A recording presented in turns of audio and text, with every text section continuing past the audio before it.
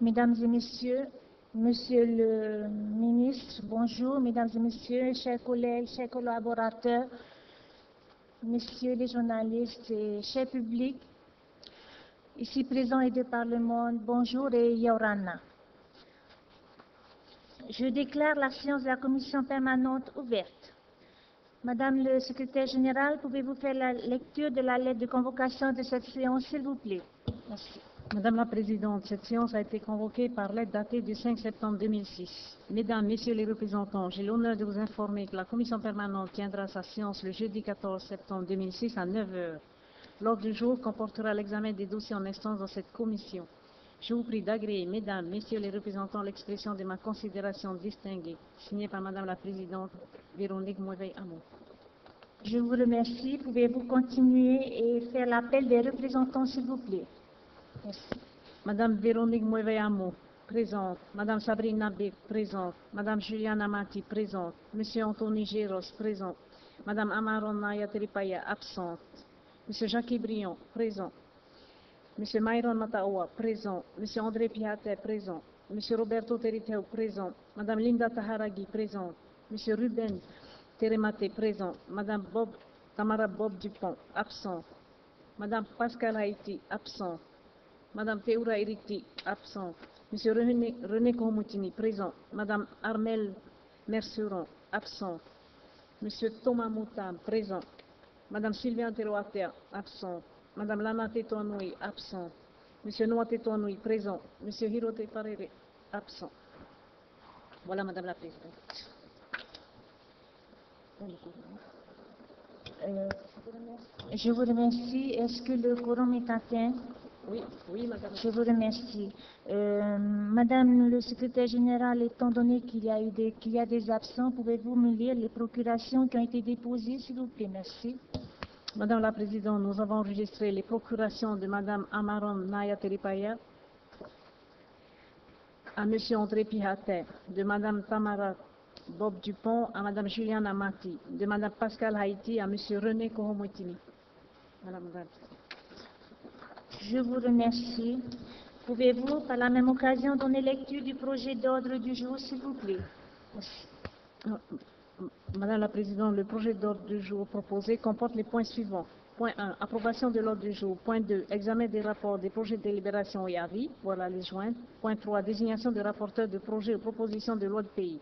Point 4, clôture de la séance. Voilà, Madame la Présidente. Je vous remercie et je vous demanderai aux membres de la commission permanente de bien vouloir approuver l'ordre du jour qui est proposé. Je vous remercie.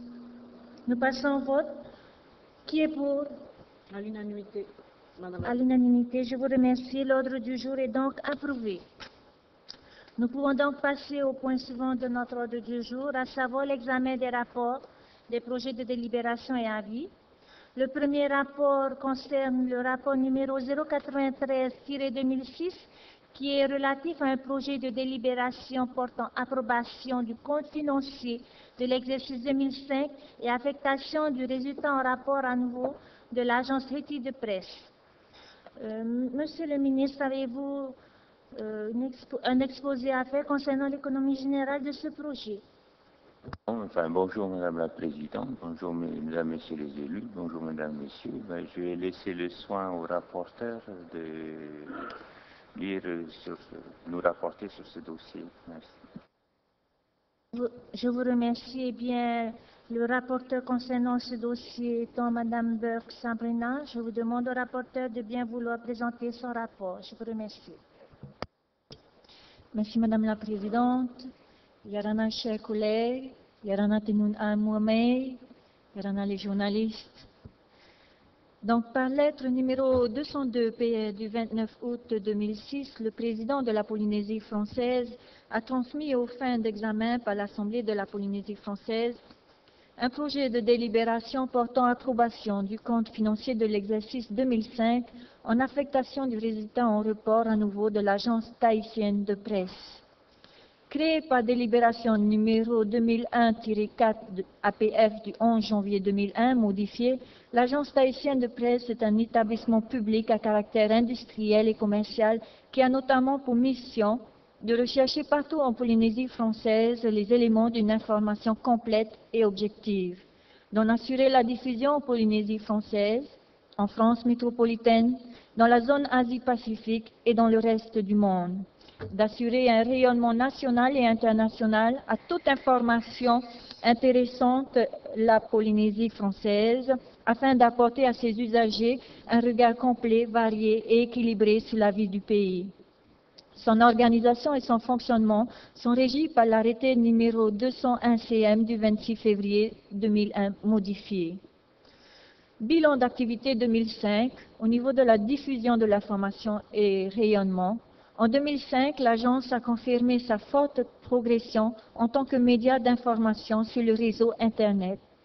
Au 31 décembre 2005, le nombre de visites sur son site a été de 3 267 3 267 728 personnes contre 1 880 635 en 2004, soit une moyenne de 272 310 visites par mois, soit euh, comparé à 160 000 en 2004, ou 9 952 visites par jour, comparé à 5 138 en 2004.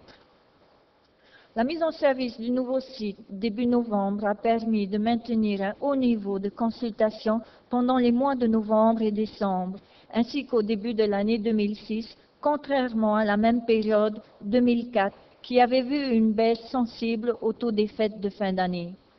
Le nombre de visiteurs réguliers qui sont venus plusieurs fois au cours d'un mois est passé de 19 000 en décembre 2004 à 25 000 en décembre 2005, plus de 30 000 en avril 2006.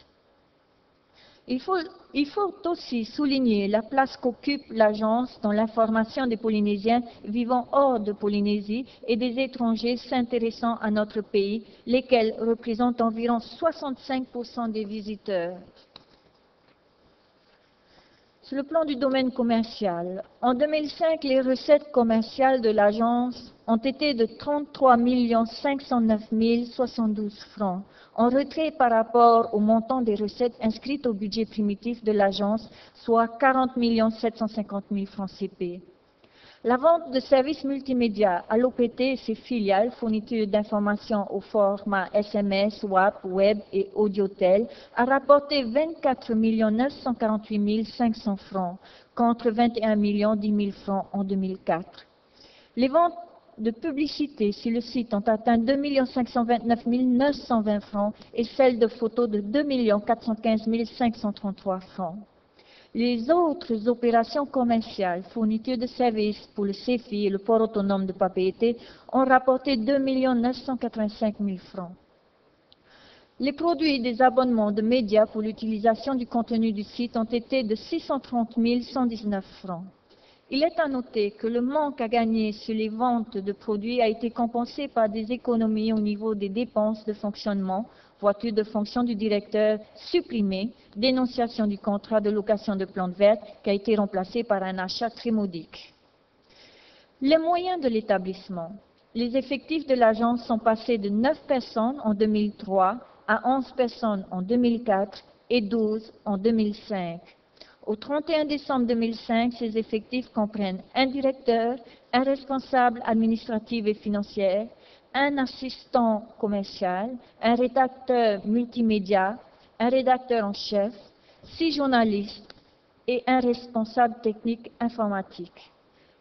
Pour les moyens financiers mis à disposition de l'établissement depuis trois ans, ont évolué comme suit. Alors nous allons voir pour la subvention territoriale en 2003, il, était de 63 770 000 en 2004, il était de 73 700 000 et en 2005, il était de 88 940 000. Pour les ressources propres, en 2003, de 15 958 952. En 2004, de 34 135 933 francs. Et en 2005, de 33 509 072 francs ce qui fait un total en 2003 de 79 728 952 francs.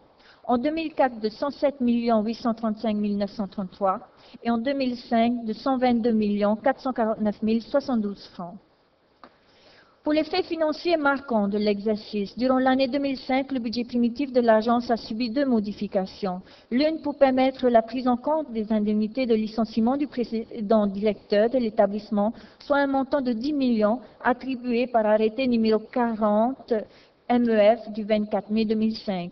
La seconde pour prévoir une augmentation des dépenses et des recettes de fonctionnement et d'investissement liées d'une part au réagencement des locaux de l'agence et d'autre part à une régularisation de cession de matériel informatique autorisé par délibération du 16 mars 2004.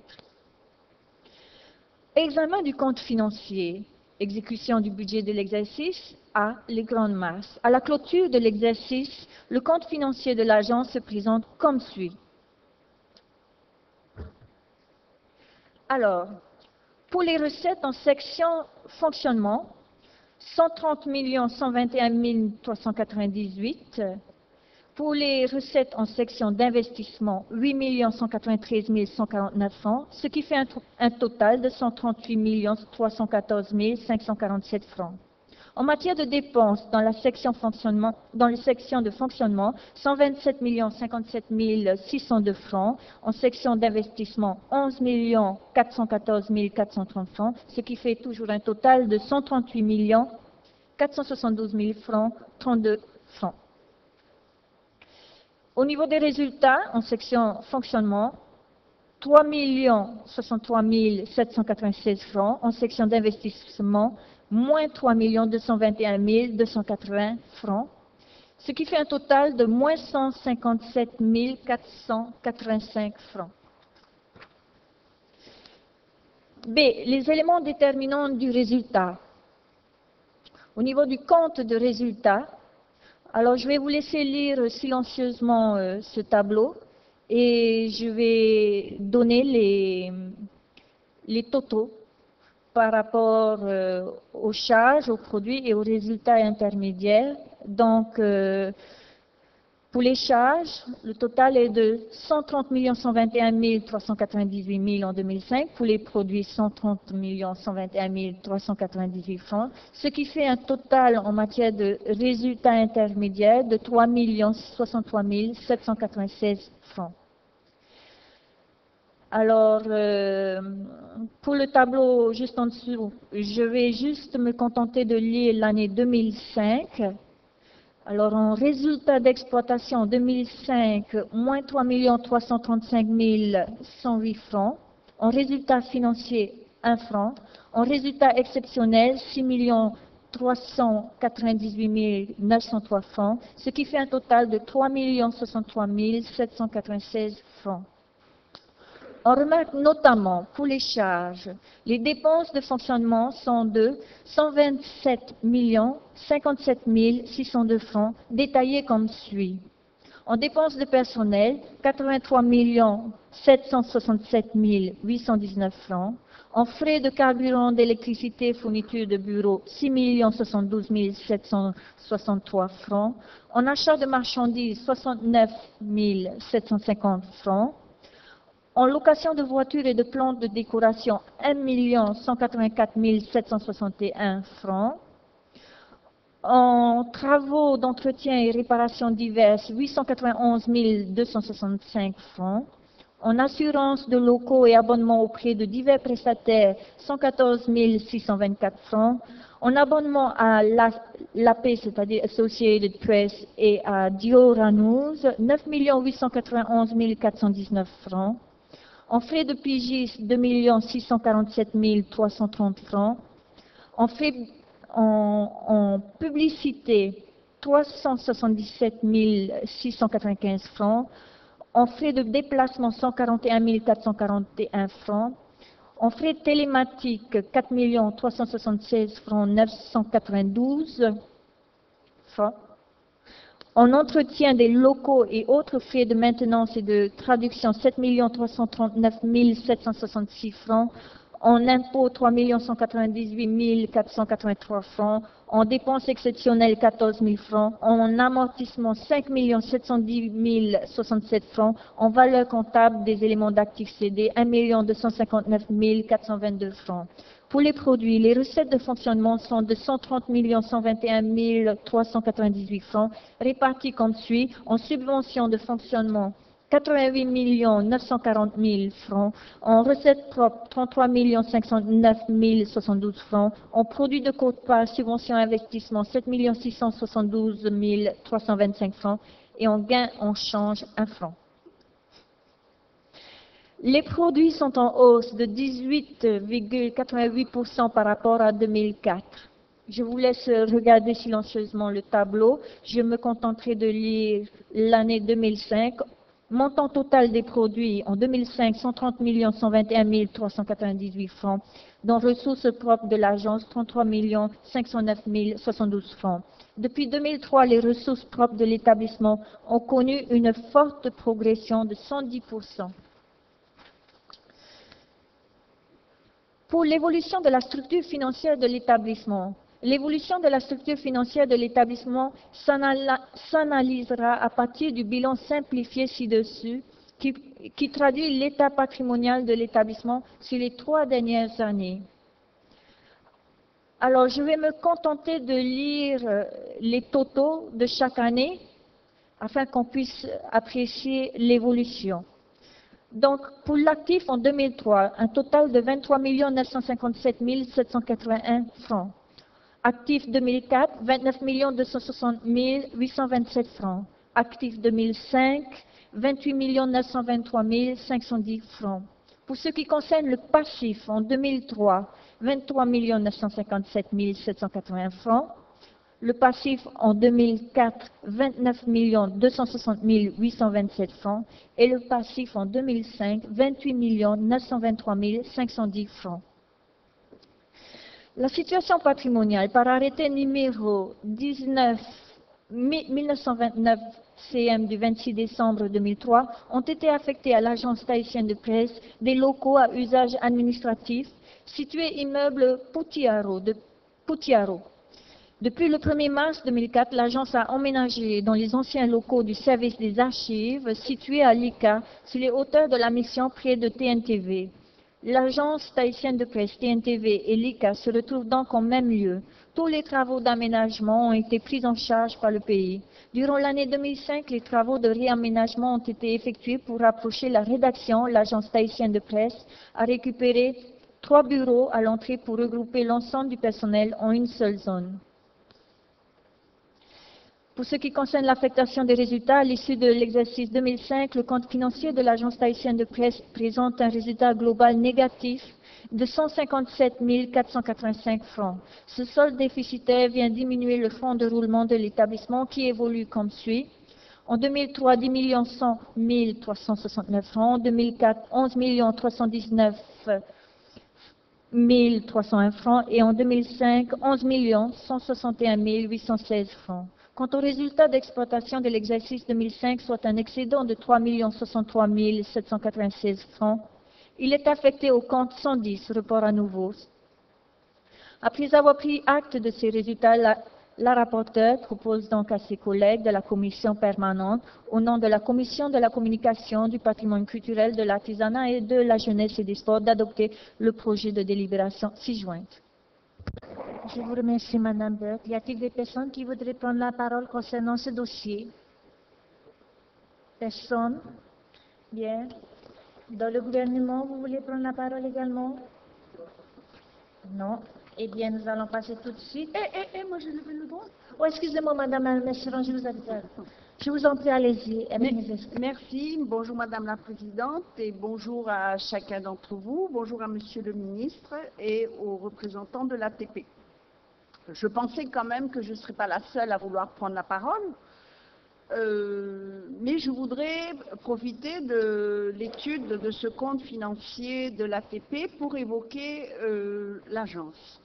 Madame Burke, j'ai été étonnée en vous entendant lire votre rapport, vous qui êtes toujours le défenseur des libertés, le défenseur euh, euh, de, la, démocratie, Eh bien, j'ai été étonnée parce que j'ai bondi, intérieurement bien entendu, lorsque j'ai lu dans votre rapport que vous disiez que, euh, et sans le commenter bien sûr, que l'ATP a notamment pour mission de rechercher partout en Polynésie les éléments d'une information complète et objective. Ça c'est bien, c'est la théorie. Et d'apporter à ses usagers un regard complet, varié et équilibré sur la vie du pays. Ça aussi c'est la théorie. Mais la réalité, la réalité c'est des dépêches que je voudrais prendre de cette semaine. Mardi, on nous dit que, à propos du blocage des ex-GIP, en dernière euh, paragraphe, dernière heure, menace de bombe à l'Assemblée. Et toujours dans le même article, il hein, faut bien comprendre le lien.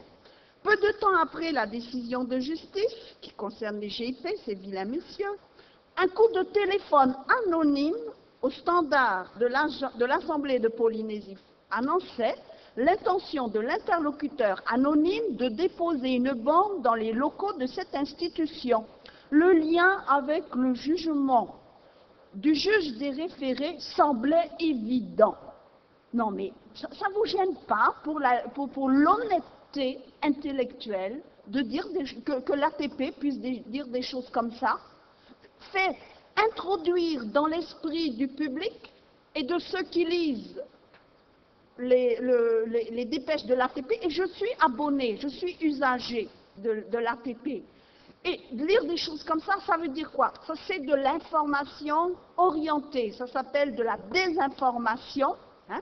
Si j'ajoute à cela que le lendemain, se rendant compte que c'était pas, ça, n'avait pas été très intelligent de dire cette chose-là, puisqu'on a très vite connu la réalité, n'est-ce pas, Monsieur Briand?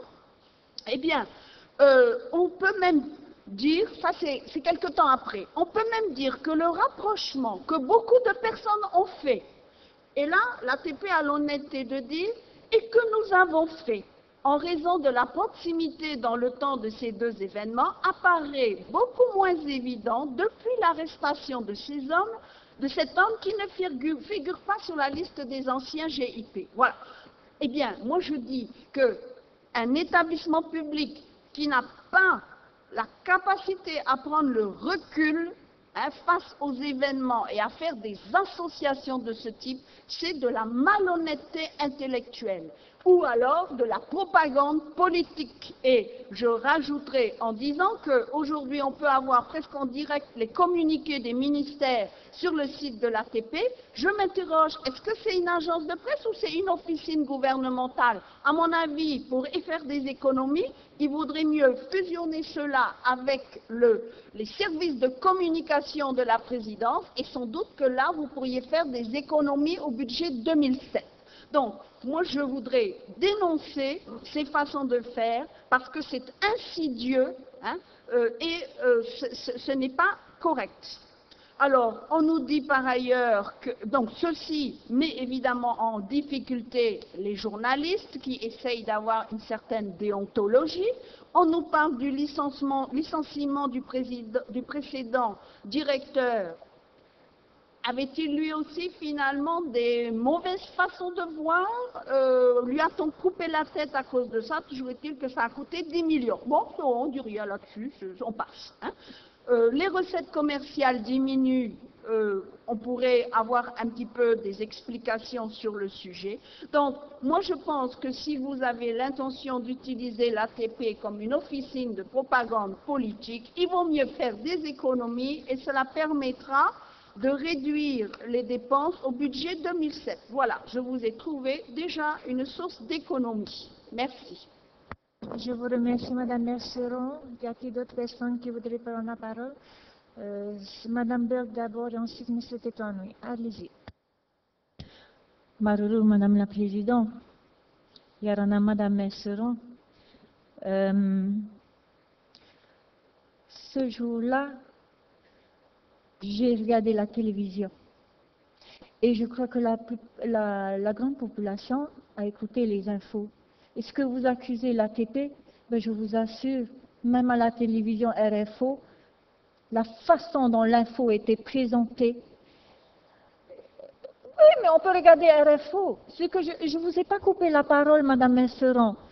Je dis, toutes les journalistes, tous les infos ont présenté l'un après l'autre cette information.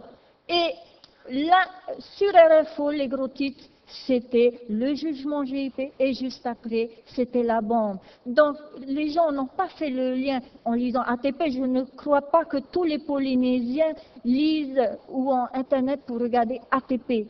Je crois qu'ils ont fait leur travail, ils ont présenté l'info en toute objectivité et c'était ce jour-là à la, à la une et les gens ont fait le lien par eux-mêmes. Donc, euh, il ne faut pas aller pointer du doigt ATP, ou alors il faut aller voir tous les journaux ce jour-là, et vous verrez bien que c'était euh, quelque chose dont un journaliste, euh, ils ont tous relaté les choses de cette façon-là. Maruru. Madame Burke, merci. Monsieur Tétonu, à vous. Yorana, Tuaho Yorana. Oui, c'était juste pour, euh, pour demander au ministre, euh, porte-parole du gouvernement, d'intervenir auprès de cette structure. Parce que c'est inadmissible qu'une telle structure apporte des, des, critiques sur une autre structure. Et c'est même ces deux structures sont payées par des contribuables. Et il y a un seul patron, c'est le président du territoire je vous demanderai, Monsieur le ministre, d'intervenir et de demander, et notamment à cette structure, de, ne pas lancer des, critiques ou des, critiques ou des, euh, phrases qui, peuvent notamment blesser notamment des agents, des agents de l'administration. Donc, euh, il faudrait que cette structure apporte des preuves. C'est un élément très important parce que si ces structures, notamment qui dépendent du territoire payées par les contribuables, se lancent notamment des critiques, c'est pas bon. Ça fait un peu désordre. Donc, euh, pour l'avenir, essayer de demander à cette structure, notamment à ATP, de mesurer notamment, notamment les, les critiques ou bien des, euh, des éléments à apporter sur certains événements. Ça, c'est le premier point. Le deuxième point que je souhaiterais vous euh, demander aussi et d'avoir plus d'explications, c'est-à-dire je sors un petit peu de ce débat euh, sur, la bombe à l'Assemblée territoriale, c'est au niveau de, des, ventes de services multimédia à l'OPT, et notamment qui a rapporté à peu près 25 millions en 2005. Et il semble que l'OPT a abandonné certains de ses services. Peut-on avoir certaines précisions Marou. Merci, M. Tétani. M. Jacques Briand, puis Mme Messeron. Merci, Madame la Présidente, euh, Monsieur le Ministre, Mesdames et Messieurs les représentants, Mesdames et Messieurs Yorana, Madame Messeron, vous avez euh, le charme le matin de nous faire lever euh, du pied de lit avec des propos que je partage lorsqu'il s'agit d'identifier quelle est la juste limite de l'objectivité en termes de communication je vous suis complètement là-dedans. Mais que vous vous offusquez comme la jeune qui vient d'arriver dans l'hémicycle et qui n'a jamais participé au gouvernement précédent du Tahuera en termes de communication, de grâce, de grâce, ne nous faites pas le coup du, juvénisme aigu euh, de ce matin. Vous avez oublié que Mme Christine Boone était payée par les deniers publics du pays et qui travaillait à la dépêche pour la solde, pour, j'avais presque dit, la poire de votre gouvernement? À quel moment vous avez pointé d'un doigt en disant, euh, chers amis de la majorité de l'époque, nous sommes en train de prononcer sur quelque chose qui ressemble plus à du délit et à un comportement de délinquant?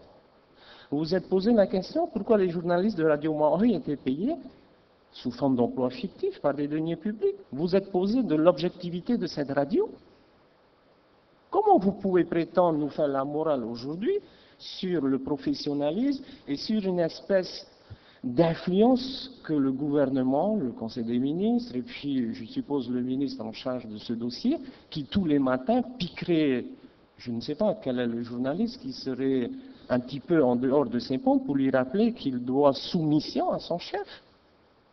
Vous ne pensez pas qu'en termes d'instrumentalisation de cette agence, vous avez été maître et maîtresse, mais au-delà de ce que l'on peut imaginer aujourd'hui Donc euh, oui, il faut trouver la meilleure façon de gérer cette agence. Oui, il faut trouver les moyens pour faire en sorte qu'ils euh, puissent assumer de manière la plus objective leur mission. Mais de là à faire croire qu'on passe notre temps à les instrumentaliser, pitié, vous avez fait la démonstration à la Chambre territoriale des comptes, nous a laissé des traces suffisamment fossilisées dans notre chair pour imaginer qu'un jour on puisse les oublier. Votre petite allusion à quelque chose que je serai euh, plus au courant que vous, là aussi, vous vous permettez de faire des glissades à peine contrôlées, et c'est ce genre de comportement qui mérite d'être condamné. Si vous avez des choses à dire, dites-le de manière franche. Si vous estimez qu'il y a un délit, saisissez les tribunaux et vous serez rassasié là-dessus. Mais ne faites pas des allusions à des choses dont on penserait que j'aurais été l'auteur ou que j'aurais manipulé. Ce genre de débat n'a pas lieu dans l'hémicycle. Je voudrais terminer, Monsieur le ministre, euh, réaffirmer notre volonté de trouver auprès de cette agence les outils nécessaires pour que l'objectivité soit de mise. Je pense que les professionnels qui euh, travaillent euh, dans ce secteur essaient de le faire au mieux, que les risques qui sont aujourd'hui d'utiliser cet instrument comme étant un lieu de propagande, bien sûr, est tout à fait condamnable. Voilà, Madame la Présidente. Merci. Je vous remercie, M. Briand. Madame Messeron, à vous. Oui, alors, M. Briand, si je vous ai cité, c'est parce que vous me regardiez d'une part, et d'autre part, parce que je vous ai vu à la télé. Et c'est vous qui étiez, semble-t-il, l'interlocuteur. Donc, je me suis dit, M. Briand est au courant du fait, moi, j'étais pas là parce que j'avais une autre obligation. Donc voilà, c'est pour ça. Donc s'il ne faut pas vous regarder, je ne vous regarderai plus. Et alors, je ne regarde pas. Alors, pour ce qui concerne bon, les reproches que vous pouvez nous faire, vous pouvez toujours les faire. Mais moi, il me semble que vous avez constamment dit que nous étions des voyous, des bandits, nous dévoyons euh, les institutions. Bon, ok, on, en a pris plein pour notre grade. Mais vous, vous faisiez vous, si nous, nous étions les chevaliers noirs, vous, vous étiez les chevaliers blancs, vertueux. Donc, je m'étonne qu'en fait, vous, fassiez la même chose que vous nous reprochez. Et vous parliez d'une radio maori, moi je peux aussi vous parler d'une radio AFA, et puis on pourrait trouver aussi là un tas de petites choses à dire. Voilà, donc il euh, ne faut pas aller rechercher euh, chez les autres euh, ce que l'on fait soi-même. Voilà ce que je voulais dire, mais en tous les cas, si je recentre le sujet, parce que je ne parlerai plus du reste maintenant, si j'ai parlé de l'ATP, c'est parce que l'ATP est un établissement public euh, et c'est le sujet d'aujourd'hui. Donc, je voudrais simplement à l'occasion rappeler, et vous l'avez vous-même dit, Monsieur Briand, qu'il était nécessaire qu'une agence euh, de ce type ait euh, la capacité à, avoir donc ce recul, cette objectivité qui est indispensable à la bonne information. Et pour répondre à Madame Burke, eh bien, je pense qu'il faut conseiller à RFO de ne plus aller regarder, les, si elle le fait encore, les, les dépêches de l'ATP parce qu'elle y trouvera des informations erronées. Merci. Je vous remercie, Madame Merceron. Nous avons commencé dans un climat de sérénité, de respect mutuel et de tolérance. Je vous espère que nous allons continuer dans ce sens-là. Et M. Jacques Brion et ensuite Madame Berthe. Merci. Merci, Madame la Présidente. Euh, j'autorise Madame Merceron à me regarder, évidemment. Je, l'autorise complètement. Vous êtes beau. Complètement.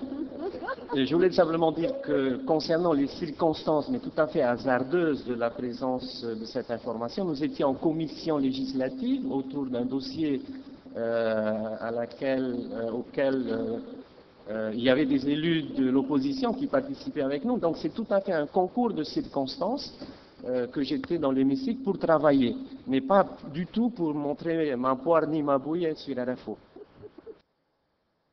Merci, M. Jacques Briand. Madame Burke, à vous. Merci, Madame la Présidente. Donc, si j'écoute bien Madame Merceron, il faudrait dire à RFO de ne pas regarder les dépêches de l'ATP. Voulez-vous que je les conseille de regarder l'hebdo? Je voudrais m'adresser à vous concernant l'hebdo, et notamment à, à Noah qui a dit Ah, arrêtez de nous critiquer et tout ça. Vous savez, si vous voulez faire preuve d'objectivité, je ne sais pas si l'hebdo, c'est vraiment euh, l'exemple. Je viens directement là-dessus parce que, vous savez, vous avez été condamné dernièrement au niveau de l'hebdo pour une diffamation sur ma personne, que vous avez inventé de toutes pièces. Non, je vais vous, puisque vous critiquez l'ATP, vous dites, regardez ailleurs, ça veut dire, venez, venez à l'hebdo. Alors, je vais vous parler de cette affaire, puisque c'est arrivé au tribunal et que j'ai gagné et que ça va être publié dans les journaux. Parce que votre président de groupe, M. Edouard Fritsch, n'a pas encore présenté des excuses. Et c'est toujours la même histoire. C'est-à-dire, vous avez inventé une information de toute pièce dans l'hebdo pour dire, Madame Burke, conduisez la voiture de l'Assemblée que je n'ai jamais conduite. Je n'ai jamais conduit cette voiture. Vous avez écrit, alors je me demande vos sources. Et puis, vous avez dit, elle était sous l'influence du cannabis. Et puis, que j'ai insulté les gendarmes. Tout ça rédigé, je me demande. Madame la si Présidente, en sujet, Madame la. Présidente. Si ça, c'est le sujet, sinon ça va déraper encore. peur si RFO utilisait l'hebdo pour s'informer. Je crois bien que l'ATP est bien plus objectif que ce que vous avez jamais proposé au niveau du Tarouera, parce que l'hebdo est de chez vous. Alors si ça c'est de l'objectivité, je vous assure, ça va être prononcé dans les journaux, vous êtes condamnés. Et ce genre d'attitude d'inventer de toutes pièces, rien que pour critiquer les gens, pour dire n'importe quoi, là, là je vous dis, euh, vous ne montrez pas l'exemple. Alors, s'il vous plaît, laissez l'ATP faire son travail en toute objecti- ob- objectivité, parce que je me rappelle bien de comment ça se passait à votre époque. J'étais journaliste à l'époque.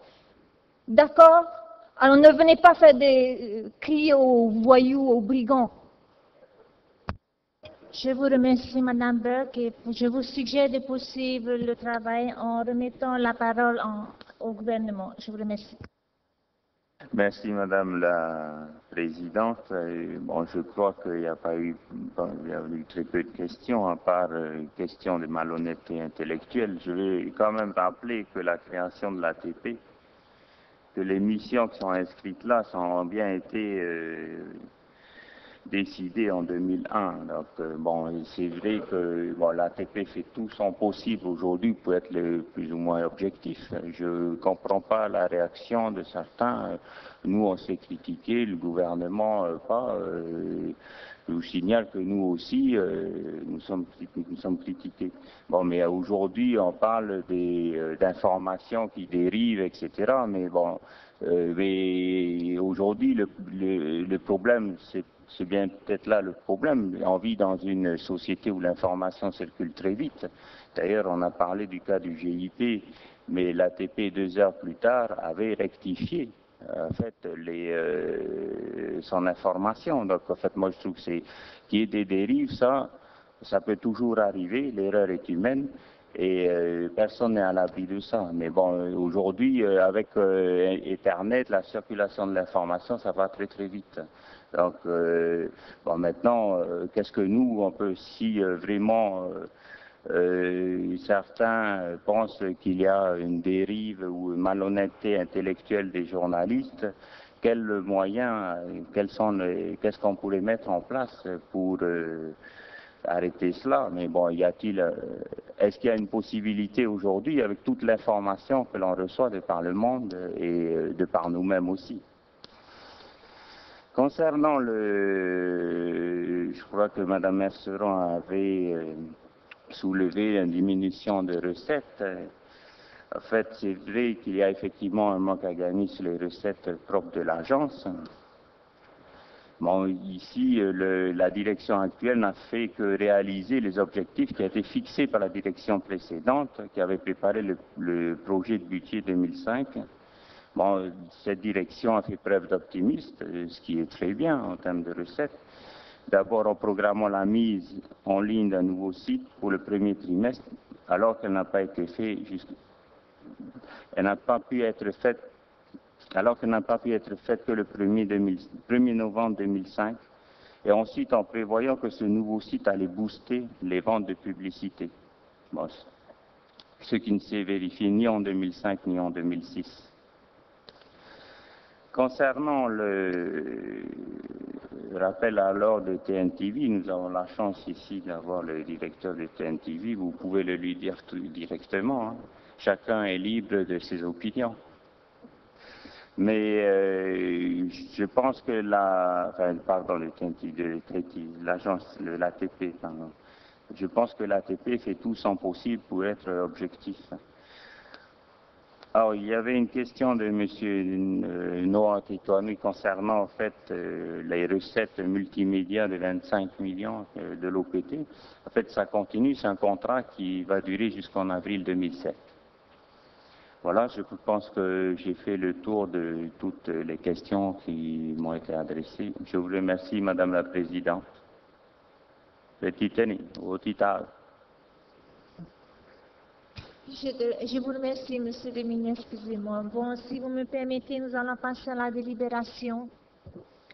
Euh, Madame la, rapporteure, voulez-vous donner lecture de la, de la délibération, s'il vous plaît? Merci. Article 1er. Le montant définitif des recettes du compte financier de l'Agence tahitienne de presse pour l'exercice 2005 est arrêté à la somme de 138 314 547 francs, se décomposant comme suit. En section 1 de fonctionnement, 130 121 398 francs. En section 2 d'investissement, 8 193 149 francs, ce qui fait un total de 138 314 547 francs. Bien, la discussion est ouverte concernant cet article. Merci. Madame Messerin, à vous. Merci Madame la Présidente. Je prends la parole maintenant puisque je ne l'ai pas eu tout à l'heure. Euh, donc, euh, et je me réfère à l'article, hein, puisqu'il y a 138 314 547 francs de recettes. Et euh, sur ces recettes, pour l'essentiel, il s'agit de recettes provenant d'une subvention territoriale. C'est de l'argent public et cela me permet de rappeler aux uns et aux autres que nous étudions aujourd'hui les comptes d'un établissement public financé par l'argent de la collectivité. On peut donc en attendre, et c'est bien euh, ce que nous, et qui est indiqué dans l'arrêté, dans la délibération de création de l'ATP que Monsieur le ministre a rappelé effectivement, il y avait le principe et le souci que l'activité de cette agence euh, permette d'avoir une information complète et objective, variée et équilibrée, euh, un, regard complet, varié et équilibré sur la vie du pays. Je pense qu'effectivement tout le monde doit tendre vers cela. Et c'est pour cela que quand Monsieur le ministre dit chacun est libre de ses opinions, oui, en tant que citoyen, mais pas en tant que, président de- ou, ou, euh, directeur de l'ATP. C'est pas du tout la même chose, c'est un agent public. Donc il ne peut pas être libre de ses opinions. Ça, c'est la première chose. Ensuite, vous avez dit, euh, c'est vrai, l'ATP donne une information plus ou moins objective. Mais c'est terrible ce que vous dites, monsieur le ministre. Hein Et puis, euh, pour, pour répondre, enfin, je, pour moi, il y a une grande différence entre l'ATP, qui est un établissement public chargé donc de fournir cette information objective d'une part, et d'autre part des journaux ou des radios d'opinion, il y en a dans tous les camps, qui, elles, peuvent se permettre de donner des opinions euh, ou une approche de l'information partisane. Et ce que je vous reproche, c'est pas que euh, euh, il puisse exister euh, des, opinions partisanes exprimées dans l'un ou l'autre des médias, c'est au contraire, c'est une bonne chose pour que nous puissions faire vivre la critique. Mais là où, je- fais des reproches, c'est lorsque cette information discutable émane d'un établissement public. Voilà, et ne vous faites pas plus, euh, euh, je dirais, en difficulté pour comprendre ces nuances euh, en balayant toute, mon argumentation. Je pense que honnêtement, et je pense que tout le monde peut être, arriver à être honnête ici, il faut savoir faire la part des choses entre un établissement public et d'autre part des médias d'opinion, de tous les bords. Et s'il y en a qui dépassent les bornes, eh bien, effectivement, il y a la justice. Et je vous rappelle à Madame euh, Burke que je ne suis euh, pas du tout euh, propriétaire de l'hebdo et que je, je n'écris pas non plus. Voilà. Merci. Donc, il ne faut pas me dire vous en me regardant. Merci. Je vous remercie, Madame. Messeron. Y a-t-il d'autres intervenants? Monsieur le ministre, je vous en prie. Oui, je voulais simplement euh, revenir sur cette notion d'objectivité, mais bon, euh, ce serait l'idéal en fait, c'est de tendre vers cette, euh, cette notion d'objectivité, mais maintenant il faudrait peut-être la définir. Est-ce que si euh, à chaque fois on doit rappeler aux journalistes ce qu'ils doivent écrire, eh ben, pourquoi ne pas ramener l'information à l'Assemblée d'abord avant que ça soit publié? Merci, Monsieur le ministre. Bien, si vous me permettez, nous allons passer au vote de l'article premier. Qui est pour?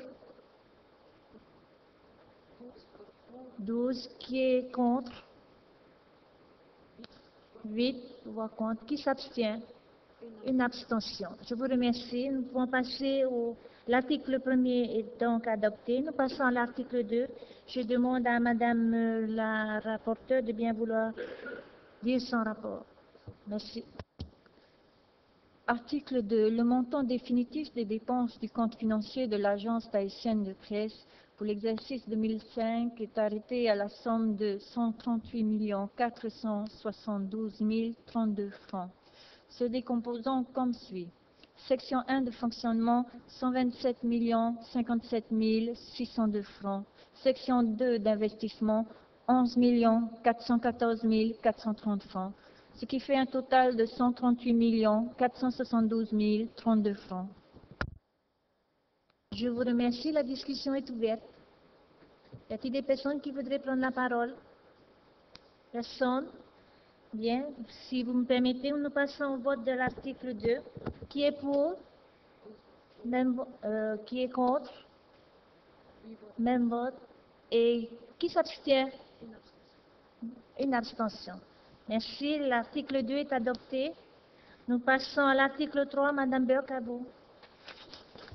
Article 3. Le résultat du compte financier de l'Agence haïtienne de presse pour l'exercice 2005 est définitivement fixé ainsi qu'il suit. En, re- en recette pour, pour la section fonctionnement, 130 121 398 francs. En section 2 d'investissement, 8 193 149 francs, ce qui fait un total de 138 314 547 francs. En matière de dépenses pour la section 1 fonctionnement, 127 57 602 francs. Section 2 investissement, 11 414 430 francs, ce qui fait un total de 138 472 032 francs. Au niveau des résultats en section fonctionnement, 3 63 796 francs. En section 2 d'investissement, moins 3 221 281 francs, ce qui fait un total de moins 157 485 francs. Je vous remercie. La discussion est ouverte concernant l'article 3. Aucune discussion. Nous passons au vote. Même vote. Bien, l'article 3 est, est adopté. L'article 4, Madame Burks, à vous. Article 4. Le résultat d'exploitation de l'exercice 2005, soit un excédent de 3 63 796 francs, est affecté au compte 110 report à nouveau. Je vous remercie. La discussion est ouverte. Nous passons au vote. Même vote. Bien. L'article 3 est adopté. euh, L'article 4 est adopté. Nous passons à l'article 5. Madame Bercabou. Merci. Article 5. Le président de la Polynésie française est chargé de l'exécution de la présente délibération qui sera publiée au journal officiel de la Polynésie française. La discussion est ouverte. Même vote. Nous passons au vote. Même vote. Merci. L'article 5 est adopté. Sur l'ensemble de la délibération, même vote. Je vous remercie. la délibération est adoptée. Nous allons passer à un autre rapport.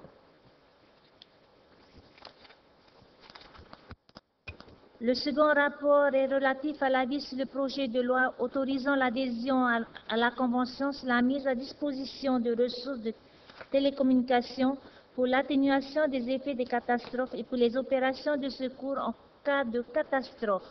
Je demanderai au rapporteur, en l'occurrence M. William Wongchou, de bien lire son rapport. Je vous remercie.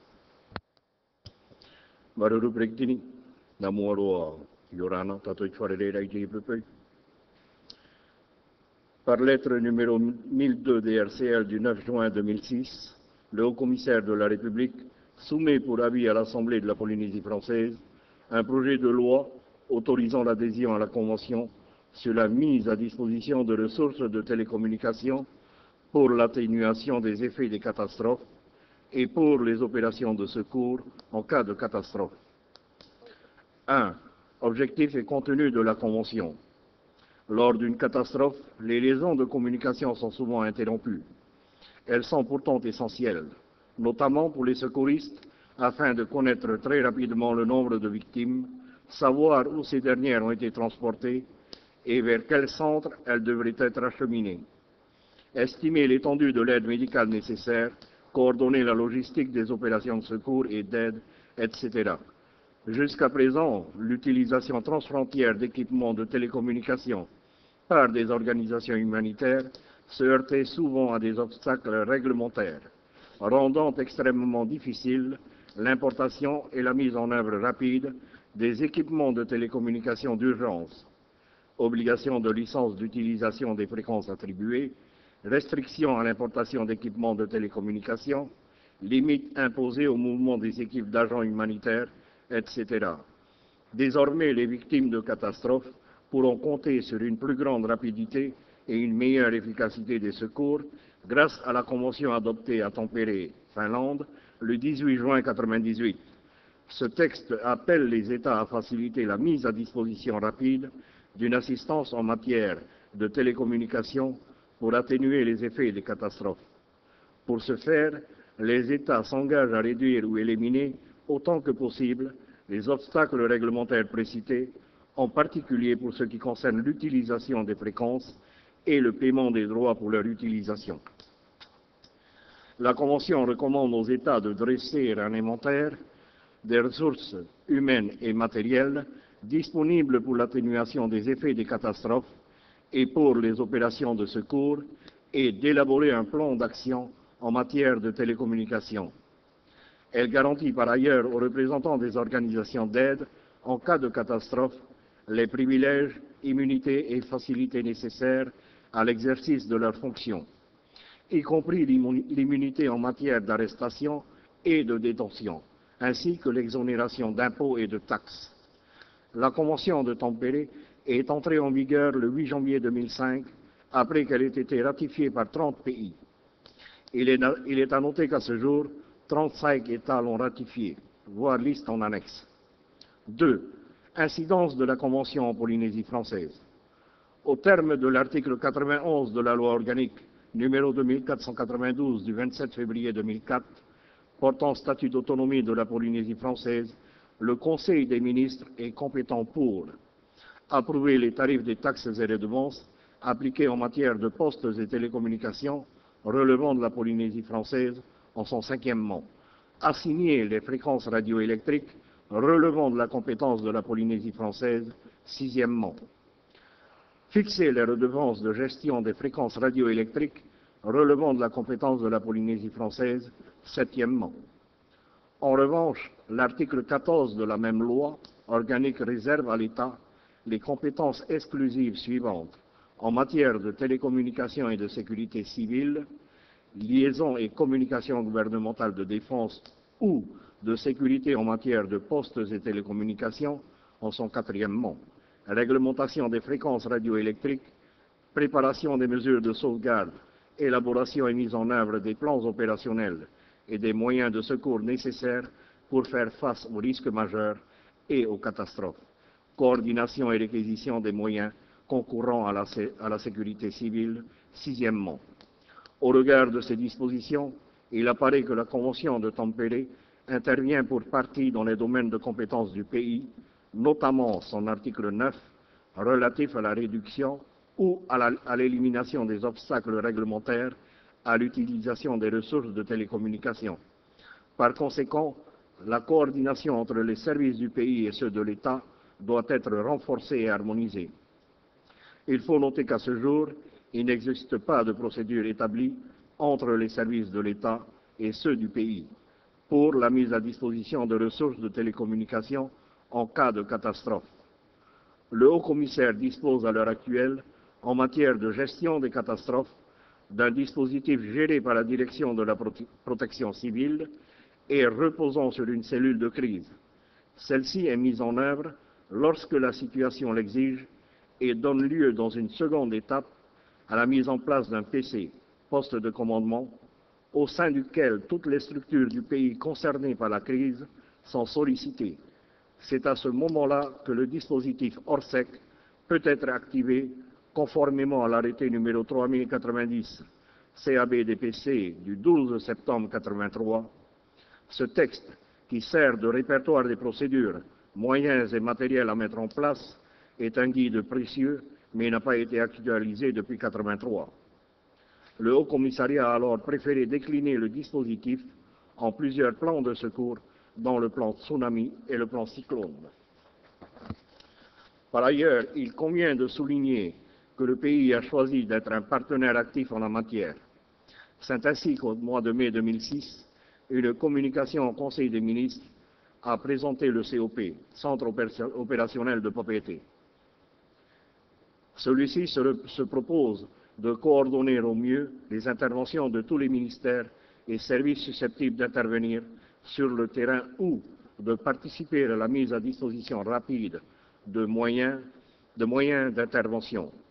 Pour ce faire, une cellule opérationnelle est mise à la disposition des autorités du pays en cas de crise liée à des événements impliquant la sécurité des personnes ou des biens.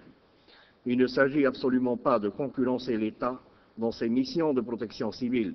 Il s'agit surtout pour le pays d'être parfaitement organisé pour récolter, analyser et restituer l'information le plus efficacement possible ce qui exige une parfaite coordination des actions entre les services.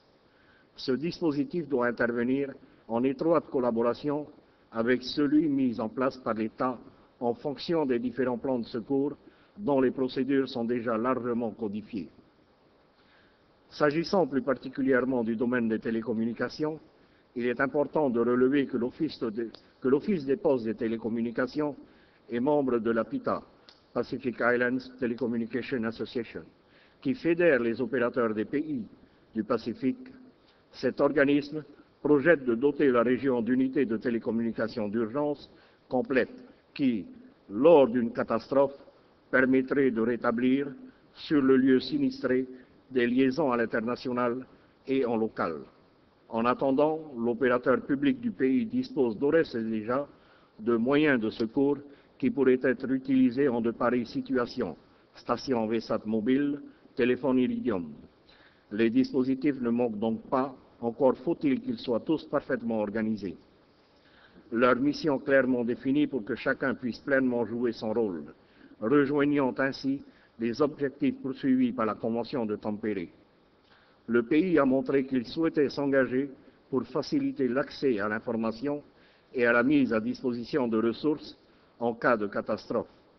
Qu'il s'agisse d'un engagement local, régional ou international, il devra passer par l'élaboration d'un plan d'action visant à faire l'inventaire des besoins et des ressources disponibles. En substance, il conviendra de définir avec l'État quelle pourrait être la contribution de la Polynésie française dans la mise à disposition de ressources de télécommunications, ainsi que de déterminer les modalités y afférentes notamment en termes de réduction ou d'élimination des obstacles réglementaires à l'utilisation de ces ressources. À l'égard de l'ensemble de ces éléments, le rapporteur propose aux collègues de la commission permanente, au nom de la commission de la communication, du patrimoine culturel, de l'artisanat et de la jeunesse et des sports, d'émettre un avis favorable au projet de loi autorisant l'adhésion à la Convention de Tampere laquelle constitue un outil important dans les efforts internationaux visant à apporter une réponse mieux coordonnée et plus efficace dans les situations d'urgence. Je vous remercie, monsieur le rapporteur. Y a-t-il quelqu'un qui voudrait prendre la parole concernant ce projet d'avis? Bien, eh bien, nous allons passer à l'examen de l'avis. Monsieur le rapporteur, je vous en prie, vous voulez bien donner lecture de l'avis, s'il vous plaît? Merci. La commission permanente de l'Assemblée de la Polynésie française émet l'avis suivant. Le projet de loi autorisant l'adhésion à la Convention sur la mise à disposition de ressources de télécommunications pour l'atténuation des effets des catastrophes et pour les opérations de secours en cas de catastrophe, adopté à Tempéré le 18, ju- le 18 juin 1998, recueille un avis favorable. Il conviendra cependant de définir avec l'État la contribution de la Polynésie française dans la mise à disposition de ressources de télécommunications, ainsi que de, détermi- de déterminer les modalités y afférentes, notamment en termes de réduction ou d'élimination des obstacles réglementaires à l'utilisation de ces ressources. Le présent avis sera publié au journal officiel de la Polynésie française et transmis, accompagné de son rapport de présentation, au haut commissaire, au président de la Polynésie française, au président de l'Assemblée nationale et du Sénat et aux parlementaires de la Polynésie française. Je vous remercie, monsieur le rapporteur. La discussion est ouverte. Aucune intervention. Nous allons donc pouvoir passer au vote. Qui est pour? À l'unanimité. Je vous remercie. L'avis est adopté. Je vous remercie. Nous allons pouvoir passer au rapport suivant. Il s'agit du rapport 091-2006 relatif à un projet de délibération portant approbation du compte financier de l'exercice 2005 et affectation du résultat de l'Institut de la consommation. Je demanderai au rapporteur de ce dossier de bien vouloir prendre la parole. En l'occurrence, il s'agit de Madame Catherine Touillot-Bouillard. Je vous remercie à vous. Merci Madame la Présidente. Bonjour à Monsieur le Ministre, Mesdames, Messieurs les représentants. Par lettre numéro 200 PR du 25 août 2006, le président de la Polynésie française a transmis au fin d'examen par l'Assemblée de la Polynésie française un projet de délibération portant approbation du compte financier de l'exercice 2005 et affectation du résultat de l'Institut de la consommation. Établissement public administratif créé par la délibération numéro 85 1155 AT du 19 décembre 1985, l'Institut de la consommation est investi d'une compétence générale dans les domaines qui relèvent de la formation, de l'information et de la protection des consommateurs dans leurs intérêts juridiques, économiques et physiques. L'Institut est notamment chargé de mettre en place un dialogue constructif entre les consommateurs, les professionnels et les pouvoirs publics et de faire ainsi des consommateurs un partenaire de la vie économique. Son organisation et son fonctionnement ont été fixés par l'arrêté numéro 992 CM du 31 juillet 2001 modifié. Les moyens. Les effectifs réels ont évolué de la façon suivante sur les trois derniers exercices. 2003-2004, je ne donnerai que le total, 8 agents. En 2004-2005, 9 agents. En 2005-2006, 9 agents. Les moyens financiers mis à la disposition de l'établissement depuis trois ans ont évolué comme suit. L'année 2003, subvention de la Polynésie française en valeur 44 138 333. En ressources propres, 0. Autres ressources, 295 080 88. Excusez-moi. Dont un total de 44 433 421. Pour l'année 2004, subvention de la Polynésie française, 41 666 666. En ressources propres, 0. Autres ressources, 603 874 pour un total de 42 270 540. Et pour l'année 2005, subvention de la Polynésie française, 50 900 000. Ressources propres, 0. Autres ressources, 0 pour un total de 50 900 000. Nous passons donc à l'examen du compte financier en ce qui concerne l'exécution du budget. Les grandes masses. À la clôture de l'exercice considéré, le compte financier de l'Institut se présente comme suit. Pour les recettes en section de fonctionnement, 50 900 000 et en section investissement, 2 961 888 pour un total de 53 861 888. En dépenses, en section fonctionnement, 49 179 964 et en section investissement, 0, d'où un total de 49 179 964. Les résultats en section fonctionnement de 1 720 036, pardon, et en section investissement 2 961 888 pour un total de 4 681 924. Les éléments déterminants du résultat.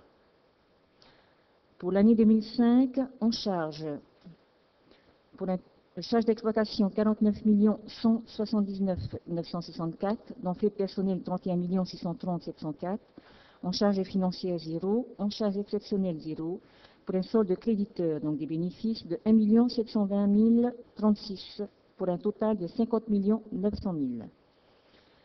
En ce qui concerne les produits, pour l'année 2005, en produit d'exploitation 50 900 000, produits financiers 0, produits exceptionnels 0, pour un total de 50 900 000 d'où les résultats intermédiaires, résultats d'exploitation 1 720 036, résultats financiers 0, résultats exceptionnels 0, pour un total de 1 720 036. Le compte de résultats simplifié fait apparaître un excédent de 1 720 036 francs. Cette situation excédentaire résulte essentiellement de la non-utilisation des crédits prévus pour les dépenses prévisionnelles identifiées au titre des charges externes, ligne budgétaire 628, prestations extérieures, des frais postaux, ligne budgétaire 626, et des autres services extérieurs, ligne budgétaire 622, rémunération d'intermédiaires. Pour l'année 2003, résultat d'exploitation 4 224 826, en résultat financier 0, en résultat exceptionnel 295 088, pour un total de 4 519 914. Pour l'année 2004, Résultat d'exploitation de 3 13 309 pour un résultat financier 0. Pour un résultat exceptionnel de moins 853 583 pour un total de 2 159 726. Et enfin, pour l'année 2005, un résultat d'exploitation de 1 720 036 pour un résultat financier 0, résultat exceptionnel 0, et pour un total de 1 720 036 on remarque que le total des charges s'élève à 49 179 964 francs en 2005 contre 40 110 814 francs en 2004, soit une hausse de 22,61%. Les frais de personnel varient de 25 466 075 francs en 2004 à 31 630 704 francs en 2005, représentant 64% des charges totales de fonctionnement de l'établissement contre 63% l'année précédente. Le total des produits, d'un montant de 50 900 000, connaît une augmentation de près de 20,41% par rapport à 2004. Contrairement aux années précédentes, l'établissement a perçu l'intégralité de la subvention du pays. Passons à l'évolution de la structure financière de l'établissement, qui s'analysera à partir du bilan simplifié ci-dessous l'actif en 2003 pour un total de 54 890 729. En 2004, 54 361 471. En 2005, pour un total de 58 49 413. Pour le passif, en 2003, un total de 54 890 729 en 2004 pour un total de 54 361 471 et en 2005 un total de 58 49 413. L'affectation des résultats. À l'issue de l'exercice 2005, le compte financier de l'Institut de la consommation présente un résultat global positif de 4 681 924 francs. Ce solde excédentaire vient augmenter le fonds de roulement de l'établissement qui évolue de la façon suivante. En 2003, 24 434 608 francs. En 2004, 28 255 890 francs. En 2005, 32 937 814 francs. Le résultat de fonctionnement s'élève à 1 720 036 francs et est affecté au compte 110, report à nouveau, solde créditeur. Après avoir pris acte de ces résultats, les rapporteurs proposent à leurs collègues de la commission permanente, au nom de la commission des affaires économiques, du tourisme, de l'agriculture, de la mer et des transports, d'adopter le projet de délibération 6 juin. Merci. Je vous remercie, Madame la rapporteure, qui a été... euh, m- je remets la parole au gouvernement s'ils ils ont quelque chose à ajouter concernant l'exposé de, sur l'économie de ce dossier. Merci. Merci, Madame la Présidente. Madame la Présidente, tato porua te ami mei te EPP, ia rana ami tato i to tato nei wharerira. E e tau ara pro, ini ei te i ne tumu no te. Maruru.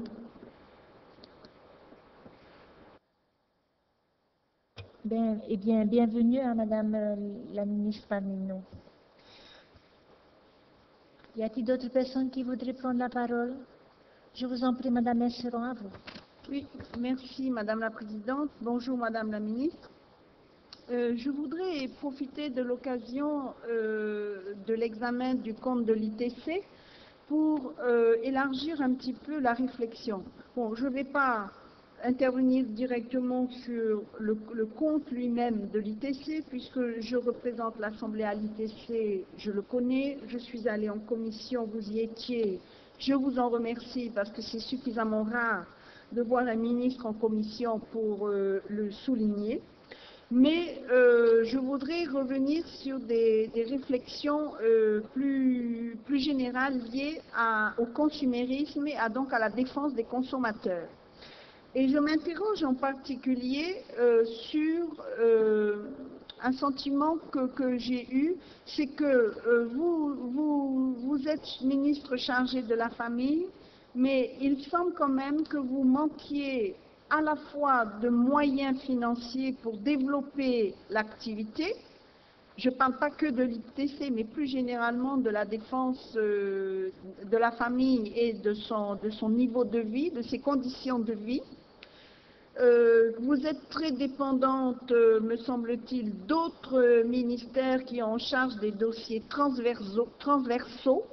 Et je pense en particulier, et je vous l'avais dit en commission, euh, au dossier sur le surendettement, qui me paraît un dossier très important parce que je mets en doute les chiffres de surendettement qui ont pu nous être donnés et qui étaient limités à une approche bancaire. Or, je pense que le surendettement des familles les plus modestes n'est pas que bancaire. Et donc, euh, il, y a toute la partie, notamment des crédits qui sont accordés directement par les entreprises, par les commerçants, notamment en électroménager euh, ou peut-être pour les véhicules, euh, qui n'apparaît pas. Donc, le dossier du surendettement est un dossier essentiel.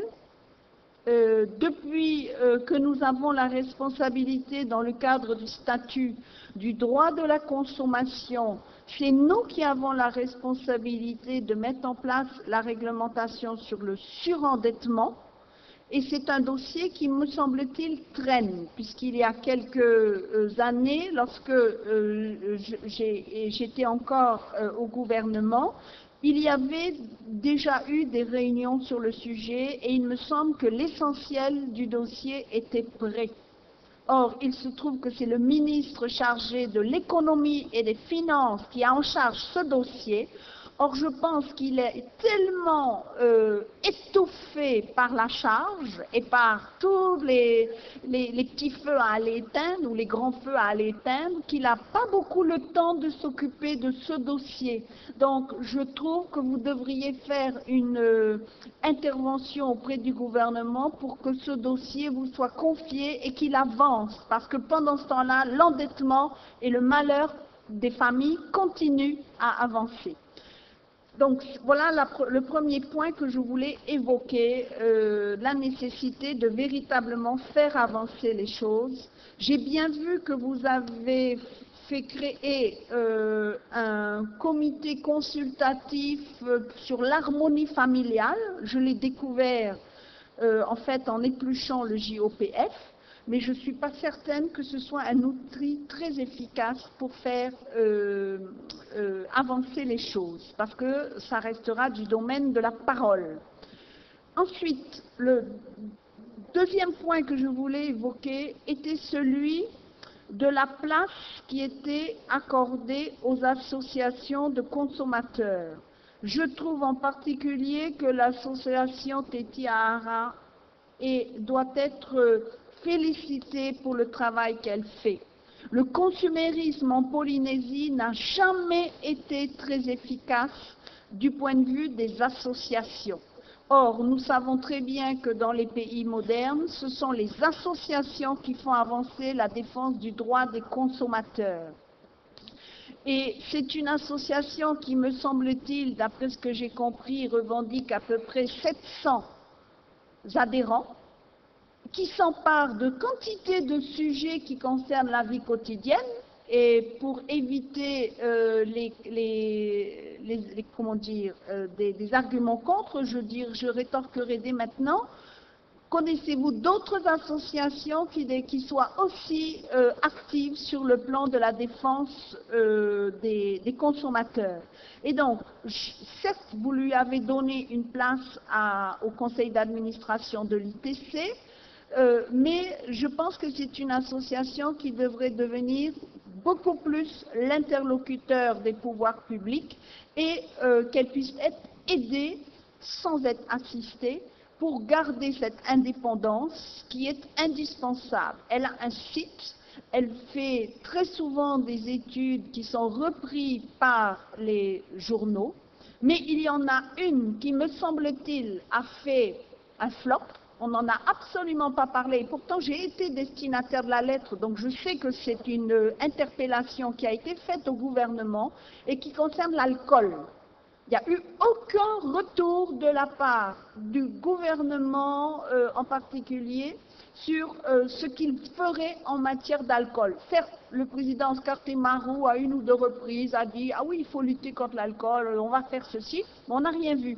Donc, je pense que sur ce sujet-là, l'association mériterait d'être euh, euh, écoutée et suivie pour voir ce qu'on pourrait tous ensemble faire contre l'alcool. Voilà. Donc, j'espère que vous aurez plus de moyens d'action au budget 2007 parce que euh, je, suis persuadée qu'il n'y en a pas suffisamment.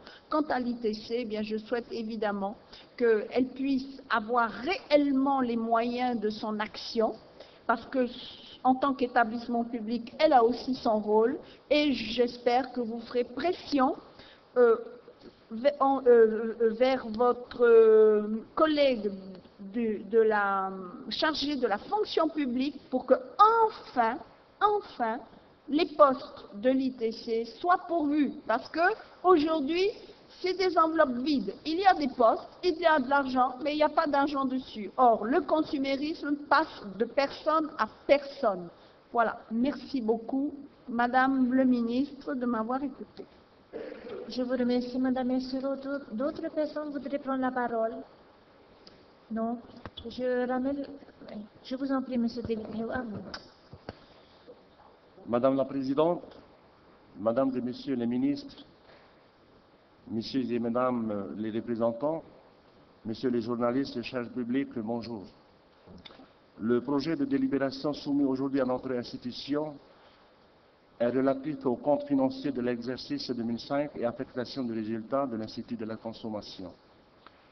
L'Institut éditorial de la consommation consiste à défendre les intérêts juridiques économique ou physique des consommateurs a pour rôle d'informer, de former et de protéger le consommateur. Ses missions sont, d'une part, d'investir dans une compétence générale dans tous les domaines qui révèlent de la formation et l'information et de la protection des consommateurs.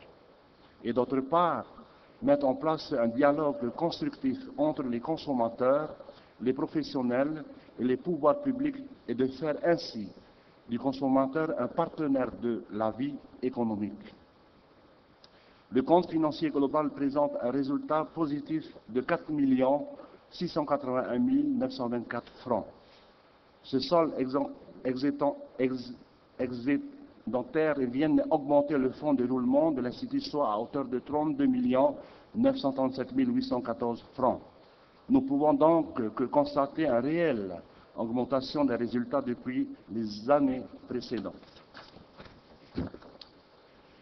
Nous avons pu également constater, d'après les statistiques données, que les moyens les plus privilégiés des consommateurs est l'appel téléphonique qui reste facile, efficace et rapide.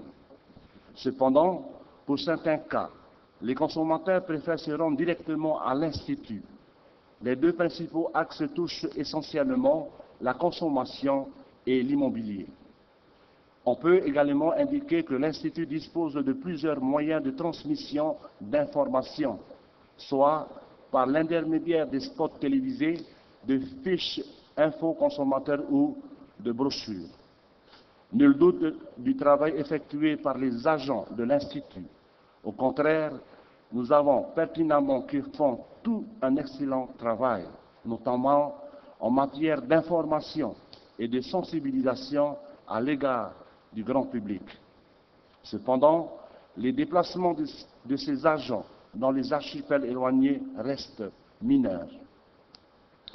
Mais c'est à nous, en tant que législateurs de ce pays, de donner les moyens à cet établissement de pouvoir mener à bien ses fonctions.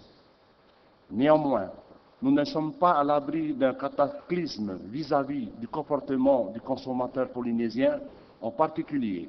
En effet, pour vous citer un exemple, une grande majorité des familles polynésiennes sont prêtes à investir plus de 60% de leur revenu mensuel pour l'achat d'un véhicule neuf. Ce qui reste de leur budget est insuffisant pour tenir le mois. Voici donc un exemple parmi tant d'autres qui se doit de retenir toute notre attention, que ce soit les pouvoirs publics ou tout simplement chaque citoyen de notre Fénois. Mais ce qu'il faut savoir, c'est que le consommateur est maître de tout ce dont il entreprend. En outre, l'Institut de la consommation a lancé une étude sur le comportement des consommateurs locaux. Cette démarche permettra aux agents de l'Institut de répondre aux attentes des consommateurs. Ainsi, ils pourront élaborer une protection efficace et pérenne quant à la gestion du budget familial et pour bien d'autres bonnes actions encore. L'application du principe de préoccupation est une bonne résolution à mettre en place afin de lutter contre les dépenses inutiles. En conclusion, je tiens, je soutiens l'Institut de toutes ces démarches. Aussi, je voudrais remercier Madame la ministre de la Famille, Madame la directrice de l'Institut de la Consommation, ainsi que tous ceux et celles qui ont contribué à la sensibilisation de notre population en matière de consommation depuis tant d'années. Au nom de la Commission des affaires économiques, du tourisme, de l'agriculture, de la mer et du transport, je demande à mes collègues de bien vouloir adopter ce projet de délibération que l'on vient d'examiner. Maruri Farol Amain et Yorana. Je vous remercie, M. Hill. D'autres personnes voudraient prendre la parole Non Eh bien, je me tourne vers le gouvernement. Madame la ministre, à vous.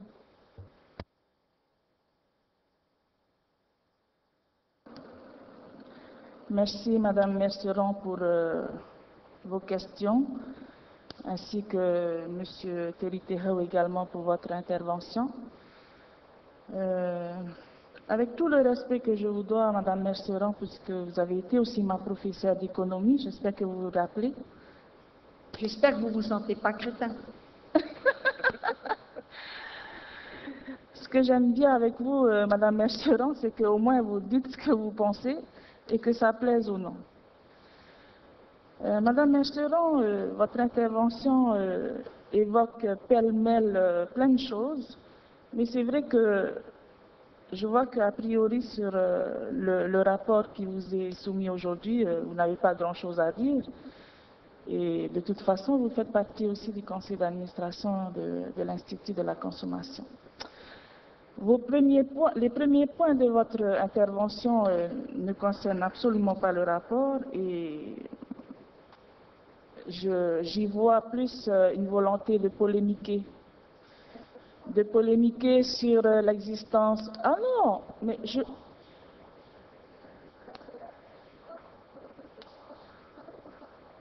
Mais on va en parler, euh, Madame Esseron, je vous Je vous invite en à prie, vous- Madame Messeron. Ce n'est pas de la Je vous en polémique. prie, Madame Messeron. Laisse Madame le ministre s'exprimer d'abord qu'elle et ensuite pas de vous polémique. prendrez la parole. Je, je continue à dire que nous resterons dans un, dans un climat de sérénité. Eh, professeur, il doit J'aimerais montrer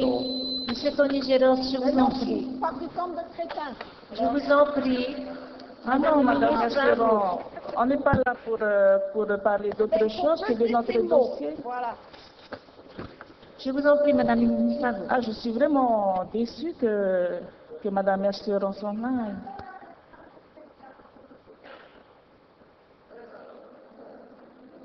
Eh Je vous en bien, prie, Madame la ministre.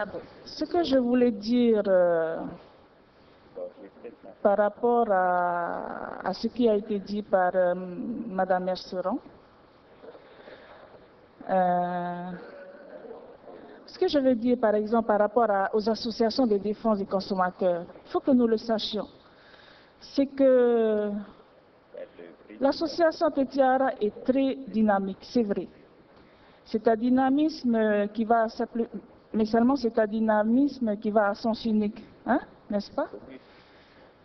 Euh, Ce que je peux dire, c'est que le Taoui, malgré toutes les attaques, non seulement euh, concernant la consommation, mais, aussi politicienne de Tetiara, a ouvert le conseil d'administration de l'Institut de, de la consommation et cette association. Cette association a sollicité un financement à l'EPAP, un financement de 16 millions pour une étude sur le comportement des consommateurs des familles polynésiennes. Le conseil d'administration a accepté cette demande de financement venant de Tetiara et a créé un comité de pilotage piloté par l'Institut de la consommation. Vous vous rendez compte? Euh, je dis aussi que, par exemple, la commission d'attribution des logements, eh bien, le Taoui a ouvert les portes de cette commission au Tavana, des lieux où euh, les, lo- les logements euh, sont, attribués. Et donc, euh, je pense, Madame Esteron, que c'est cela la démocratie. C'est cela l'ouverture et la considération des uns et des autres.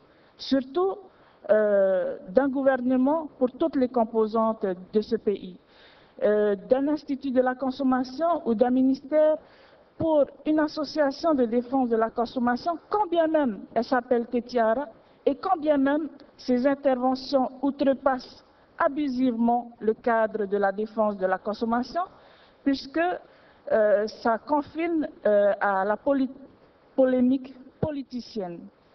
Donc, euh, vraiment, c'est tout ce que je trouve à, répondre à Madame Merceron, d'autant plus qu'elle n'a pas eu la politesse euh, d'écouter mes réponses. Et voilà ce que j'ai à dire. Merci. Je vous remercie, Madame la ministre. Y a-t-il d'autres personnes qui voudraient prendre la parole? Sinon, eh bien, si vous me permettez, nous allons passer à la délibération. Et je demanderai au rapporteur de bien vouloir donner lecture de la délibération, notamment concernant l'article 1. Allez-y, Madame Tuyuguya. Le montant définitif des recettes du compte financier de l'Institut de la consommation pour l'exercice 2005 est arrêté à la somme de 53 861 888 francs, se décomposant comme suit. Section 1 de fonctionnement, 50 900 000. Section 2 d'investissement, 2 961 888, pour un total de 53 861 888. Je vous remercie. La discussion est ouverte. Quelqu'un voudrait-il prendre la parole? Personne. Si vous me permettez, nous allons passer au vote. Qui est pour? 12 voix pour. Qui est contre? Qui s'abstient? 8 abstentions. Je vous remercie. La- L'article 1 est adopté. Nous passons à l'article 2. Madame Tuyoboulia, à vous, je vous en prie. Le montant définitif des dépenses du compte financier de l'Institut de la consommation pour l'exercice 2005 est arrêté à la somme de 49 179 974 francs, se décomposant comme suit. Section 1 de fonctionnement, 49 179 964. Section 2 d'investissement, 0, pour un total de 49 179 964 francs. Bien, merci. L'article 1 ayant été adopté, nous passons à la discussion de l'article 2. Quelqu'un voudrait prendre la parole? Madame Tétoni, je vous en prie,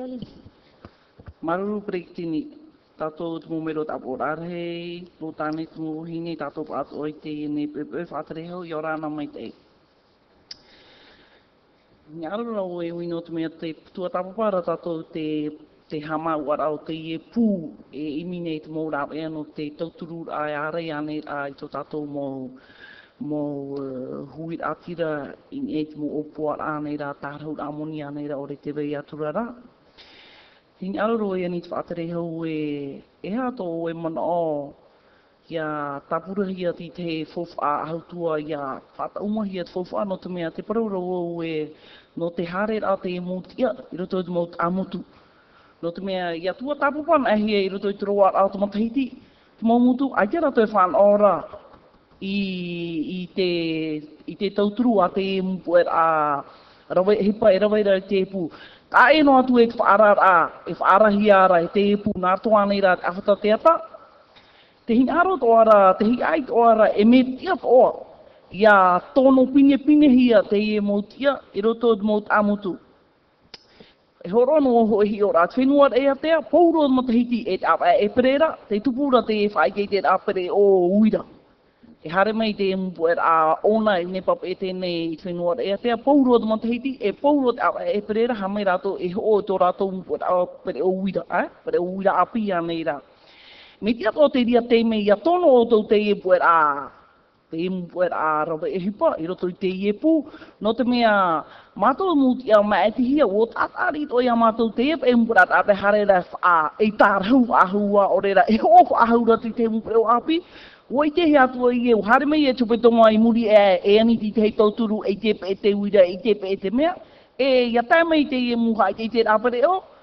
Te i te tune o i arato te hare e, e tārau ahua no te roara mai te mumei te ia e mana o tara Tara tumu te mei tanu e, e tono te upuera ata e, ia na himhe rātou e, ia wharere i te e upuera hoa mea, muta ata e arora ti te he mō e oi te i te roa, ia tā ua prout o ia rato, ia hawhirurit o ia rato.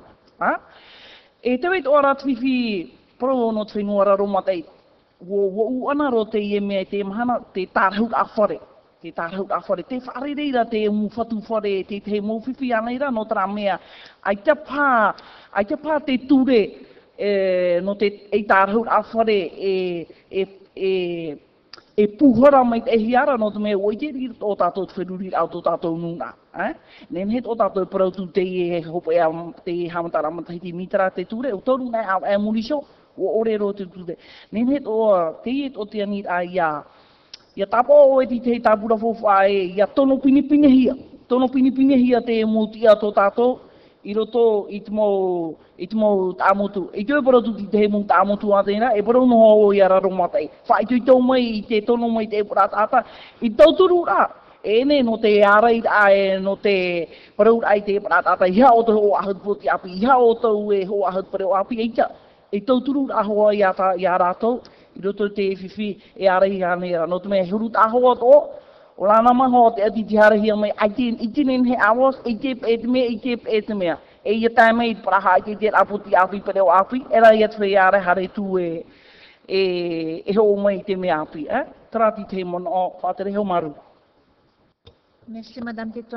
e. Y a-t-il d'autres personnes qui voudraient prendre la parole dans l'hémicycle Monsieur je vous en prie. Tua tira tara mana o e parohia mai rei tō tātou tūhine. Trai a parau tāu tei o turei arau ane u iti tō pato tātou whātarehau. E te iti tātai hari roto i tumu mutu. E te whaara e a maramara mara. Tua tira tara mana o o lana tara parohia mai rei e anit ai tō tātou whātarehau. e mi te tera ia e no te tono ai te mu tata e trai a prau ta i prau hone e ni te wet ata utu fare e pau tana 60% tana muni no te mea ai te one rawa i te amara mara mahia. E ho e matai pi muri mai haru hui ato na whare o i te e whaahu tu atu ia tara mana ni tara mana o tara tu hene he apua hi atu a te te mo ata no te awhai ai roto i tumu mutu atoa. No te mea tupu na hoa te imu hora apere eo, wei te tātou i tō tātou nun atama ahoi. E horo rātou i niho ai te whiruri wahu ai hope a e e ane tama ane. E te anit ai tō tātou whātere hau, i hapu e hi atu a i te para no te imu tātou no tara e tutu mutu, o te amara mara mara ai tō tātou ne nuna. Tarati te mana o maruru. Maruru te te heo. Monsieur Mataoa, je vous en prie. Maruru pe tini. i mana o tu o tira ni i te nā mana o tu hia mai nei. E hare te mon o ni te rāwhea ho o taua.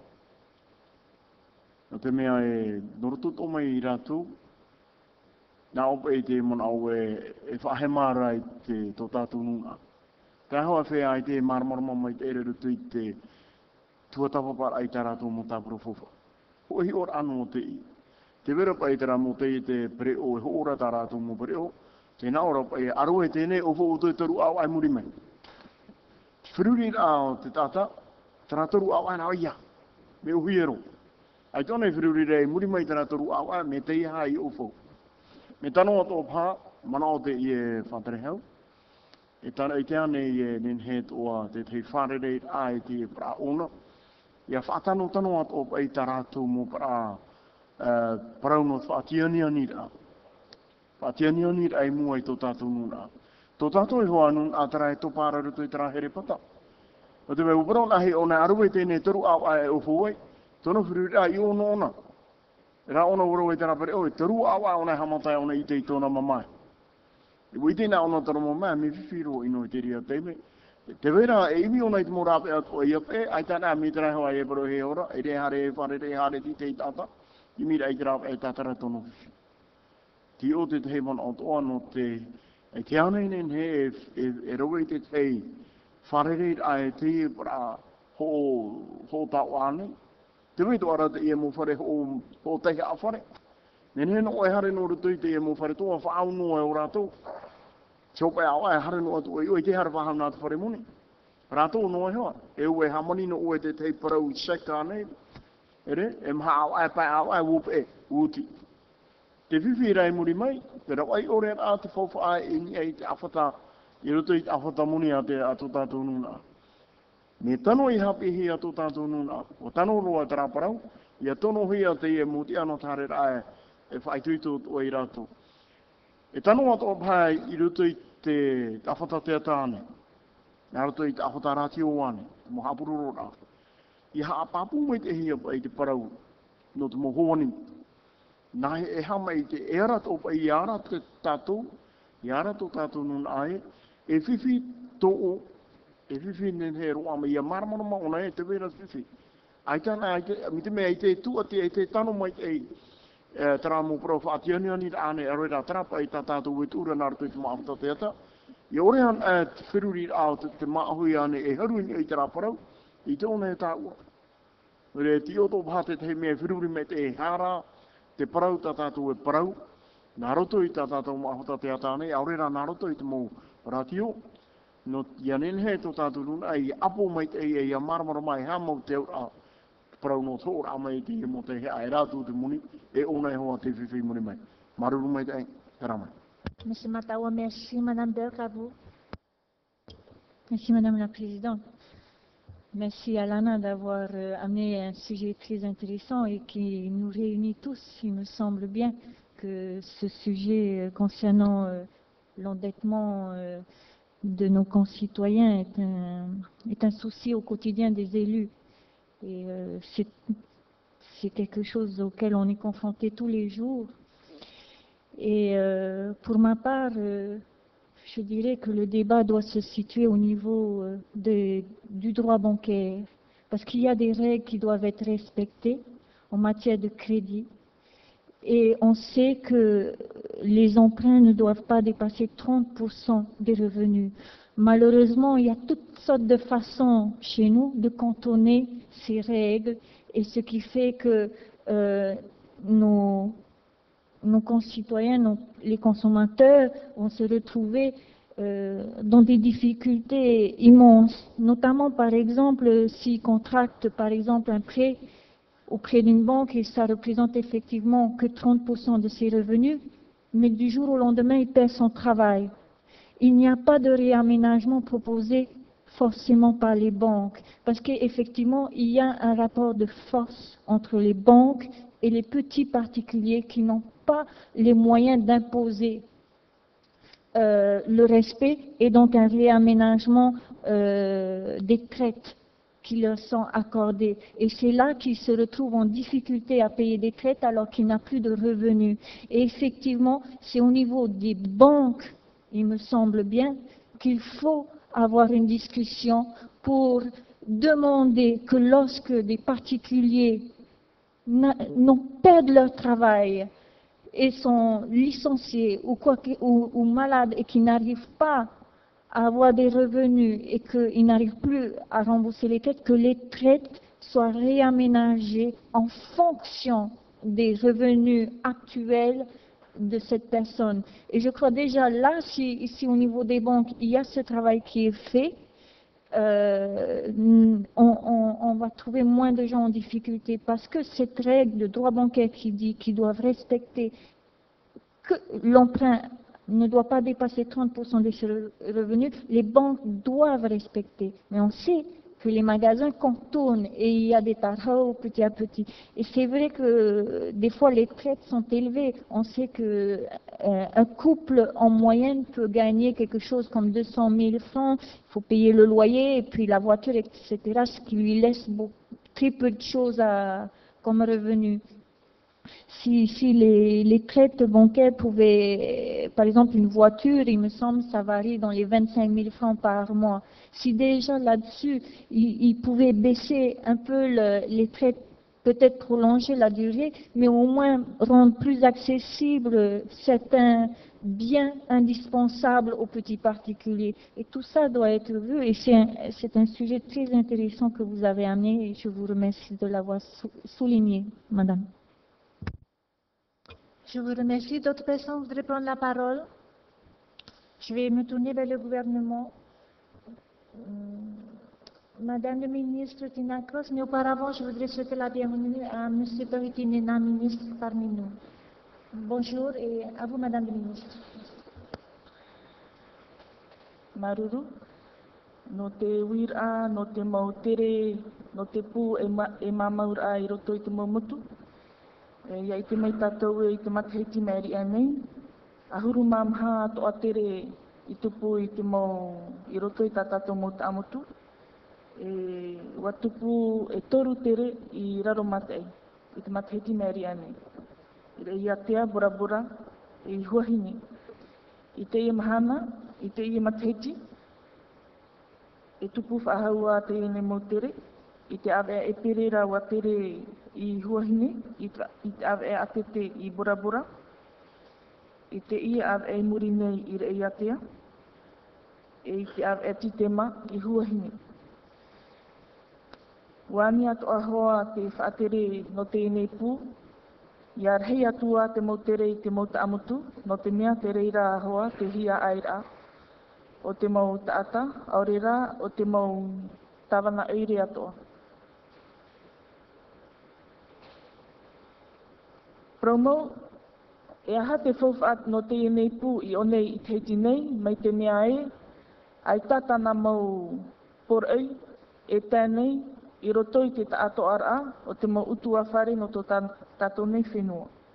Te tumu ia, te veira te mau whaura, e te mau pū a whatateata e piti, Nā reira atoa, te tāto ara o tā tātou mō pū radio teata no tō tātou nei whenua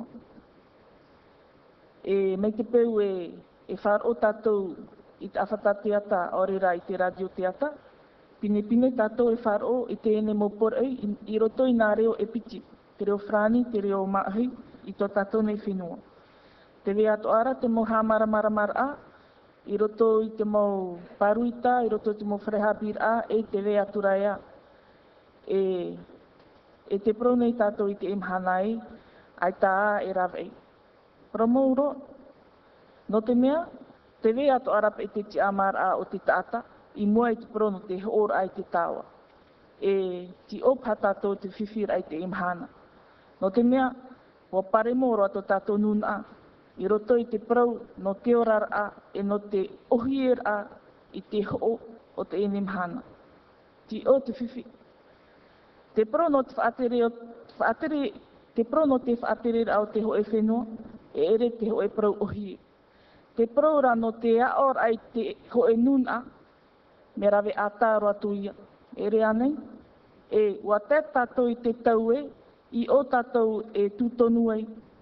ha api i whahaur ai tō tātou nun ai, i tōna ti amara, i mua i te pro no te tapiho ora, no te ora au te tapiho ora i te i e tau. Te ora, te i roto i tōna rima i te taviri mata muaroa no te paruru iana iho, e tōna utua whare, e tāna hua ai tamari, e iha ona ia pare mo. ahau whahau iana e, te roto iana tratawiri, e ere ti roto trima o te whaatere hau, ti roto trima o te pū ei mamaura, ti roto iana, tōna rima, tratawiri.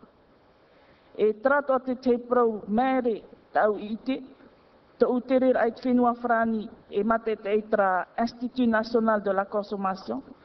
Te utere ai tauatini e tauatini taatira e taatihia nei e roto tra pūr hei te whenua whrani. Ei o tātou nei, nen he tātou e teo, e piti e toru e maha e pēan e taatira.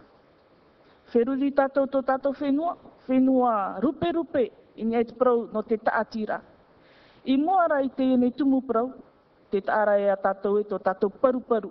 Te ura, ua vein honoa hoa tō tātou nuna, tātou hio, ua vei honoa hia, ua vei honoa tātou, i a rato hia tātou i roto i traurara, traurara, whaar inoa a ia, whaateim hanoa hia tātou i muai te prou no te eitarahu.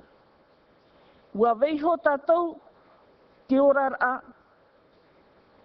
ia pōno ia tātou i mua i te pro no te eitarhau. Te imhana, ti roto ia i tō tātou rima, whaaterera ai te imhana e, i te hapi whahaur ai te enun ai, ei, tia oera tratawiri e ere tia aura. E no tō te mau, te mau puta nei, te mau hapuroror ai roto i te radio teata e te wea turaia, e te amar ap e to trat ata i haren ai mua i te wharetoa, i mua i tramo tau a, e, e veinei i mua i ana, te amar a tōna i te hamau a Hau orira hamau a, a hapor a ori.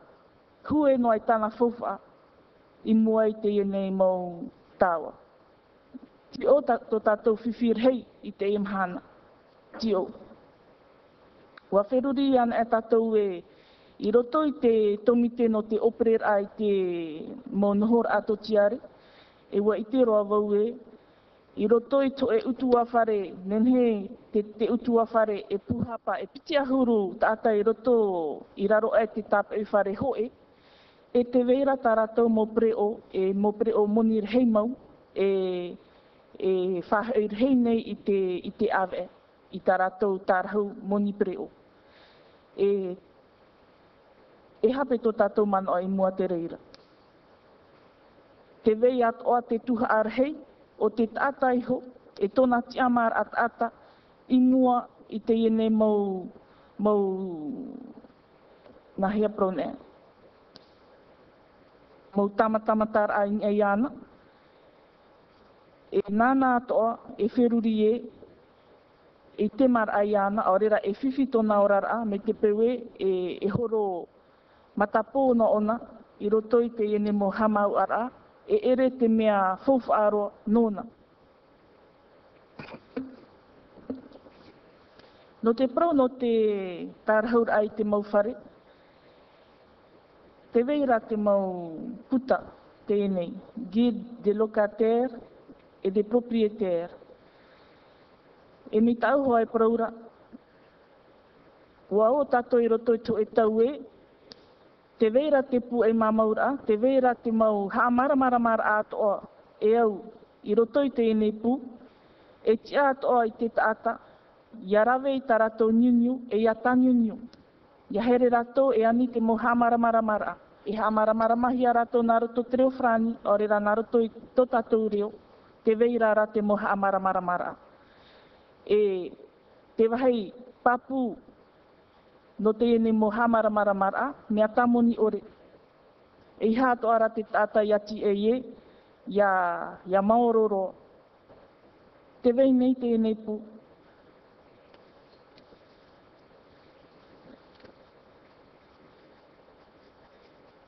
Praia ta umau pahonora, maruru. Maruru Patrehel. Y a-t-il d'autres personnes qui voudraient prendre la parole?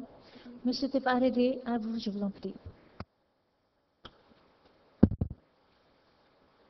Torana paritini. Atare hau, yorana parime te tapu amo te arofo. Te arofo iar hei. Tātou pāto atu mō mero te aporar hei. Te arofo iar hei. Uwi noaru o i au Rei. No te mea, mea hei te umu mon oi tau ua tūru tui te tei mei ruru e tātou tui tomite. E hakata ore pahono rai tuhi mai iu. Paro o turu o te mon o te whaatare hau na autaro wā. Tei me tano whaatara tātou e tau o parau e. Tei tōru o. Mateiki piti tautini pē, piti tautini ono. Eivan et ata e rohera to te i pū fofa. Raka numere hor ohi man. E otu o te tino moni te i whaohipahi e rato. Tō te mō mau ar a. O tū te mō mon o atoa mā te parau e meikiro.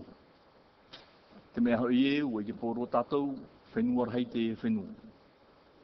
Ahuru mamha no tere i te mo teiti meri ane tu te mo tāmutu. Meiti ke tata, meiti te mohiha. Wiwi e iau e. Nā whai pa e tātou nen he e tau i te e mohuru whanhora. Nen he pa e tau i mi pruhi puhi aru tātou e tau. Ie pero mai tau. Nen he e tau. Ki roto no te whanhora apurikita e whari e tau. Te ria no. Ie whahau i te pro i mua i te nuna. Ti roto no i te whanhora apuri kita e whari e tau. I roto i te piara we rāhui pā. Pisho i te whaatarehau e ti aunga i te whauwha. Ahoru mā piti tata, no te ahoi hoi no i yo reo i mua i te nuna.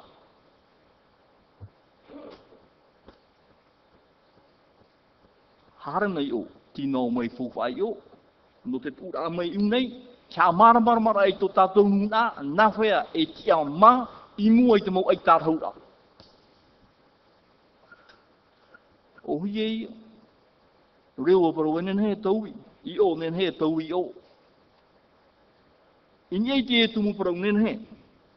Nen he wha ui, wha ui e tia mara mara mara i te nuna.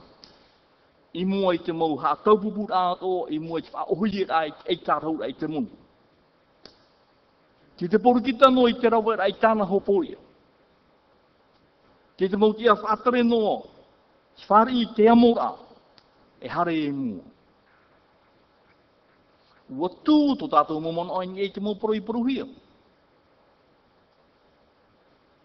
Whaohui e hiara, no wha ha tururi rai tō tātou whirui rai mua i te mō whanhor anō te i tau. Me uhi e ano ke tarhau te moni no tōho e preo.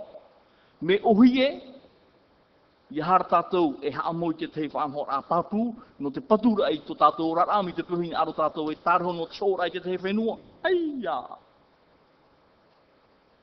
E ria tātou e haa tāwhiwhi. No reo bronen he taui. Ia taui hi ara, te whanhor ao, te papa i a, i te moarata i a, o hupa, i roto i te ipu, iatei o tātou. O parau i tanga parau roto. Nā stéréotype est L'Institut est notamment chargé de mettre en place un dialogue constructif entre les consommateurs, les professionnels et les pouvoirs publics. T'es bien non? Mais tu peux te dire non. T'es bien non, oui? Mais tu peux rien à toi, oui, toi, oui, moi. Immédiatement, après, how would? 2021. jongen vai vai no en ik pro het dialoog constructief. Hareamu. Eliara en uya tatoimu mi tramon ota. Myron it dat Tatramon ota Roberto it umai. E haraya tatoimu.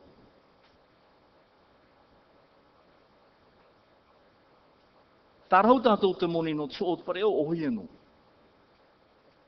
Ni aro tātou tārho te mone no chātuhurai, tatato iso, aha, harena. Harena. O chā maramarama, harena. Io tātou e tōpupu oi.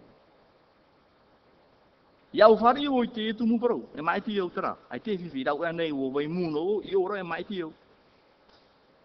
Tau rahi ngaru, ia tauhi a hoa te whanhora, anotu mea me fau whau i te e pu. Pu, fau aro o te ie pu. Mi te puhi aro tātou ananhei. Ia to tātou nuna e nawe nawe no e ke taparu no ara, e ke tipe no ara. Ki o te tāwiri, tu ati e te umono e, te mana o te whātare hau fauwha te e pū. Ia hor ohe i era te mui hā. Che rā i te maura e hupa. Tamau. Ei moni me tei papu no rato. Kia turi e rato che hupa ta rato e ro era. E whea tau i rai i i roto i te pia whaatare o te iepu. E hake tumu te mot ia whaatare. I whaatare meina te iepu i wharu i tō rato. Tiara i rātou. No te mea, ai te whanhora a pāpū i roto. I ha mai te eira tātou te tere rā mau o te rupa i roto te iepu. I horo o tātou te mohi a roto te tia whaatare. no te chepu rā mai. Horo o te muni, te whauhu a. Nā roto te whaiti rā mai te e te rapu. Horoa rai o, kia mara mara ai tō tātou nūna.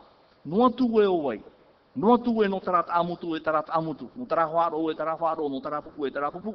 I reira rā, e in ui e tātou i mū. Te ria tō umano, whare tini.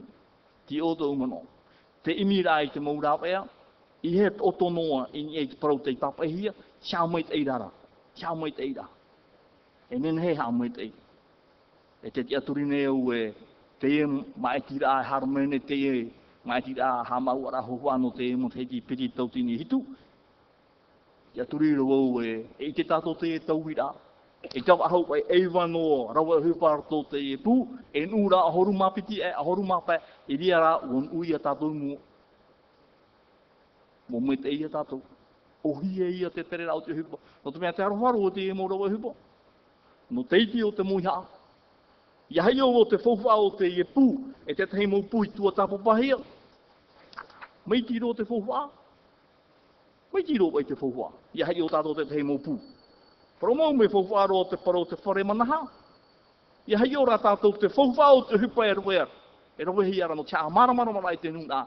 E teiti o te muiha. Ia o tātou e ui ui e. Whātua di pai te paro e te hupa. Whātu ati te paro e te hupa. Te ria no te umamaro. Iau nei ra whātare hau. Mai ti ui te tumu paro. Maruru i orana.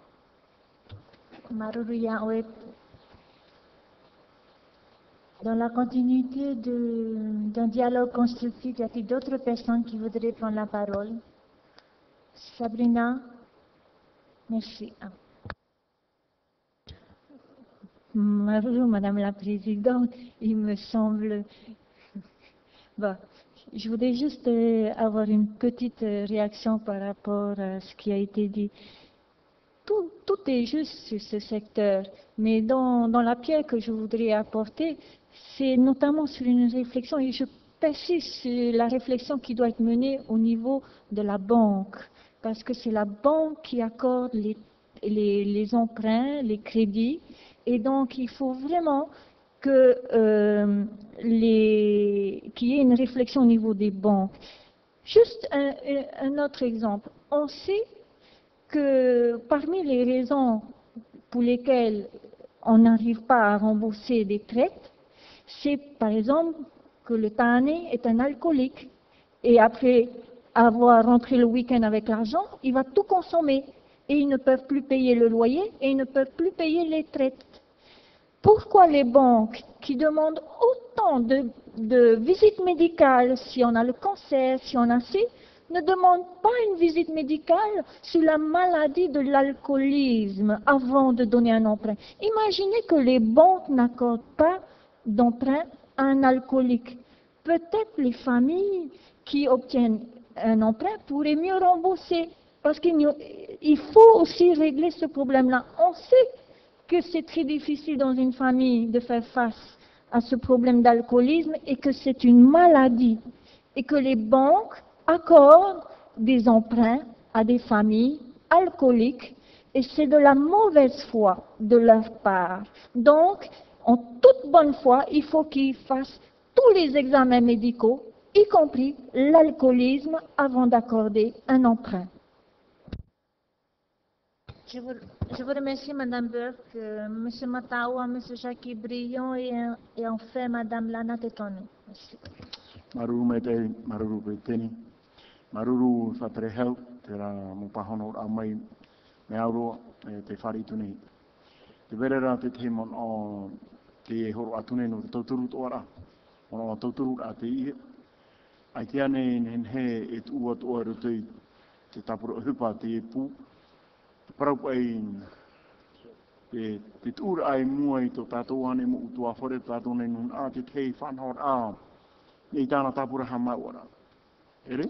Ai koe pai tau tātou e ia ia hapi ato heo pai tō tātou nun a mi te mea pite huru tau tini tārā tāna muni e ro ara i te hao ai. I hapa i tāna ha mai wara i hau atu i pite huru tau tini tārā. En he e tūra tō i te rā tāpura ha mai wara tāna. Roi noa ho e ora. Te parau anei no te muri wira, parau no te han atua, e ria pa e numarai. No te tāna tāpura hama uara ai te au ai, te rā tāna hama uara ai te au ai. I hapa i hau atu te piti ahuru tau tini tāra. I te ato pai ona, te me te tei te me. Tātou, to tātou, nun ai hama ua no ona i tōne i o e ha tāna whai tō muni e u e muri ona i te e u pauta muni. Ai te ro ara i ana, te whanahora ai ana i rutu i tāna tāpura hama uara. Mana ono te i. Piti o te mana o, Māti rā, tō tātou nun a me uiro o ne promotora parau e ki amār a tō te tātātou o tui tāna tāpura fōwha. Te weitu ara rātara mea me uiro o te nun a tō tātou hua nun a i te hema hare no. Nun me uiro o ne i te hema. Mi tera parau e tai parau i ara wara, mi te me parau hi o ne ara we, e taru a wai o e ufu e wuti, tera te me u hema ona. Ria te ria ti hema ai hara tu e kia nei nei he toa, e hi o tō pai te pai o te e, para ona e, i a whātanu i tā rātou mō whātia ni ani rā. Mi te me hare noa e hui te rātarai a tātātou i tērā. Whare an e tara para ue toru a wai roe ue vere i te mhana toru a wai oe ufo oe te haru ona i ne heo. E uiro ona i te haru i ne heo. I te mea hoi, tō tātou mō whare nhor ai te mhana, i nei teiti nei, e rāro i te mō o te tei para. Me upar hei no tara munun a tō tātou i hari i te mō o e, e i pere o, e i whaur au nona no te utar ai ana i hare tono utua whare. No rira to ona ro ahi ai whahe mana. Yo tui te i paraue, noni ei tāna tāpura ha mauara. Te teia mana ai paruto, e eu pai, whaura, i te oe, Ie te me pai tātou me me auru o tatu ia fau ai e poe fau e tuen aro re fau ia tatu mi te ata ko ena hi ia roa ata to tu e pute re iriti tatu i tara pute re ti tatu i rapa ye i den te monu e ora te mo horo na e mu te ra pute re e mu ona tara nei ti no te me tu tu hi mai mu ai ana. Ko e huru o to te mo hi pa ia fa ti ani ani ai e mu to tatu nuna Traide na one, teru awa ere hamotai, o amura hao i eo. Ito ne virure wa hauka. Te mea ia a tara mana o hare tueng, no te whaituito rāpe ipi pei te te mora ea, e hia tātou e nen he ie, e harai, tarafi fi he tōna ore, hare no hoa ona, whaiti mai rā, i ti hia pai, nā whea pai tātou i kimi rai ki mora ea tō, no te whaiti a mai i hātou tātou nun a, ia mau i ruto i te rahere pata. Mana o tauturu te i e whatare hau, o te i tā o e pūa hupa e rawe neu i te mātou e ere te e pūa hupa tā o e te me ohi e, e hupa rahi tā uto e rawe ra, Te teira mon o te no te turu atu no te tauturu. Maruru. Maruru Yaoue Mataouatani. Monsieur Jacques Briand, vous avez la parole. Oui, merci Madame la Présidente. Le- mon intervention, c'est sur euh, cette problématique de l'endettement de nos foyers et des familles euh, de manière générale. La première réflexion, c'est que ce n'est pas un phénomène nouveau. Si on se rappelle, sans vouloir refaire l'histoire de notre pays, lorsque les commerçants du quartier, lorsque les commerçants du village, à l'époque, jouaient ce rôle de financier, de banquier, les gens venaient et payaient sur des traites qui déclinaient sur plusieurs années. L'endettement des familles existait, mais elle était répartie parce que la famille pouvait avoir autour d'elle la possibilité de se nourrir avec l'exploitation agricole, avec une activité liée au milieu, que ce soit lagonaire, le marin. Donc l'endettement a toujours existé. Le phénomène nouveau aujourd'hui, c'est qu'il n'y a plus cet appoint lié à une présence autour de la cellule familiale euh, qui ne serait pas aujourd'hui monnayé ni payé. Et donc il est devenu exponentiel. La deuxième idée euh, tient du fait qu'aujourd'hui, il y a une publicité agressive qui normalise celui qui a une double 4x4, hein, qui a une double cabine de sa 4x4. On est arrivé à une agressivité dans la communication par euh, ces entreprises qui fait en sorte que celui ou celle qui n'a pas la dernière euh, série d'une telle marque, avec toute option proposée, ne serait pas normalisé d'une société normale. Et c'est là qu'il faut intervenir. Certes, c'est une mission qui revient à l'Institut, mais ça doit être une prise en compte de l'ensemble des paramètres d'une société qui a perdu complètement ses valeurs. L'essentiel, c'est que les gens puissent se déplacer, puissent être transportés d'un point ou à un autre. Mais se réfugier derrière la dernière version de la dernière marque qui a fait une campagne agressive par euh, les voies que l'on connaît aujourd'hui, que ce soit la télévision ou les médias, euh, la presse écrite, nous tombons petit à petit dans un espèce de tourbillon dans lequel euh, on est complètement exclu si on n'est pas dans ce processus-là. Certes, c'est une mission de l'ITESTAT, je partage complètement les observations qui ont été faites précédemment, mais je crois que la réflexion doit être bien au-delà aussi.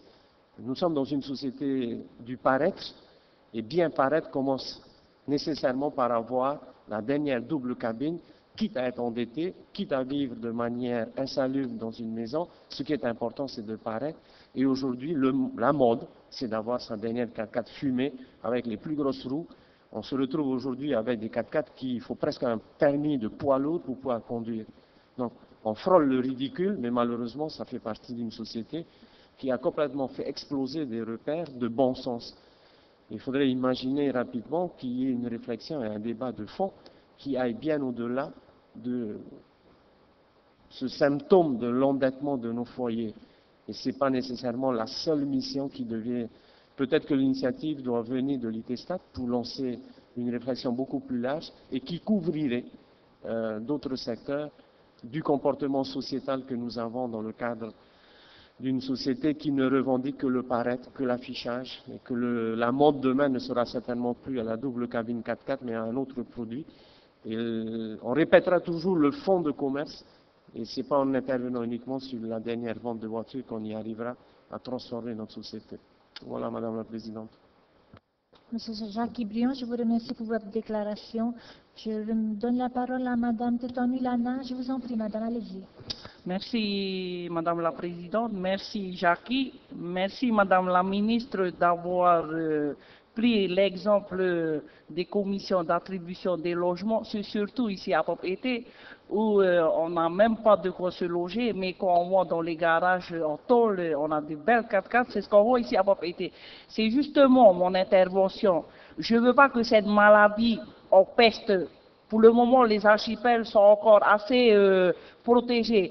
Les gens dans les archipels jusqu'à aujourd'hui euh, pensent tout d'abord à aller faire leur maison, acheter un terrain d'abord, préparer son foyer avant de vouloir euh, s'acquérir euh, une voiture. C'est un peu ça la mentalité chez nous. C'est pour ça que je dis, je défends euh, euh, les intérêts de nos, de, nos, de nos populations dans les archipels. Justement, pour, ne pas que cette maladie arrive chez nous, c'est le moment de mettre plus de moyens et de- d'envoyer les agents pour une meilleure euh, diffusion euh, de de informations concernant euh, la consommation. Il ne s'agit pas simplement, Sabrina, euh, euh, de s'endetter euh, dans une banque ou quoi. Il y a plusieurs choses. Il, y a plusieurs. Nous, on sait. Nous, on le sait. Nous, on essaye de divulguer par notre propre moyen. Du moment qu'il y a un institut qui est payé par les deniers publics, c'est pour ça que je dis, il faut, il faut mettre plus de moyens, il faut envoyer plus de gens. Parce que j'ai pris, euh, j'ai pris acte trois jours, Madame la ministre a dit l'année dernière, trois jours, il a été aux îles sous le vent. Madame la ministre, aux îles sous le vent, il y a Rouhine, il y a RTA, il y a Ta'a, il y a Burabura, il y a Montpetit. Ça fait cinq îles. Trois jours, c'est pas suffisant. À RTA, il y a trois grosses communes. Déjà, à RTA, ça aurait pris déjà les trois jours. Un jour dans chaque commune. C'est pour ça qu'il faut. J'espère que vous allez inscrire dans le budget 2007 parce que si je vois quelque chose apparaître concernant ça, je vous dis, Madame la ministre, je voterai. Si euh, vous allez réussir à inscrire des crédits en plus pour, euh, euh, pour l'ITC. Et puis, pour conclure, Madame la Présidente, je voulais juste ouvrir une brèche pour Sabrina là. Il y a aussi des familles alcooliques et qu'on peut quand même payer. il ne faut pas polémiquer sur ça. hein. Bon, chacun est libre, comme on dit, s'il y a des alcooliques qui sont dettes, euh, mais il y a quand même des alcooliques qui sont arrivés aussi dans la vie. Hein. On parle de famille, euh, de budget de famille. Parce que vous te dire, le jour où tu feras au moins trois enfants, enfin fonder une famille, enfin je ne veux pas polémiquer avec toi Sabrina, on en reparlera de la famille, comment gérer une famille. Merci. Je vous remercie, Madame la Natitouanou. Bien, nous allons passer à- au gouvernement. Madame la ministre, à vous. No te pe i te. E ua parau vau e, e, e tere te mau rawe e hipa i te mau motu. Te ienei rā, ai tarato e pārhei hoe e ana em hana i roto i te motu. E toru mhana te roar a ratou i ni ai taua motu ora. E te mea pinipini ta mato i tēnei, moti rā, e, e rawe hoa i a ratou ta ratou e hipa i te ao. E, i te mo i te pēhei hei e titau hi a rātou na te te mō ta atira, a re te mo e tāretia. No tare rā, i te wahi, i ti tau te, te mo, te moha amara mara mara a, i roto i te pū e māmaura. No te mea, te vei rahoa tra hi ai rā, i roto i te tāta, ia wharere i te aro, tino roa, i te e mau rawe e hipa. E me te pehe i e te, te tauturu, te turu nei o tau ia ue i te ani whahau a i te tei atu mau rawe e hipa hau atu, aue ia e maruru pe, maruru i tō uto turura amei, e me papu mei te profufa a rotra. Profufa no te mea te e te tei tapura hipa e tu ino nei i te orara au tō tato ne mu utua whare. Tra propapu rotra. E, no te e nei tau mi te, no, no te aror ai te prau no te,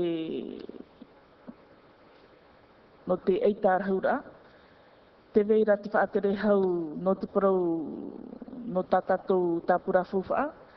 te vei ato ara te te mou haawa, te tia no te tiripuna, te vei ato a te tia i roto tra tomi te rhei no te mau wharemoni, e tano atu i tatatou nei whaatere no te pu e mamaura o ia hei o hina veito are. E tano atu atu i te puto tiare. E mai te, av, e, mai te mateiti piti tau atini e maha. Te ruru pine pine nei rato no te whainei nei rā. I te mau whaanhoara atoa. E riro i te hearei. E riro atoa i te tauturura ai te mau utua whare. I mua i te prau no te eitarahura. Ai tia te mau tuatapapara a te mau opuar ai papu mei te, te whaanhohia, te ruru nei, e ere rā o vau te, te arat e nei te ienei tomite, o ia hei to tato ia mono perete te tini, ona te, te arat e nei te ienei tomite. E te o ato ane o oe mai rona e, e, e ti ape ia, ia aro te ienei mo whaatia ni rā, rau e ini e tō tātou whenua. E promo roatra, e, e whaau wau e te ine mo whaatia mai te te mo mo o te he. E hina aro nei e na whea prone. E hohoni i a tātou, ore rā mo here pataan etra, e ia ore oe ia paruru paututu mai te i mua i te ine mo mo, e riro hoa oe i te mumi. E te hipai e tupunei, e hato atato e moe moea, ta tato mo ho tawa, trano hoa ta rato e imine, ia rei no atu ato rato api. Ai ta rato e hi ora e te whiwhi o te nuna, te hi ne rato e, te rei o ta rato api, i moe te tua no te nuna. Ai tatu hai ta tato e ravea, maotira, wha i te pine pine tutonu ore i moe te ne nuna no tato e, te ia oe te tāwiri e iha oe ia amuhia a tramo. E, te mea ato atau e maruru nei, no te mea tere pine pine nei vau i roto e te mo e tāretia, e te itu nei vau, te tato ara o te mo e tāretia, te whaanhore, te whaanhora tramo haapira. Haapipira ai tā ratou mo, mo mero e tāretia. E, ua whaan oia taua mo mero no tra e tāretia, ar, are ara te toe a o te nuna ai taia i o tātou e whiwhi ei. E, tap of aiti ato ai, wāra ato a te mau e tāre tia in eit fufa no te iene prau, no te parurur a i te mau, i te mau hoani, i te mau utua. E watanu ato a hoa o Jacques Briand i te prau ai, te roto tātou i to e ao, e hafuf ahia te na se prone e. Te rape aura o te taata. Ai tehi o, ai tehi o whahuhiara, te, te fofa morare i roto i tu e taata. Hi ohia tona una una rape. Pine pine ia whahoroan e wau te upere o, e nā o tau mo tamari ia au e i ia ahi o nā rata ata. Me moni e o nā ia tau, ia tātou, no te mea, te whaito una una pere o trata me hau atu pei i tō upere o. Nā otoro i a tau tamahine e i tawau e pro e me moni trata ata. Ta ura e me papu me te, me ar heita nā tārhau i tupe awea. Nō reira, wahapi an e etra tatou te reira i tō tatou nuna, me ar hei a hapi ra tā tatou i horo. O ia hei, te una una o tō e pere o, o ia hei, te whaitu ato ia o te tuto ini ai te tua o tra utua whare. Ai te pea pea hoa e utua whare rawa ei. Utua whare rawa ei ore pei. Ti oho i e te whiwhi. E mita jaki ato hoa prau nei, wa te rotoro a hoa to tatou nun a e no e chape tramea, no te mau whaatia ni anira. Trap e e, e arop e tatou e, e hawhata i a tatou wa riro roa tātou e, hina aro tātou e, e whaoru, i ni ai ho i tu e pre o api mei tei, nehe mei tei, tarara, moni rehei roa. E ere rā tara te whiwhi no tātou, te mea fōwha no tātou o iahei, iahi ohi a mei tātou e, ti roto trato, tātou roto tra pre o, nehe mau. Ia ura e hi o, papu me te ia tātou e, arhei te moni te, te tarhau, i tope a awe, ta trata ata e whaahei nei i te whare moni tra me papu me te, e te apera. Trai atu te mo man o tau hin aro e horo, maruru. Maruru ya ore patere o tina cross. Maintenant, sur ces déclarations, je voudrais que nous passions au vote de l'article 2, si vous me le permettez. Qui est pour? À l'unanimité. Je vous remercie. L'article 2 est adopté. Euh, nous passons à l'article 3. Le résultat des comptes financiers de l'Institut de la consommation pour l'exercice 2005 est définitivement fixé ainsi qu'il suit. En section 1 de fonctionnement, recettes 50 900 000, en dépenses 49 179 964 pour un résultat positif de 1 720 036. En ce qui concerne la section 2, investissement en recette, 2 961 888, en dépenses zéro, pour un résultat positif de 2 961 888. Je vous remercie. L'article 2 étant, ayant été adopté, la discussion est ouverte concernant l'article 3. À vous. Euh, Madame Lana Tétanoui, à vous. Merci.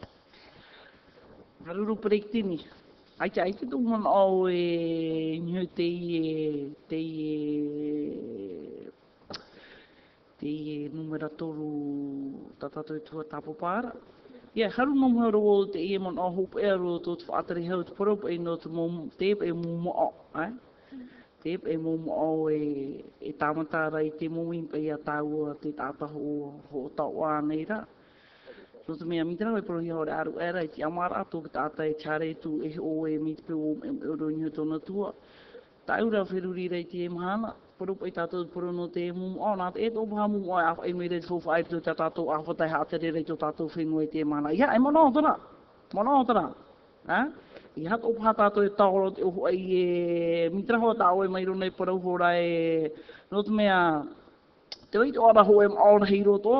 Poro o teo whenua i te mhana. Te mara a teo te ora ai te mhana.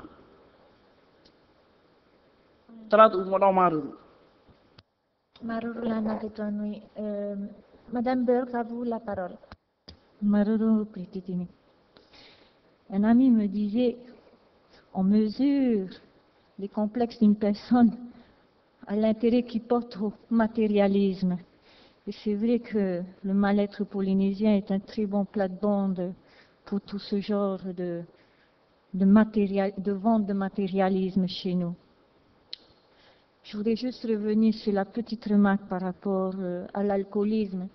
Le fait de mettre ce genre de mesures au niveau des banques, de considérer l'alcooli- l'alcoolique comme un malade, fait partie des mesures de prévention également pour sortir les familles de l'alcoolisme. Parce qu'avec une telle mesure, on incite le mari à arrêter de boire pour pouvoir euh, obtenir l'emprunt nécessaire à sa famille. Donc ce sont des mesures de prévention nécessaires.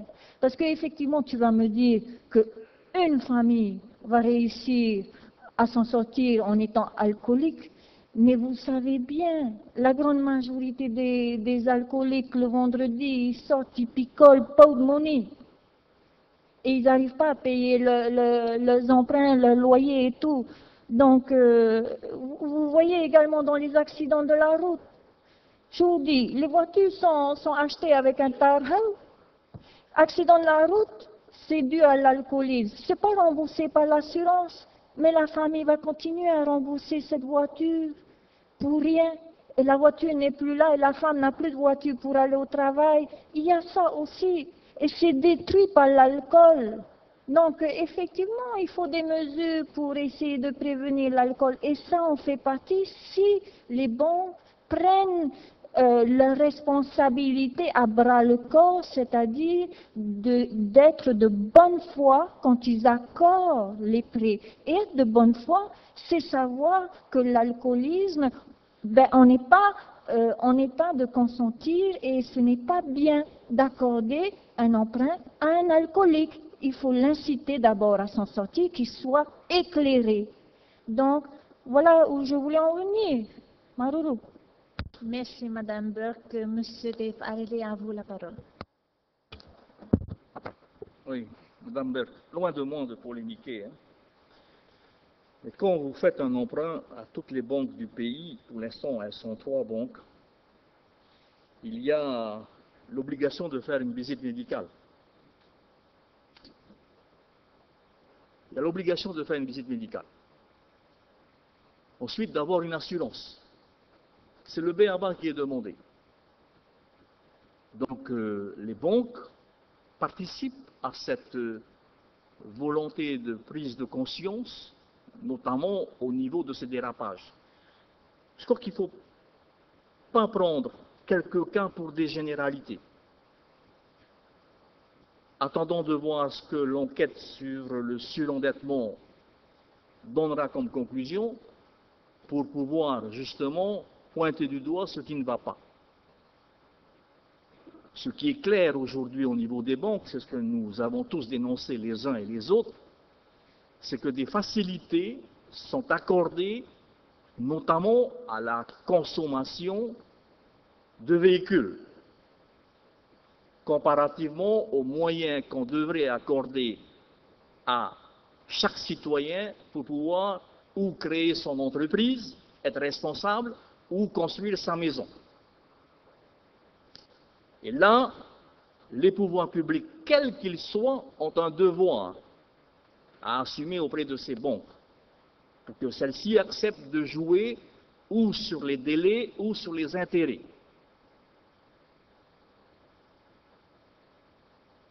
J'aimerais tant aujourd'hui être jeune, parce que quand je vois les avantages qui sont donnés aux jeunes, moi j'ai le souvenir quand j'ai commencé à emprunter à 20 ans, 16%.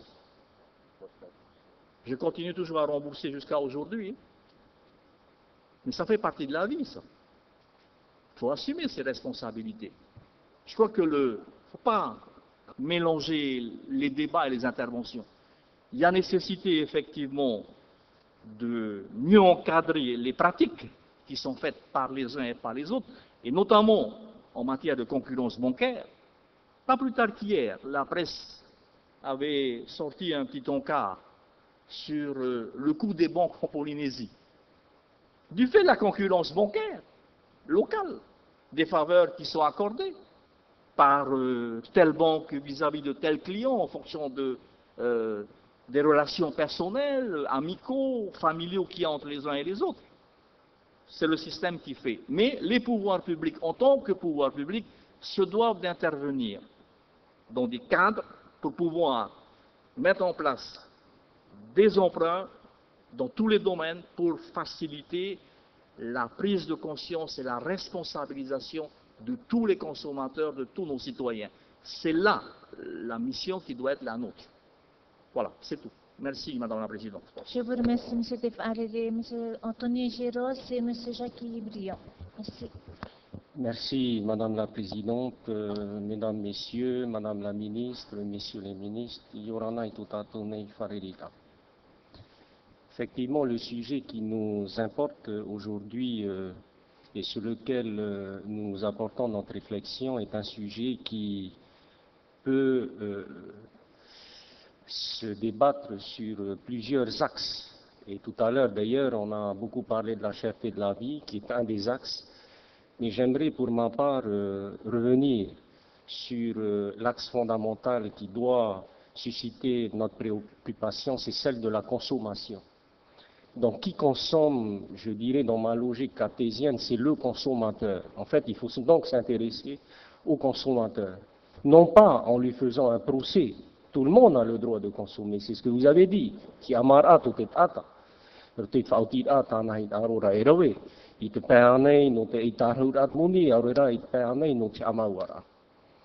Mais ce qui est plus pertinent pour nous, c'est de voir à quel niveau se situe le dysfonctionnement qui procède de la consommation, puisque c'est bien le sujet de nos préoccupations.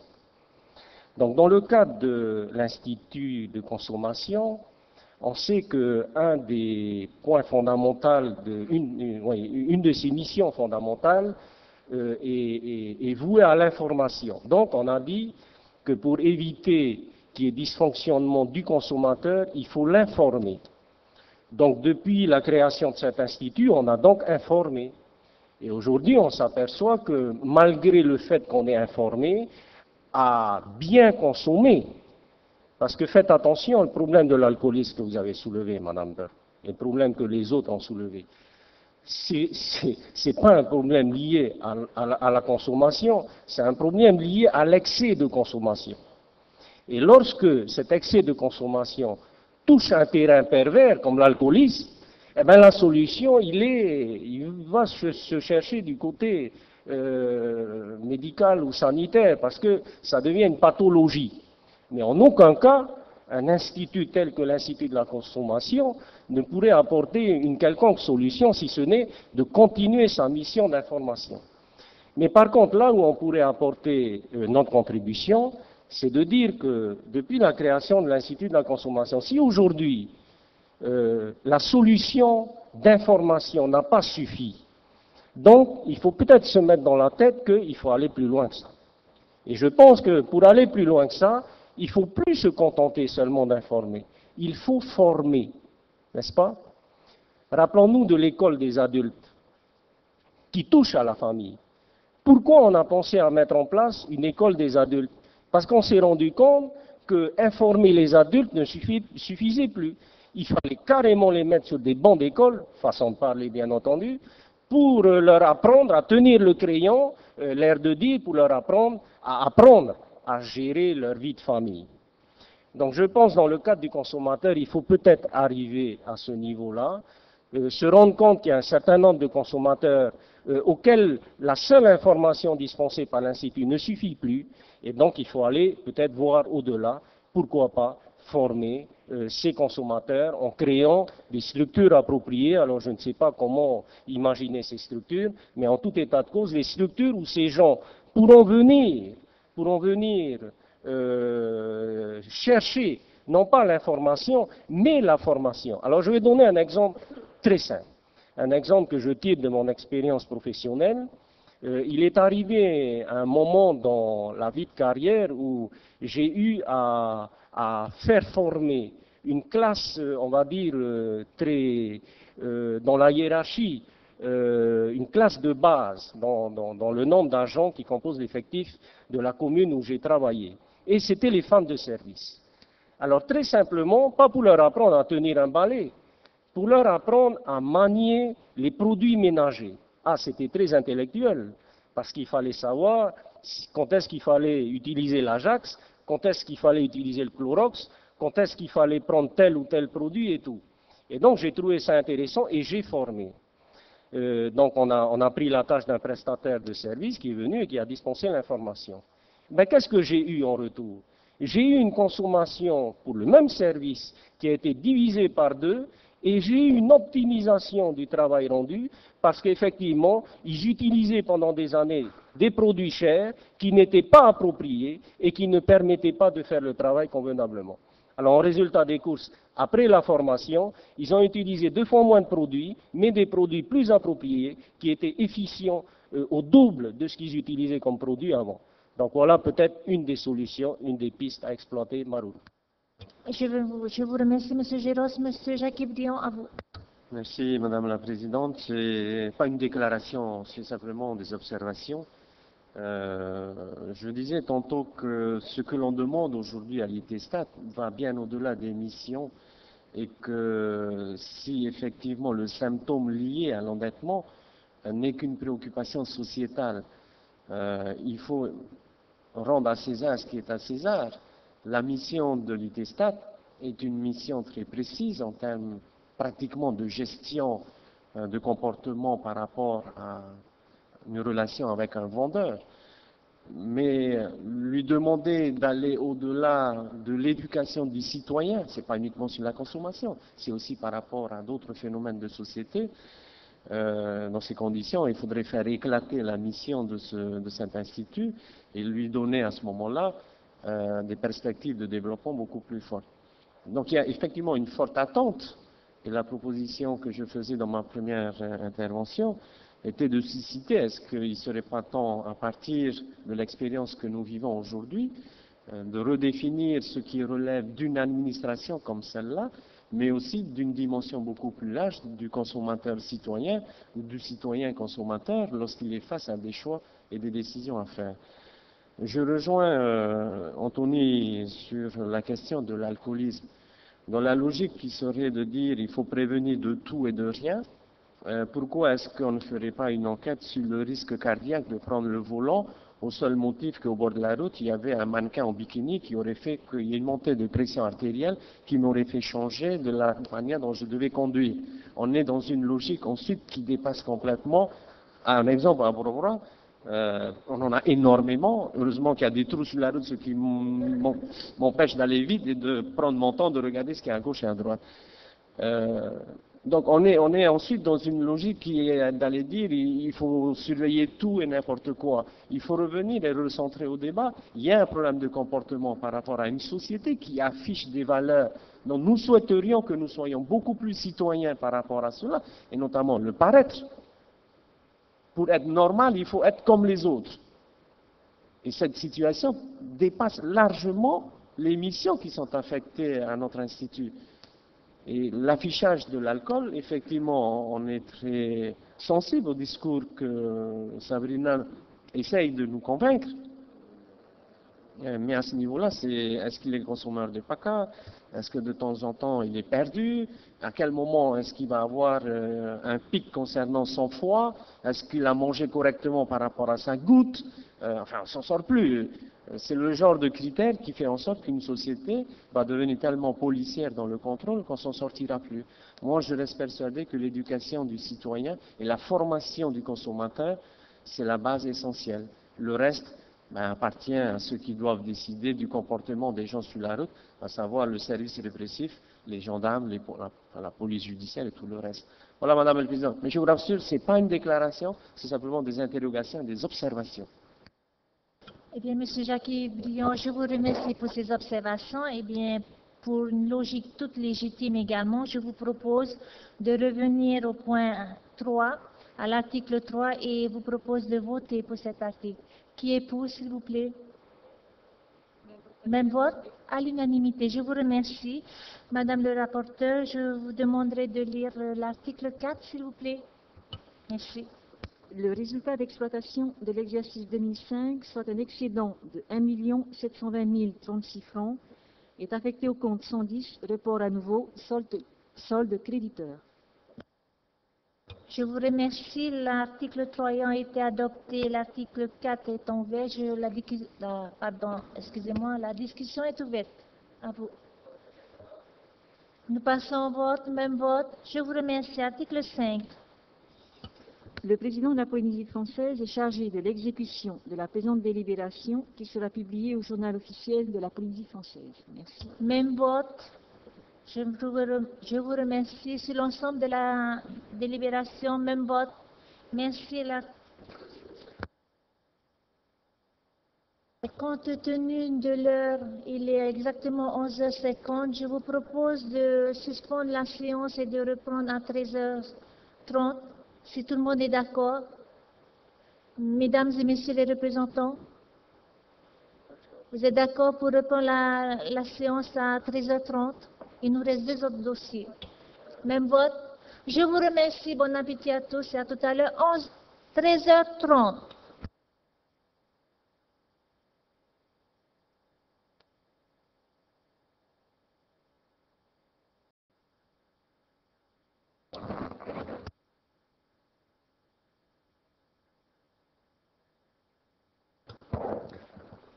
Bien, Monsieur le ministre, chers collègues, le bonjour. La, séance est reprise. Nous allons reprendre par le projet de délibération portant approbation du compte, financier de l'exercice 2005 et affectation du résultat en, report à nouveau du musée de traité des îles, Tefare Manaha. Je demande au rapporteur, Mme Sabina Bert, de faire lecture de ce rapport. Je vous remercie. Merci Madame la Présidente. Euh, Yarana, tout le monde. Donc effectivement, euh, par lettre euh, numéro 206 PR du 1er septembre 2006, le président de la Polynésie française a transmis aux fins d'examen par l'Assemblée de la Polynésie française un projet de délibération portant approbation du compte financier de l'exercice 2005 et affectation du résultat en report à nouveau du musée de Tahiti et des îles Tefare Manaha. L'émission est effective. L'établissement public administratif, le musée de Tahiti et des îles Tefare Manaha, est chargé du recueil, de la conservation, la restauration, la reproduction et la présentation au public des projets, des spécimens et des collections ayant trait au patrimoine de l'Océanie et plus particulièrement au patrimoine polynésien. À ce titre, il participe à la valorisation, à l'étude et à la diffusion de ce patrimoine.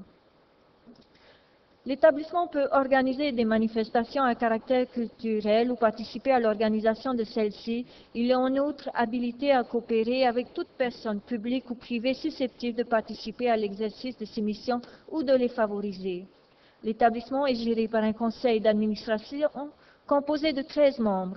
Il est doté d'un comité scientifique chargé d'assister le conseil d'administration. Les effectifs du MTI ont évolué de la façon suivante sur les trois dernières années. Je vous laisse lire silencieusement le tableau. Je vous donnerai juste l'effectif de 2005. En activité, 18 personnes. En suspension de contrat 1, temporaire 8. De l'effet financier marquant de l'exercice. En dépenses de fonctionnement. Alors sur ce tableau, je vous laisse lire silencieusement les deux premières colonnes. Et pour euh, la colonne de 2005, donc euh, en achat 25 824 543, en achat de sous-traitance 8 62 107 francs, en autres services extérieurs 34 459 383, en impôts 24 000, personnel 100 76 727, droits d'auteur 139 642 francs, charges financières zéro, charges exceptionnelles zéro, amortissement 10 17 617 francs, ce qui fait un total de 178 604 019 francs. Les dépenses de fonctionnement concernent les divers achats de fournitures de fonctionnement, d'entretien et de petits équipements et les dépenses d'électricité les plus importantes, représentant 20 988 093 francs, soit 12 du budget de fonctionnement. Les achats de sous-traitance, les dépenses les plus importantes sont les travaux d'entretien et de réparation pour un montant de 7 404 312 francs, soit 4 du budget de fonctionnement, dont 6 125 494 francs uniquement pour l'entretien des infrastructures et du jardin du MTI. Les dépenses en autres services extérieurs d'un montant de 34 459 383 francs qui ont permis la mise en place du Happening sur la vallée de la Punarou le 1er octobre 2005, une manifestation quatre volets pour sensibiliser la population à la sauvegarde du patrimoine. L'exposition rencontre 4 du 7 octobre 2005 au 15 janvier 2006 organisée par l'Association polynésienne d'art contemporain. L'objectif était de confronter les artistes contemporains Julie Roussin-Bouchard, Paul Ambil, peintres sociétaires des salons français d'art académique, à des artistes polynésiens, Claude Maréré, Maui Siman, Laïsa Pauteha, Jean Temari, et de rendre hommage au peintre Joël Dabin, récemment décédé. La préparation de l'exposition sur le photographe Roger Paris, elle sera ouverte au public à partir de septembre 2006. Le but étant de présenter la carrière du photographe et à travers les photographies prises lors de son séjour en 1900 32 en Polynésie française, de présenter la vie dans les îles de la société dans les années 30. La préparation de la mission de restauration de la collection de tapas du musée en mars 2005, la restauratrice Frédéric Vincent a travaillé sur la consolidation, la restauration, la mise en forme et le conditionnement des tapas conservés par le musée. L'édition des publications, la promotion L'édition de deux tomes de l'ouvrage de Carl von den Steinen la des îles Marquises, tatouage et culture matérielle pour un montant de 7 950 000. La réédition du cahier du patrimoine numéro 2 pour Apura et Tefanauthei, Mille ans de mémoire, empreinte du passé glorieux des grands de Purapura, par l'auteur Martin Ratinasamy la participation au salon du livre à papier la réalisation d'un mini-site internet reprenant virtuellement l'exposition Va à pirogue polynésienne, hébergée sur le site du Quai Branly, la réalisation d'une brochure de découverte du parc du musée, les charges du personnel d'un montant de 100 76 727 francs représentent 56% du budget de fonctionnement. Les dépenses de droits d'auteur correspondent au paiement des auteurs des différents cahiers du patrimoine, les amortissements des immobilisations du MTI TFM. B. Recettes de fonctionnement. Je vous laisse lire silencieusement les deux premières colonnes. Je vous donne seulement celui de 2005. Donc, pour les ventes de marchandises, 12 925 204 francs. Subvention de fonctionnement 1 184 491 970 francs. Subvention Gauguin État 0, subvention Gauguin Territoire 0, mécénat 0, autres produits 220 166 francs, produits financiers 0, produits exceptionnels 8 592 716 francs, ce qui fait un total de 200 millions, 206 230 056 francs pour un résultat de fonctionnement de 27 626 037 francs. Les ventes de marchandises s'élèvent à 12 925 204 francs et concernent les entrées payantes 9 966 702 francs, les ventes d'affiches 105 485 francs, les locations de jardins et les ventes de publications 2 853 017 francs. Il est constaté que le musée connaît une diminution progressive du nombre d'entrées payantes, due essentiellement au manque d'exposition. Par ailleurs, les entrées gratuites concernent en particulier la fréquentation des scolaires, enregistrent également une baisse. Je vous laisse regarder le tableau. Je vous donne les chiffres de 2005. En nombre d'entrées payantes, 18 360. En nombre d'entrées gratuites, 9 301 ce qui fait un total des entrées de 27 661 61 personnes. Le montant total de la subvention du pays s'élève à 184 491 970 francs. Comprenons, la dotation initiale destinée au fonctionnement d'un montant de 128 millions de francs CP, une subvention complémentaire de fonctionnement d'un montant de 50 millions de francs CP allouée par le ministère de la Culture et qui a permis à l'établissement de continuer sa politique de dynamique culturelle. Des financements exceptionnels d'un montant de 6 491 970 francs 1 191 970 francs accordés pour poursuivre la politique d'édition et permettre le retirage du cahier patrimoine numéro 2 qui était épuisé. 5 300 000 francs CP destinés à la finalisation de l'édition des deux ouvrages de Karl von den Steinen sur le tatouage.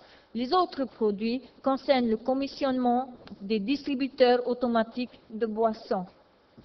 Les produits exceptionnels correspondent aux gains de change et à la cote-part des subventions virées pour l'amortissement des investissements. Alors, dans les dépenses d'investissement, je vous laisse lire le tableau, les deux premières colonnes. Je vous lis la dernière colonne consacrée à 2005. Alors, pour les subventions inscrites contre résultat, 8 588 044 francs. Pour les concessions et droits, 198 149 francs. Pour les constructions, 189 200 francs. Installation technique, 470 804 francs. En collection, 821 002 francs. Immobilisation corporelle, 1 779 000, ce qui fait un total de 12 46 199 francs.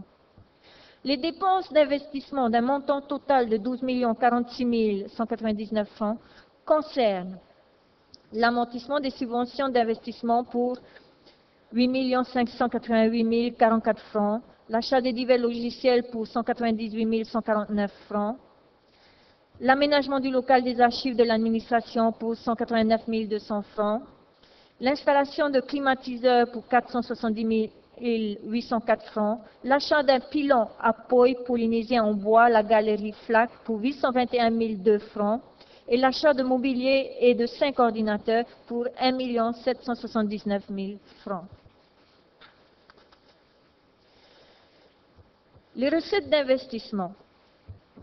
Je vous lis pour l'année 2005. Donc, pour les subventions d'investissement, 95 465 394 francs. Amortissement immobilier incorporel, 297 298 francs. Amortissement immobilier corporel, 9 770 319 francs, ce qui fait un total de 105 483 011 francs, avec un résultat d'investissement de 93 436 812 francs une subvention particulière du ministère national de la Culture de 95 465 94 francs a été attribué au musée dans le cadre du contrat de développement volet culture afin de réaliser les travaux de climatisation et d'électricité de l'établissement. Les autres recettes d'investissement proviennent des amortissements des logiciels et des acquisitions du musée. Synthèse, section de fonctionnement. Je vous laisse lire silencieusement le tableau. Pour l'année 2005, en subvention territoriale, 184 491 970 francs, ce qui représente 90%. En subvention d'État, zéro. En ressources propres, 12 925 204 francs, ce qui représente 6%. Autres ressources, 8 812 882 francs, ce qui représente 4%. Ce qui fait un total de 206 230 056 francs, c'est-à-dire 100%.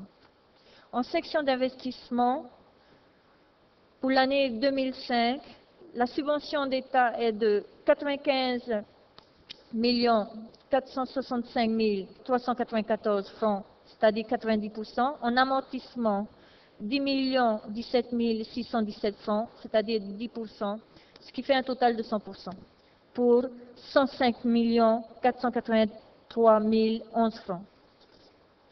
L'examen du compte financier, exécution du budget de l'exercice, les grandes masses. À la clôture de l'exercice considéré, le compte financier se présente comme suit. Voici le récapitulatif des opérations du compte financier. Donc en recette, en section de fonctionnement, 206 230 056 francs. En section d'investissement, 105 483 011 francs, ce qui fait un total de 311 713 067 francs. En dépenses, en section de fonctionnement, 178 604 019 francs. En section d'investissement, 12 46 199 francs, ce qui fait un total de 190 650 218 francs. Pour les résultats, en section de fonctionnement, 27 626 037 francs. En section d'investissement, 93 436 812 francs, ce qui fait un total de 121 62 849 francs. Les éléments déterminants du résultat. Pour le compte de résultat, donc, euh, je vais vous lire euh, le total en charge. Il est de 206 230 056 francs. Le total en produit est de 206 230 056 francs. Le total des résultats intermédiaires, il est de 27 626 037 francs. Pour le tableau comparatif des résultats des trois dernières années, je vous laisse lire silencieusement ce tableau et je vais vous lire seulement la, colonne de 2005. Donc pour le résultat d'exploitation, il est de 19 33 321 francs. Résultat financier, 0 francs. Résultat exceptionnel, 8 592 716 francs, ce qui fait un total de 27 626 037 francs. Évolution de la structure financière de l'établissement. Je vous laisse lire silencieusement. Je vous lis la colonne 2005 pour l'actif. Actif immobilisé en 2005, 165 58 400 francs. Actif circulant, 157 401 15 francs, ce qui fait un total de 322 459 415 francs. Pour le passif, en 2005, capitaux, 309 703 468 francs dette d'exploitation 12 755 947 francs, ce qui fait un total de 322 459 415 francs. Affectation des résultats. À l'issue de l'exercice 2005, le compte financier du musée de Tahiti et des îles Tefarimanaha enregistre en section de fonctionnement un résultat positif de 27 626 037 francs qui est affecté au compte 110, report à nouveau.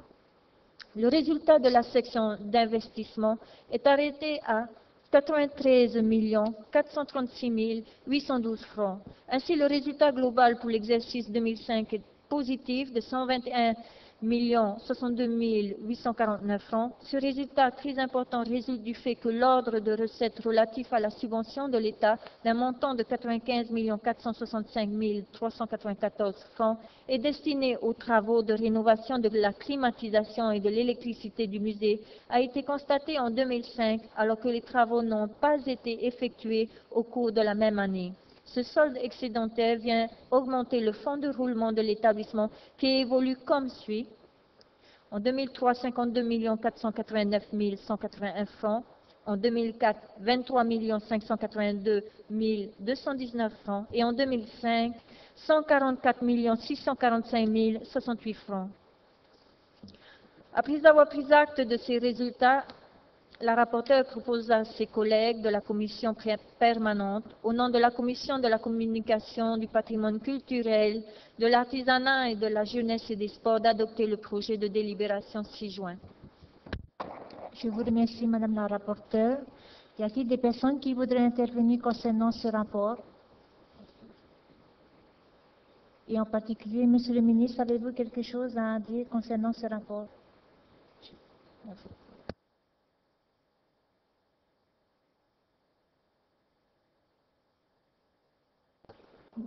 Je reprends. Y a-t-il quelqu'un qui voudrait intervenir sur ce rapport? Non Eh bien, Monsieur le ministre, à vous. Bonjour tout le monde, Madame la Présidente. Juste euh, pour expliquer concernant la baisse en fait de la fréquentation du musée des îles, ce qu'il faut savoir c'est qu'elle s'explique par une diminution de la fréquentation touristique, mais également par l'absence d'exposition en 2005. Il faut savoir que les expositions se préparent un an avant et que l'année 2005 a été une année charnière. En 2003 et en 2004, la fréquentation est marquée par un nombre important d'entrées gratuites constituées par les scolaires qui se sont rendus aux expositions sur Gauguin en 2003 et sur Le en 2004 et qui était une exposition à caractère pédagogique. Et donc par rapport à l'année dernière, donc comme je disais, c'était une, année euh, transitoire. Donc pour 2006, euh, normalement, les chiffres au niveau des entrées devraient euh, revenir à revenir à la normale. Donc voilà. Sinon, au niveau d'autres points importants, ce qu'il faut souligner, c'est que dernièrement également, en ce qui concerne le livre de Carl von Denstein qu'on a voulu soutenir, que le musée a tenu à éditer, donc ça faisait euh, pratiquement 80 années, que, 80 ans qu'on attendait ce livre. La dernière édition était en 1927 en allemand, et donc depuis l'année dernière, on peut également avoir ces livres sur Carl von au musée. Et dernièrement, lors du salon du livre qu'il y a eu à Ouessant, donc sur les trois livres primés où la Polynésie était mise à l'honneur, donc ce livre également a été primé dans la catégorie euh, scientifique. Donc.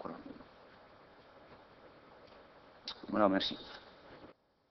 Je vous remercie, Monsieur le ministre. Y a-t-il des personnes qui veulent intervenir? Madame Iristi, je vous en prie. Oui, Maruru, Madame la Présidente, Yorana Katopa il y a 3-4 ans, il était question que le musée travaille avec le service de l'artisanat et le centre de métiers d'art pour essayer un petit peu de récupérer les, objets d'art, notamment lorsqu'il y a des concours, même au niveau du centre de métiers d'art. Est-ce qu'il y a eu une suite depuis? Pour en fait conserver un petit peu le patrimoine y a-t-il d'autres personnes qui voudraient intervenir? Monsieur Briand, à vous.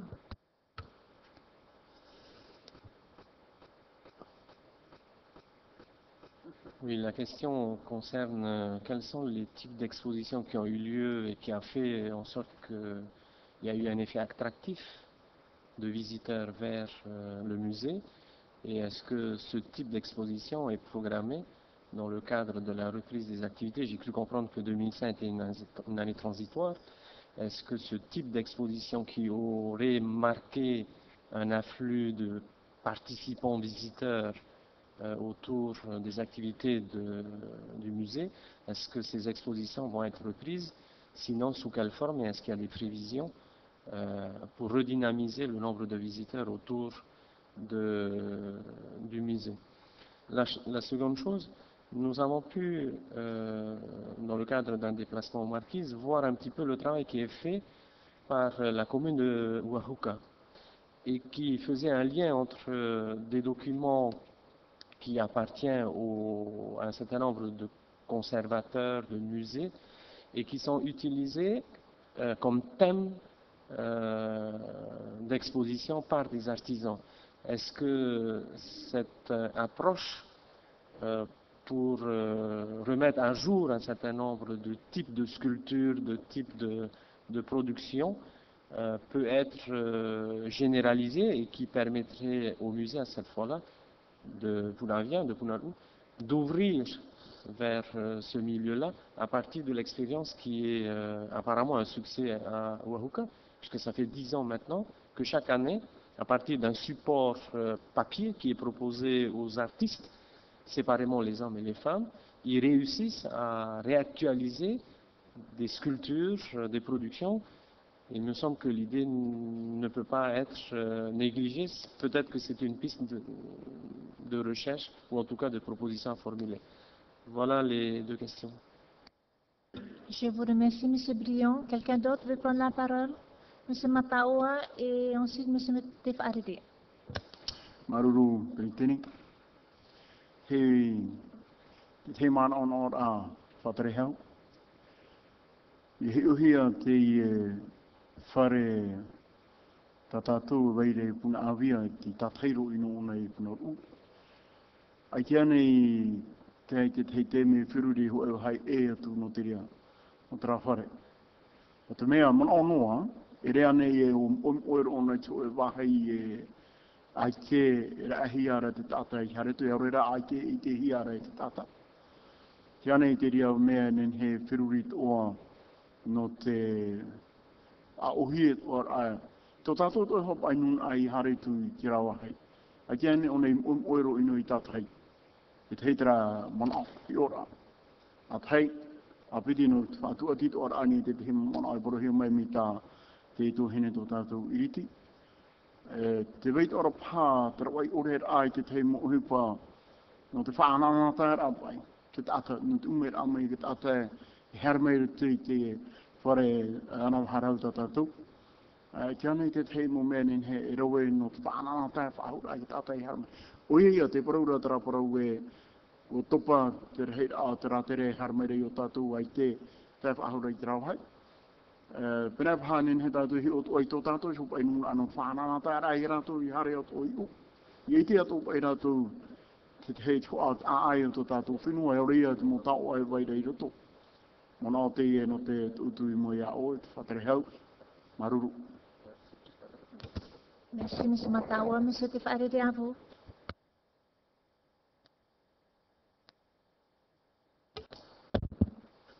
Whatere hau, Iorana. Je vais rester uniquement sur le rapport, et notamment sur euh, le fonds de roulement de l'établissement et la trésorerie de l'établissement. En 2005, 144 645 068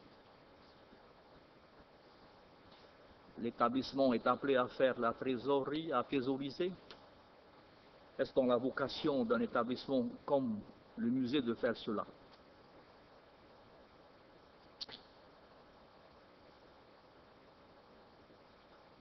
Merci, M. Tefarigue. Madame Sabrina Berthe, à vous. je crois la réponse est dans le rapport, mais euh, je reviens sur la question soulevée par Devra. Intéressant. D'ailleurs, l'artisanat euh, est une œuvre utile. Il fait partie de ces œuvres, mais qui servent à quelque chose et qui ne font pas partie de ces œuvres inutiles qui servent seulement à décorer. Donc, euh, c'est une idée très intéressante à explorer. Et toujours dans ce même domaine, euh, dans les dans le, patrimoine du musée et de la culture, il existe tout un, patrimoine sonore. Et lorsque j'ai pu visiter le quai Branly, parce que je suis allée voir comment ça a été exposé, c'est tout à fait ce qui manquait dans le musée, c'est ce qui manque chez nous. C'est-à-dire un fond sonore. Quand on visite un musée, il faut pouvoir entendre ce peuple. Et si on pouvait quand on visite notre musée, entendre des anciens taravas, des anciens outés, des légendes, tout ça on l'a au musée, dans le fond sonore. Donc, euh, le fond sonore, les anciennes histoires, les légendes font partie du musée et méritent d'être entendues par la population. Et c'est ce qui manque dans la plupart des musées, c'est ce, ce côté humain qu'on n'entend pas. On a trop l'impression de visiter des objets. Et je suis tout à fait d'accord qu'il faut enrichir un musée, le mettre à jour, sélectionner les, les, plus beaux objets de l'artisanat parce qu'ils font partie des œuvres de notre pays et euh, méritent d'être exposés, tout comme notre musique, tout comme nos chants. Maruru. Je vous remercie, Madame Sabina Burke. Monsieur Roberto Teriteheu, à vous la parole.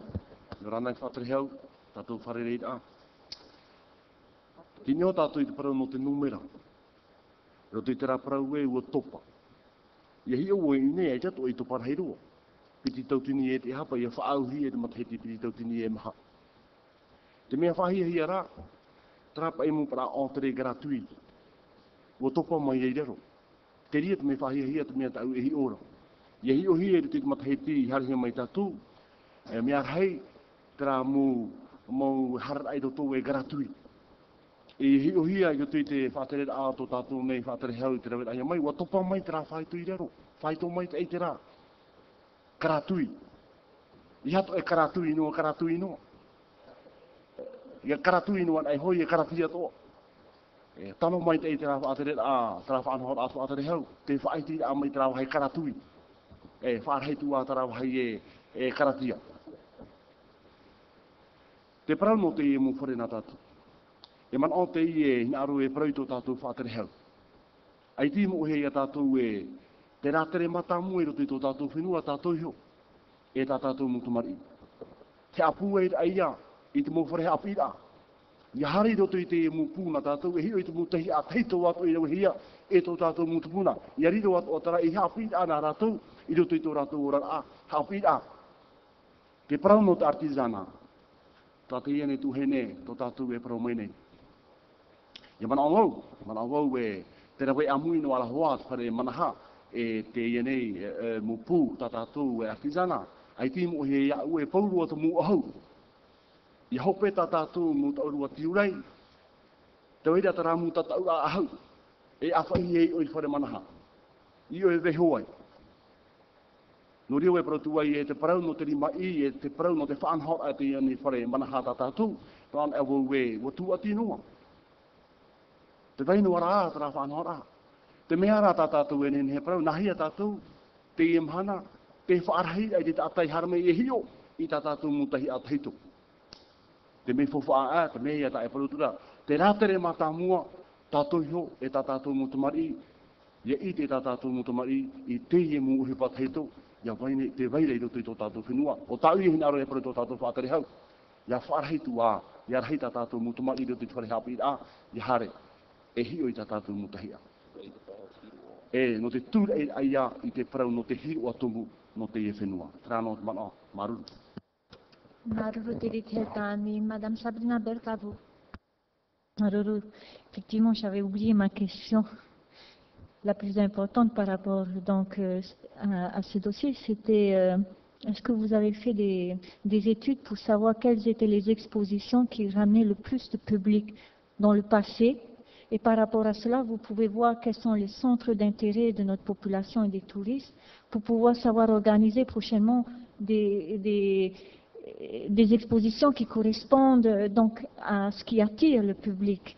Et l'autre chose, c'est également, c'est sur euh, la plupart des musées ont toujours une boutique dans laquelle le touriste ou le visiteur peut ramener quelque chose de ce musée quels sont les efforts qui sont faits pour développer une boutique au sein de ce musée, où par exemple on peut repartir avec euh, une reproduction d'un hameçon ancien ou, une de la musique ancienne euh, de, notre patrimoine sonore, on peut ramener un CD ou quelque chose qui, quand le touriste y rentre chez lui, il, peut montrer qu'il a visité le musée de Traité des îles, parce que c'est le souci de tous les visiteurs et on aimerait savoir si quelque chose est fait dans le sens, euh, euh comment dire, commercial de ce, de ce musée. Maruru. Je vous remercie, Madame Berg.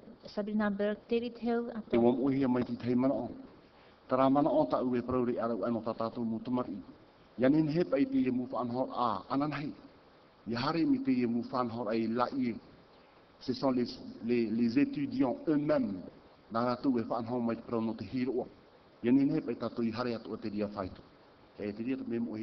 Maruru. Merci, Monsieur le représentant. Y a-t-il d'autres représentants qui voudraient prendre la parole? Monsieur le ministre, je, vous ramène la parole. Oui, merci. Euh, donc, en ce qui concerne la proposition de Madame Meriti, donc c'est une proposition intéressante qu'on retient, pour qu'on puisse proposer au CA prochainement. Euh, il est vrai qu'il y a des, des projets euh, au niveau de l'exposition artistique des objets par les artisans. Donc, il y a un projet, bien sûr, de proposer aux artistes et aux artisans de s'inspirer euh, des collections et ethnographiques pour créer, bien sûr, des œuvres contemporaines. Ça, c'est un projet. En ce qui concerne l'artisanat, donc je m'attacherai auprès de mon collègue de l'artisanat pour qu'on puisse concevoir des projets ensemble. Euh, concernant euh, le budget 2005, comme on le disait bien dans le rapport, donc le résultat global pour l'exercice 2005 est positif de 121 millions.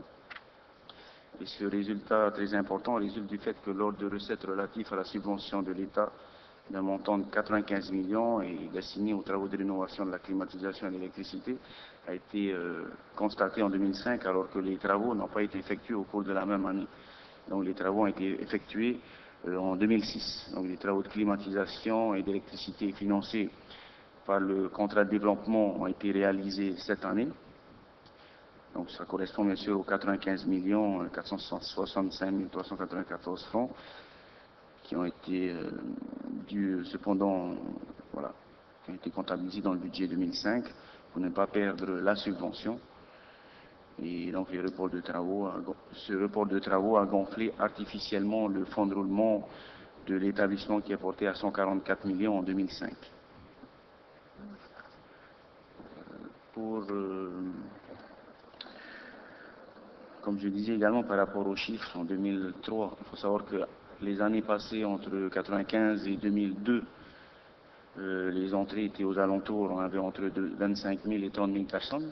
Il est vrai qu'en 2003 et 2004, nous avions eu plus de- d'entrées, euh, dues bien sûr aux, principales expositions, celle sur le musée Gauguin en 2003 et celle sur le A en 2004, qui a permis bien sûr à plus d'élèves d'être présents.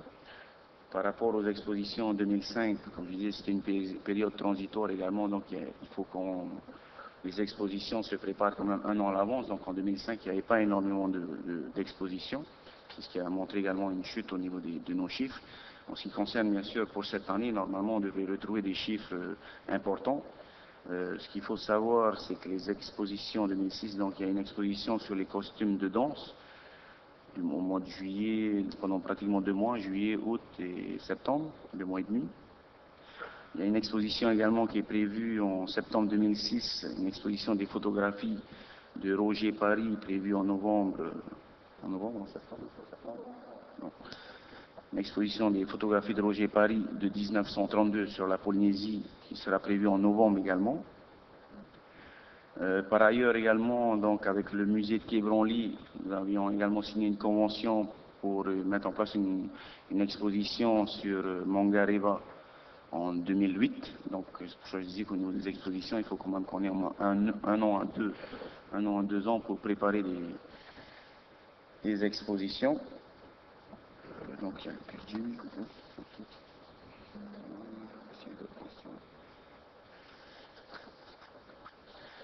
En ce qui concerne euh, le patrimoine sonore, comme on a, pu le constater également au sein du musée de Quai Branly, donc il y a un fonds sonore au musée de Traité des îles, au service de la culture et du patrimoine, mais il faudrait bien sûr plus de moyens, des moyens matériels, des salles, pour mettre à la disposition du public ces bornes sonores, euh, ces bornes interactives par exemple. Donc pareil, donc c'est sûr, ça fait partie de nos projets, donc on soumettra pour, euh, au budget, euh, pour le budget 2007. Et euh, la question, comme autre question? Voilà, je crois que. euh, Donc voilà. En ce qui concerne euh, l'emplacement, il est vrai que il y a des crédits d'études pour la mise en place d'un centre culturel, un centre culturel qui a été voté pour cette année, mais il faudra bien sûr qu'on puisse, on a eu plusieurs réunions avec des personnes de ressources, et on pensait le terminer cette année, finalement, je pense que ça va être des études qui vont se mettre en place sur deux ans pratiquement, cette année et l'année prochaine, pour que d'ici 2008 ou 2009, on puisse proposer à l'Assemblée, au gouvernement, un projet euh, culturel qui puisse associer euh, tous nos objets, euh, no- notre patrimoine matériel et immatériel, qui puisse être également très vivant. Voilà. Allô? Je vous remercie, Monsieur le ministre. Y a-t-il d'autres représentants qui voudraient prendre la parole? Monsieur Tefarelli, je vous en prie.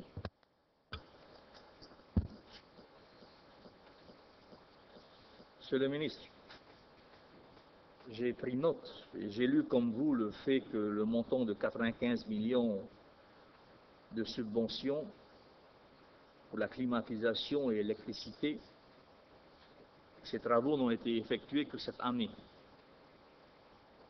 Si l'on déduit cette somme du fonds de roulement en 2005 qui est de 144 millions, il reste néanmoins 59 179 674. Question que je nous pose à nous tous, les représentants. Est-ce que c'est de la vocation d'un musée d'avoir un- une trésorerie aussi importante?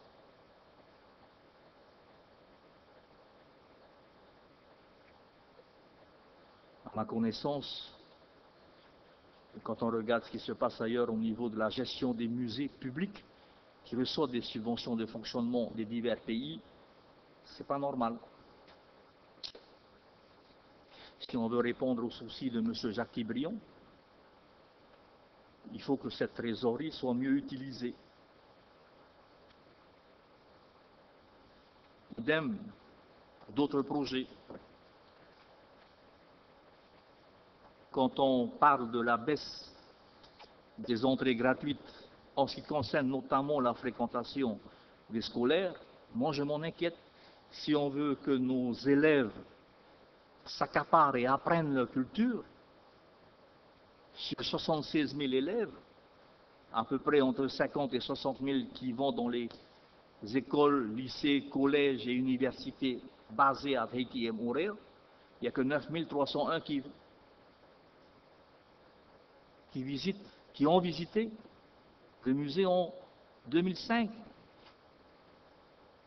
Entre un cinquième et un sixième, très peu. Très peu. On a un effort énorme à faire là. C'est peut-être là qu'il faut voir comment mieux utiliser ce fonds de roulement. Voilà pourquoi je pose ces questions.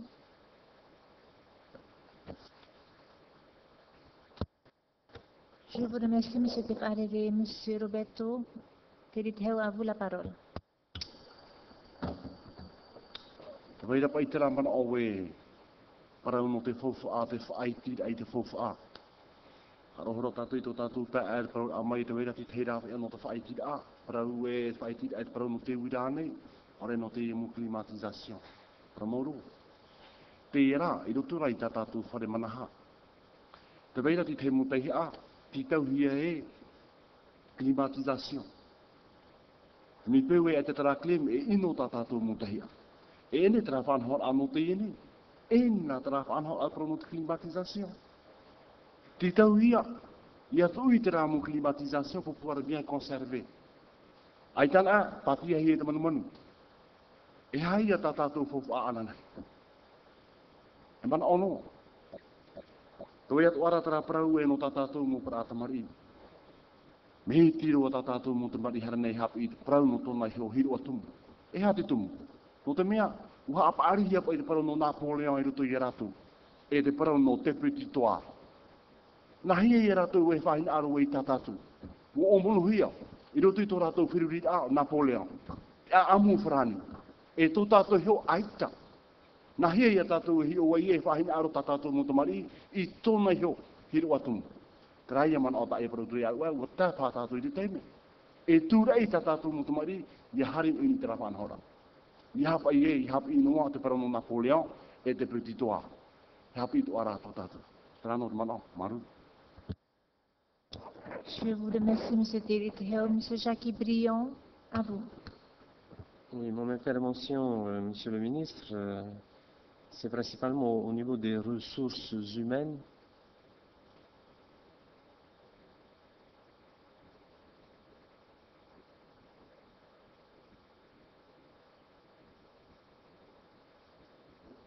Quand vous aurez fini, comme ça, je ne vais pas me répéter pour euh, faire euh, euh, mon intervention. Donc, c'est principalement à propos des ressources humaines. Nous avons eu la possibilité de nous déplacer, et toujours aux Marquises, entre autres, et on s'est rendu compte que nous avions très peu de Polynésiens capables aujourd'hui de participer en tant que porteurs de projets à la rénovation des marais, par exemple, dans le cadre du festival qui se prépare à Wopo. Est-ce que c'est un déficit lié à une absence de jeunes susceptibles de vouloir suivre une formation universitaire et être capables de restituer euh, ensuite dans son engagement professionnel euh, une contribution pour son pays Est-ce que nous sommes tributaires d'une réglementation qui fige nos relations par rapport à cet aspect des choses-là avec l'éducation nationale et qui serait une compétence de l'éducation nationale qui bloquerait? Ce sont des, des interrogations. Lorsqu'on voit le nombre de festivals qui a été mis en place au niveau des marquises, il n'y a toujours pas de Polynésiens capables de mener à terme la restitution au moins d'un site. On est complètement tributaire euh, de personnes qui viennent de l'extérieur. Mon interrogation, est-ce que c'est vraiment euh, nos institutions qui nous empêchent de pouvoir mettre en place euh, ce type de programme?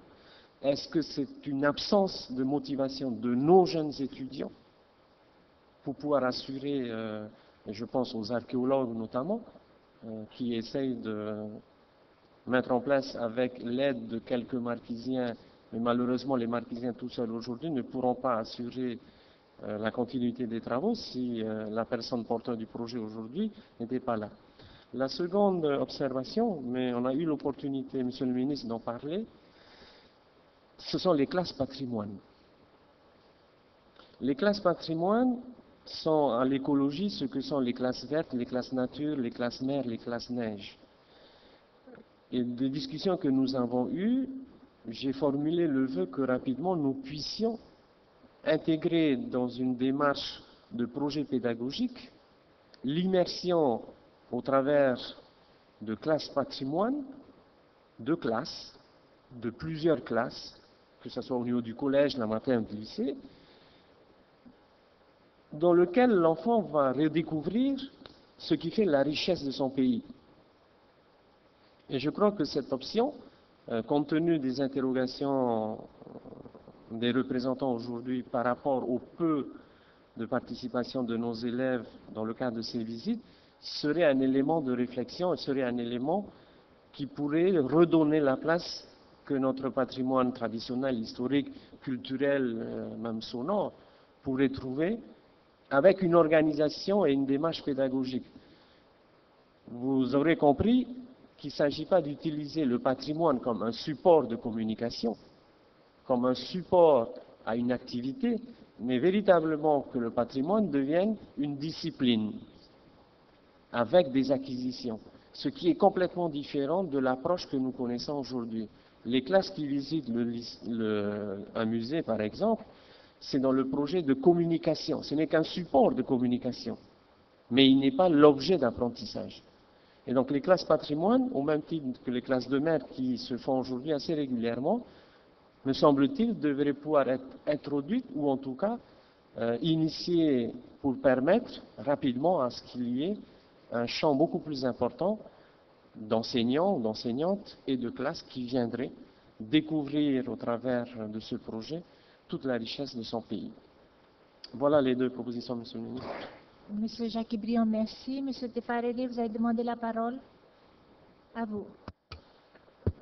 Oui, mais comme l'intéressé est sorti, euh, je regrette que mon ami Roberto n'ait pas compris mon intervention. Euh, donc c'est bien dommage, quand il sera là, je vais réintervenir en tahitien pour qu'il comprenne. Bien, merci. Madame Sabrina. Baruru, euh, dans, le, dans le musée, il y a tout un, contenu euh, de patrimoine qui n'est pas exploité parce qu'on ne connaît pas les droits sur- dessus. Le rapport m'avait intrigué lorsque je l'ai étudié pour euh, les points sur les droits d'auteur et sur l'achat des, objets culturels tels que le poé. Euh, il serait bien que ce musée soit doté, soit en prestataire de service, soit en personne, d'un vrai juriste en propriété intellectuelle qui pourrait réellement faciliter l'exploitation du fond sonore, par exemple, où on peut se poser énormément de questions sur les droits d'utilisation de ce fond sonore, et également sur la possibilité euh, de rapatrier, d'avoir un droit d'accès aux œuvres culturelles qui sont partout dans le monde. C'est vrai qu'aujourd'hui, le musée, vous l'avez dit, n'a pas suffisamment d'espace pour tout exposer. La musique n'est pas quelque chose qui a besoin d'espace pour être entendu. Quand vous allez aller devant euh, un ti, ça ne vous empêche pas d'entendre un tarava, un outé, un paripari ou un, ou un orero. Le son n'occupe pas d'espace mais ce sont sur les droits. Et c'est là-dessus, pour enrichir ce musée et pour éviter des dépenses qui sont parfois inutiles, si le musée était doté ou utiliser un prestataire de service, je crois qu'on pourrait l'enrichir encore plus et permettre donc euh, aux visiteurs de pouvoir acquérir un CD de fond sonore des années 1930 très intéressant, mais qu'on ne sait pas comment exploiter, ou des années 50. Tout cela, on veut savoir, ou une reproduction d'un- d'une œuvre. Et, et là-dessus, il est nécessaire d'avoir la clé pour ouvrir cette porte. Donc, euh, il faut opter, au lieu de toujours aller acheter des œuvres, nous avons des droits, il faut savoir les utiliser, et on pourra utiliser exploiter toutes ces œuvres qui appartiennent à un patrimoine euh, d'un peuple et qui doit, être, et qui doit être partagé. Et la raison pour laquelle aujourd'hui il n'est pas partagé, c'est qu'on ne connaît pas la combinaison juridique pour le partager. Je vous remercie, Madame Burke. Y a-t-il d'autres représentants qui voudraient intervenir? Monsieur Anthony Géros, je vous en prie. Madame la Présidente, Mesdames et Messieurs, Yorana Fahau, Totato Farerida.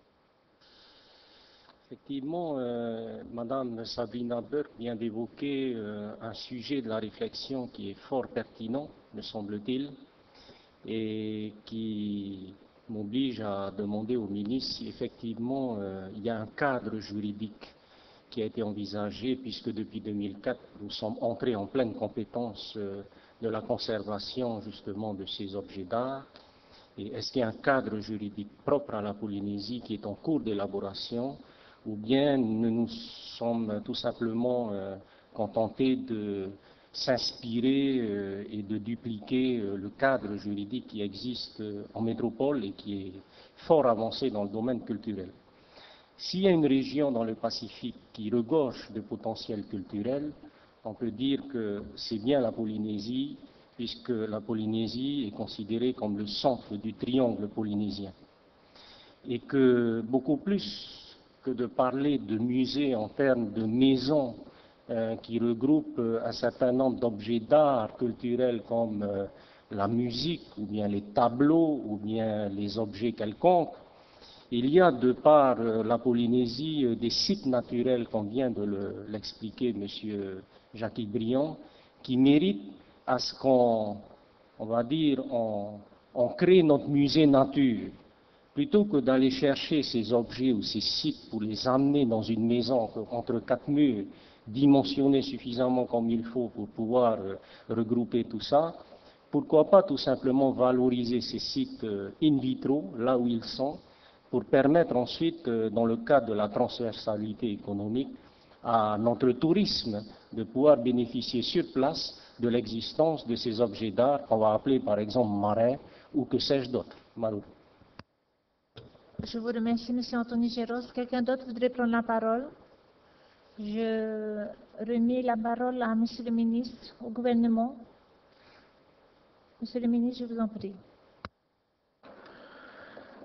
Oui, donc euh, concernant la diminution de la fréquentation en 2005, comme je disais, bon, il est vrai qu'en 2003 et 2004, il y avait des expositions in- intéressantes qui ont été mises en place à caractère pédagogique, qui a fait que, avait intéressé bien sûr euh, plusieurs scolaires. Et comme euh, M. Tefarelli disait, euh, il est vrai qu'il faut sensibiliser il faut, il faut que l'on sensibilise nos jeunes. Donc en fait, il faut qu'il y ait également euh, un partenariat qui soit mis en place avec le ministère de l'Éducation et de la Culture. Donc j'ai sensibilisé mon collègue de l'éducation pour qu'au sein des établissements, donc il faut savoir que dans, chaque établissement, suivant les projets d'établissement ou les projets de classe au niveau du scolaire, c'est ce qui permet de sensibiliser en fait les élèves. Donc euh, en 2004 et 2003, ce qu'il y avait, c'était des projets intéressants sur le VAR, donc qui, qui intéressaient bien sûr tous les scolaires. C'est ce qui a permis d'avoir pratiquement une, une- c'est ce qui a permis d'avoir euh, pas, pas loin de 20 000 scolaires aux expositions. En 2005, on n'avait pas des expositions à caractère éducatif important pour justement sensibiliser les jeunes. Pour 2006, on a mis en place des expositions et il est vrai que pour 2007, il faudra qu'on propose des expositions et qu'on se mette en, concertation avec le ministre de l'Éducation et les directeurs d'établissement pour que ça soit également, euh, pour qu'il y ait ce caractère éducatif euh, qu'on puisse sensibiliser également tous nos établissements. Donc il y a ce point. En ce qui concerne le fonds de roulement, par rapport aux 144 millions au fonds de roulement, il y a les 95 millions de l'investissement. Il y a également le fait que le ministère des Finances également, bien sûr, euh, recommande à ce qu'on puisse conserver au moins deux mois, mois- au minimum deux mois de gestion par rapport au budget de fonctionnement de, de l'établissement. Donc c'est pas loin, c'est pratiquement 30 millions. Donc on aurait une réserve de, de 20 millions. Euh, par rapport à,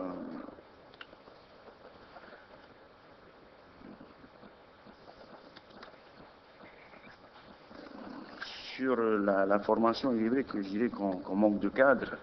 Au niveau de l'archéologie, par exemple, nous avons signé une convention avec l'IRD l'année dernière. C'est ce qui nous a permis d'avoir euh, Pierre Otino qui est à notre disposition sur les sites des marquises. Une convention avec l'IRD qu'on bien sûr doit renouveler chaque année. Au service de la culture, nous avons, je très, peu d'archéologues. Il y avait que ça rentre bien sûr dans les objectifs de la mise en place du Code du patrimoine. Dans un premier temps, c'est qu'on puisse euh, recenser tous les sites historiques et légendaires sur Tahiti Montréal. Donc, c'est pour ça, on s'est fixé cet objectif pour cette année. Et donc, d'ici 2011, c'est même un projet lourd. Quoi. Il faut au moins 5 ans pour être capable de, de recenser tous les sites historiques et légendaires de toute la Polynésie. Donc, c'est un programme que l'on a mis en place sur 5 ans. En ce qui concerne le, le musée, par rapport à, je pense, une des priorités du musée de- d'exposer, donc il ne rencontre pas les problèmes de droit d'auteur et de propriété in- intellectuelle. Toutes les œuvres que le musée euh, a dans la salle de conservation, peut- ils peuvent très bien l'exposer sans qu'on ait réellement de problèmes, qu'on rencontre des problèmes euh, juridiques. En ce qui concerne le cadre juridique par rapport au patrimoine matériel et immatériel, ça rentre bien sûr dans, les, dans, un, des objectifs du gouvernement qui est la mise en place du Code du patrimoine. C'est- vrai que c'est un chantier euh, juridique assez lourd et je pense que d'ici quelques mois, on serait capable de vous présenter une délibération sur justement les sites qui existent en Polynésie pour que euh, l'Assemblée puisse se positionner.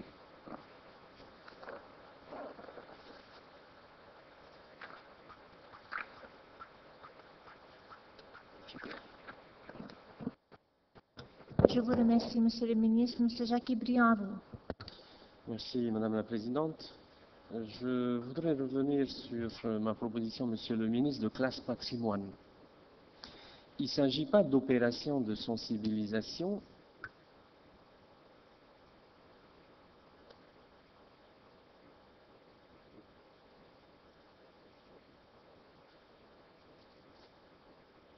Il ne s'agit pas d'opération de sensibilisation à l'initiative euh, d'un enseignant pour faire euh, de la communication dans le cadre d'un projet de classe. Cette phase de sensibilisation, bien sûr, il faut continuer à motiver le personnel enseignant à le faire. Mais le support qui est utilisé peut être la citoyenneté, peut être euh, la consommation, peut être l'environnement, peut être la mer. On est dans une démarche de sensibilisation. La démarche de la classe patrimoine et le festival des marquises de, Wapo peut être l'opportunité. Il ne s'agit plus de sensibiliser, mais de mettre les enfants, une classe, plusieurs classes, dans un véritable bain pendant exactement comme le principe d'une classe de mer, qui est de 15 jours, voire de 3 semaines, avec un financement, avec des intervenants extérieurs, où on rentre pratiquement dans un bain quotidien où les enfants se retrouvent complètement dans une structure qui est faite pour ça. Ce que nous faisons jusqu'à maintenant dans le cadre de nos activités de sensibilisation à l'environnement, ce sont des interventions qui sont faites, des visites qui sont faites, on revient en classe, on fait de la communication avec un support papier, avec un support dessin, avec un support audio, peu importe le support. Là, c'est l'étape supérieure. Oui, il faut de la sensibilisation, mais il faut franchir l'étape supérieure où c'est un bain qui dure pendant 15 jours, voire 3 semaines. Et il me semble que l'opportunité de ce festival des marquises, peut tout à fait être intégré dans cette dimension où des enfants vont vivre avec du personnel extérieur, que ce soit Pierre, mais aussi que ce soit du personnel mis pour aider Pierre à la réalisation, où les enfants vivent, reconstruisent et arrivent en fin de compte à pouvoir à leur tour être des émissaires de l'information, comme étant un acteur et c'est ça la dimension, la différence fondamentale avec ce que nous faisons jusqu'à présent. La classe patrimoine, et j'ai beaucoup apprécié les débats qui ont eu lieu là-bas, où ils parlent de classe patrimoine avec une traduction qui était Tama Tupuna. On est véritablement dans la réalité, dans l'approche qui est ce bain fondamental. Tama Tupuna me semble être véritablement la traduction la plus appropriée à cette notion de classe patrimoine. Mais c'est véritablement une séquence dans le temps, dans le financement et des intervenants qui encadrent et qui entourent les enfants avec un objectif bien précis, qui n'est pas faire de la communication. On n'est pas dans la logique de communication, mais on est dans la logique d'un bain autour d'une activité qui va se répercuter pendant le festival. C'est complètement différent la manière d'aborder la chose. Voilà, Monsieur le ministre, j'ai un peu insisté là-dessus, mais je crois que c'est une piste rien ne nous empêche d'imaginer qu'après, ces enfants qui vont grandir, on puisse trouver un jour un Pierre qui va remplacer le Pierre actuellement qui est en train de travailler à la reconstitution de marais. Monsieur Jacques Briand, merci. Madame Sabrina Burke, allez-y. Merci, Madame la Présidente. Je ne classe pas la propriété intellectuelle dans le domaine de faire euh, euh, un recensement des biens dans le cadre d'un code du patrimoine. La propriété intellectuelle et les droits d'auteur relèvent bien euh, d'une nécessité. Cette connaissance est nécessaire chez nous parce que vous savez, quand on fait de la contrefaçon, et je sais qu'il y en a, euh, ça relève d'une punition de 10 millions de francs d'amende et de deux ans de prison. Lorsque certaines personnes vont se prendre des avocats pour défendre leurs droits, on va être embêté. Et la propriété intellectuelle peut faciliter des choses quand on connaît. Pourquoi acheter quand on a déjà un droit dessus? Quand on a le droit d'accès? Quand on a un droit de repentir? Quand on a un droit moral sur un objet? Il faut connaître ses droits.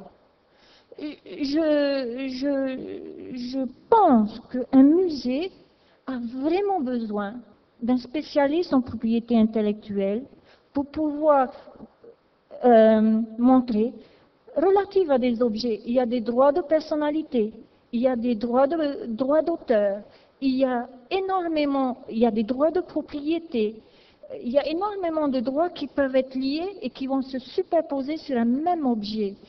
et, ce- et faire des erreurs sur ces objets qui peuvent venir offusquer certaines personnes peuvent causer des problèmes. Et pour éviter des frais inutiles, il est toujours bien de s'approprier d'un bon spécialiste en propriété intellectuelle. On éviterait d'acheter alors qu'on a déjà un droit dessus. De faire venir un objet parce qu'on a un droit d'accès, parce que c'est prévu dans le droit moral. Il y a énormément de choses qu'il faut savoir utiliser. C'est une clé qui nous éviterait, ça coûte pas cher et ça peut réduire les frais en matière euh, de, de bien exploiter ce musée. Il y, a, un fond musical sonore que les gens aimeraient bien avoir.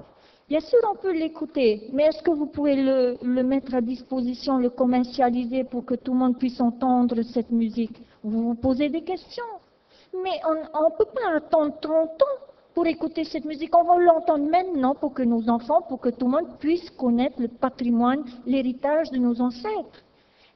Il suffit de connaître le droit par rapport à ça pour pouvoir exploiter, le mettre à disposition.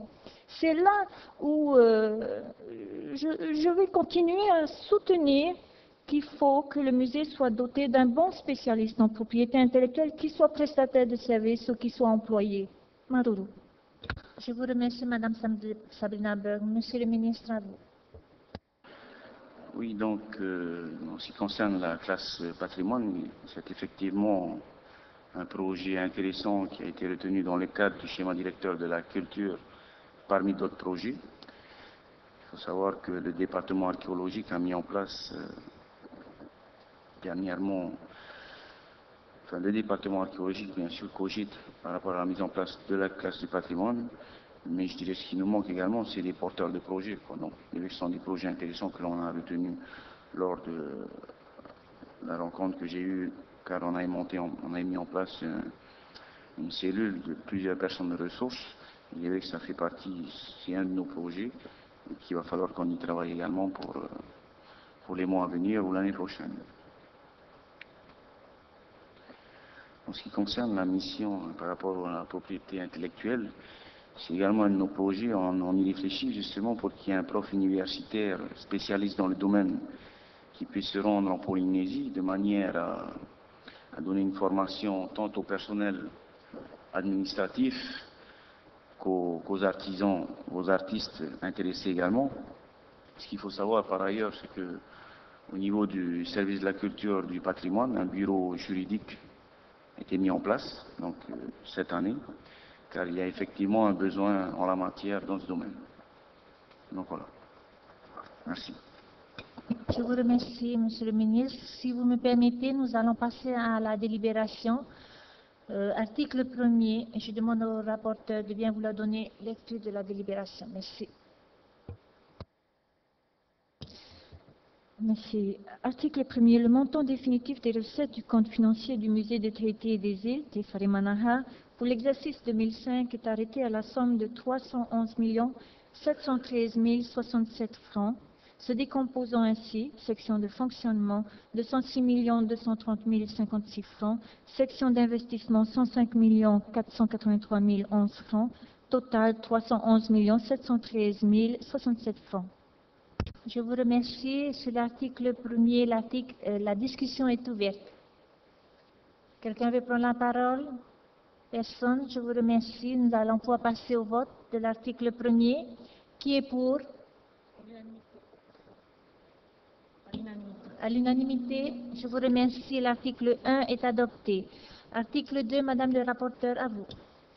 Article 2. Le montant définitif des dépenses du compte financier du musée de Tahiti et des îles Tefarimanaha pour l'exercice 2005 est arrêté à la somme de 190 650 218 francs, se décomposant ainsi.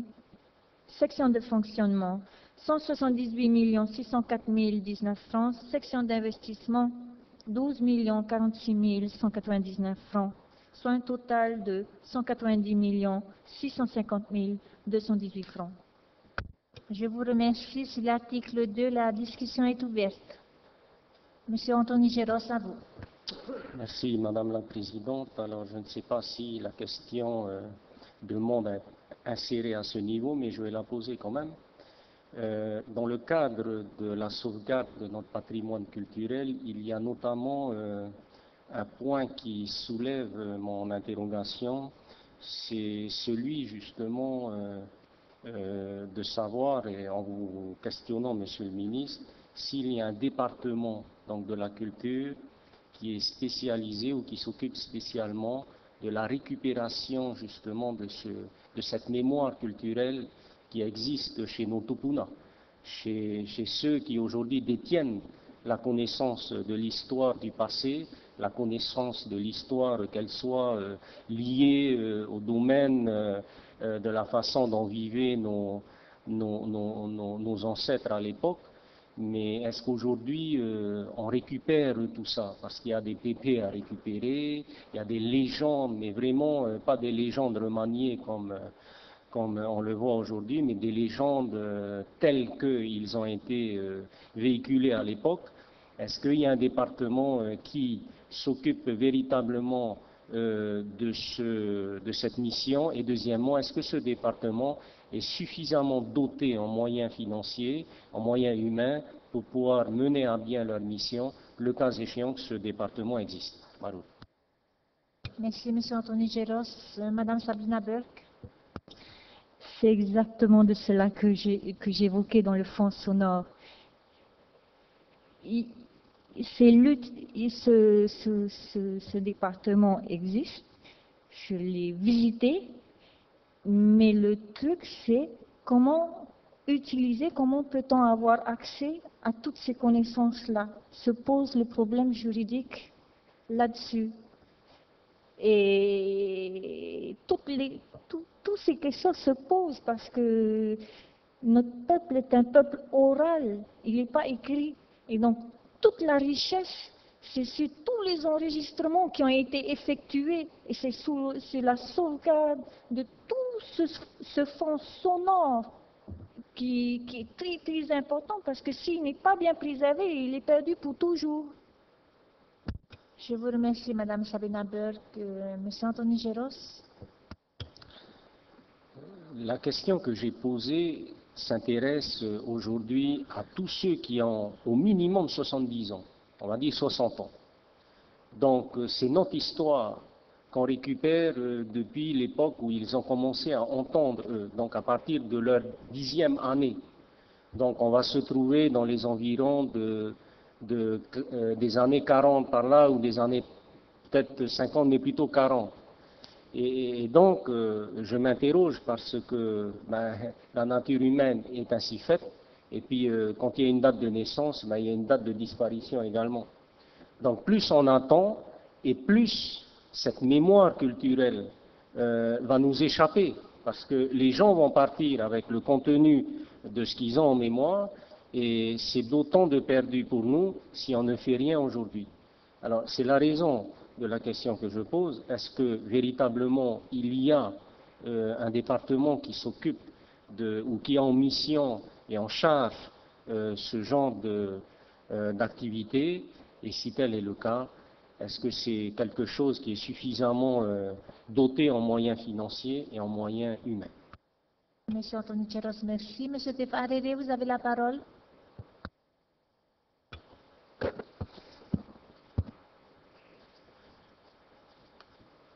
Lorsque la stèle marquons, comment dire, en souvenir de M. Powira a été mis en place à Aroué. Nous avons eu ce débat ici dans cette enceinte à l'époque. S'il y a quelqu'un dans le monde de la culture qui a fait ce travail-là, c'est bien intéressé. Et c'est le grand-père de Roland Oldham.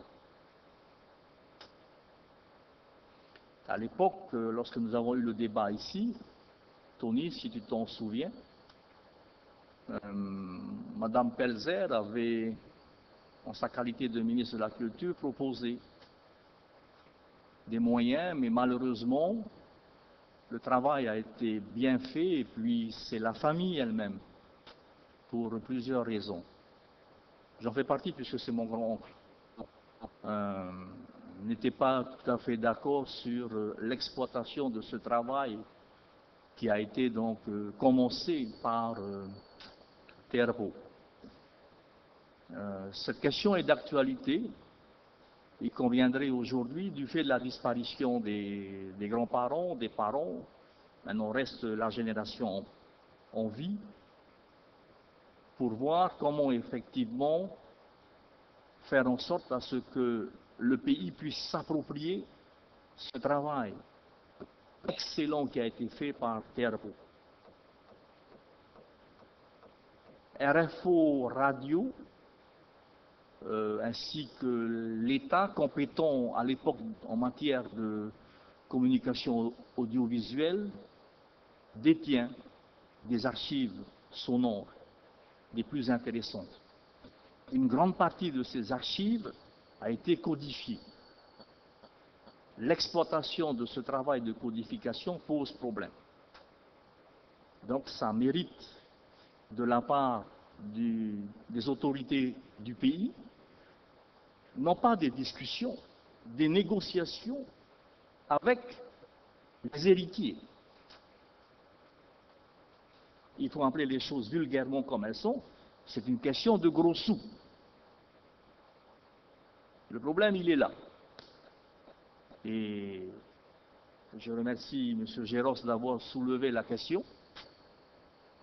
Ici, j'ai insisté dans mon intervention sur euh,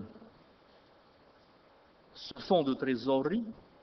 Je ne crois pas que c'est dans la vocation d'un établissement comme le musée le ferait Manaha d'avoir une trésorerie aussi importante. Je regrette pour mon ami Roberto, mais lui n'a pas compris mon intervention. Je n'ai pas regretté qu'il n'y ait pas de moyens mis en place pour la climatisation, bien au contraire. Ce que je regrette, c'est que cette trésorerie aujourd'hui soit importante et quand on voit bien, on va arriver à l'article numéro 4, additionner ce report de 27 millions à ce qui existe, on n'est pas loin des 60 millions. Au niveau de la trésorerie. Cette trésorerie pourra être utilisée à bon escient et je partage entièrement l'argumentation magnifique développée par M. Brion sur la classe patrimoine, comme les classes vertes, comme les classes mères. Effectivement, c'est l'échelon supérieur. Le musée dispose de moyens financiers, peut autofinancer cette opération déjà pour l'avenir. Et si j'ai voté pour ce rapport, parce que je suis convaincu, sans demander de subventions supplémentaires au pays ou à l'État, avec la trésorerie actuelle, on peut financer ces opérations. Au niveau de l'exploitation du fonds sonore, au niveau de la classe patrimoine, on peut, on a les fonds là. Maintenant, c'est une opération qui est interne au conseil d'administration, c'est tout. Je vous remercie. Nous pouvons passer au vote maintenant. Même vote. Je vous remercie. L'article 2 est voté. Nous passons à l'article 3. Madame la rapporteure, à vous, s'il vous plaît. Article 3. Le résultat du compte financier du musée de Tahiti des îles de Farimanaha pour l'exercice 2005 est définitivement fixé ainsi qu'il suit. En recette, section de fonctionnement 206 230 056 francs. En section d'investissement 105 483 011 francs, ce qui fait un total de 311 713 067 francs. En dépenses 170 pour section pour section de fonctionnement 78 604 019 francs. En section d'investissement 12 46 199 francs, ce qui fait un total de 190 650 218 francs. En résultat, section de fonctionnement 27 626 037 francs. En section d'investissement 93 436 812 francs.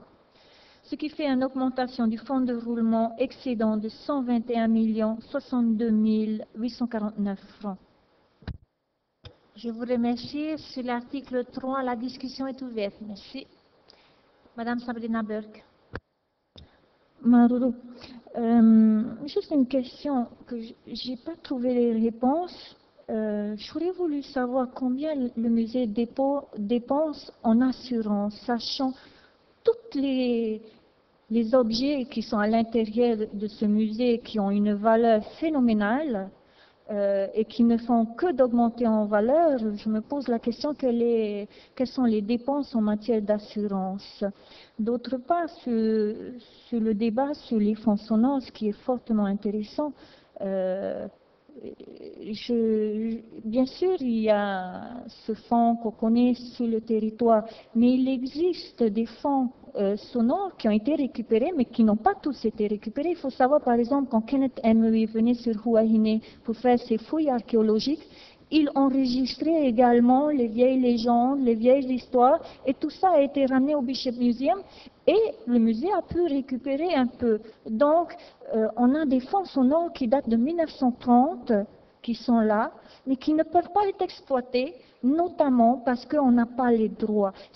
C'est bien, comme dit Hiro, que tout vient au territoire, mais ça ne sert à rien si on ne peut pas le partager avec le public. Et c'est ça ce qui est intéressant, c'est de pouvoir partager cette connaissance pour pouvoir enrichir chacun de nous dans la connaissance de soi-même. Et, donc c'est la nécessité de déverrouiller les droits euh, par rapport à tout ce, patrimoine sonore qui existe chez nous, mais pas seulement chez nous, partout dans le monde, euh, parce que les visiteurs, quand ils sont venus chez nous, ils ont enregistré depuis tout le temps, et, il y a un fond sonore éparpillé un peu partout. Mais euh, il y a des, enregistrements faits par Kenneth Emery, 1930, dans, dans ces ondes-là. Madame Sabrina Berg, merci. Monsieur Matawa, je vous en prie.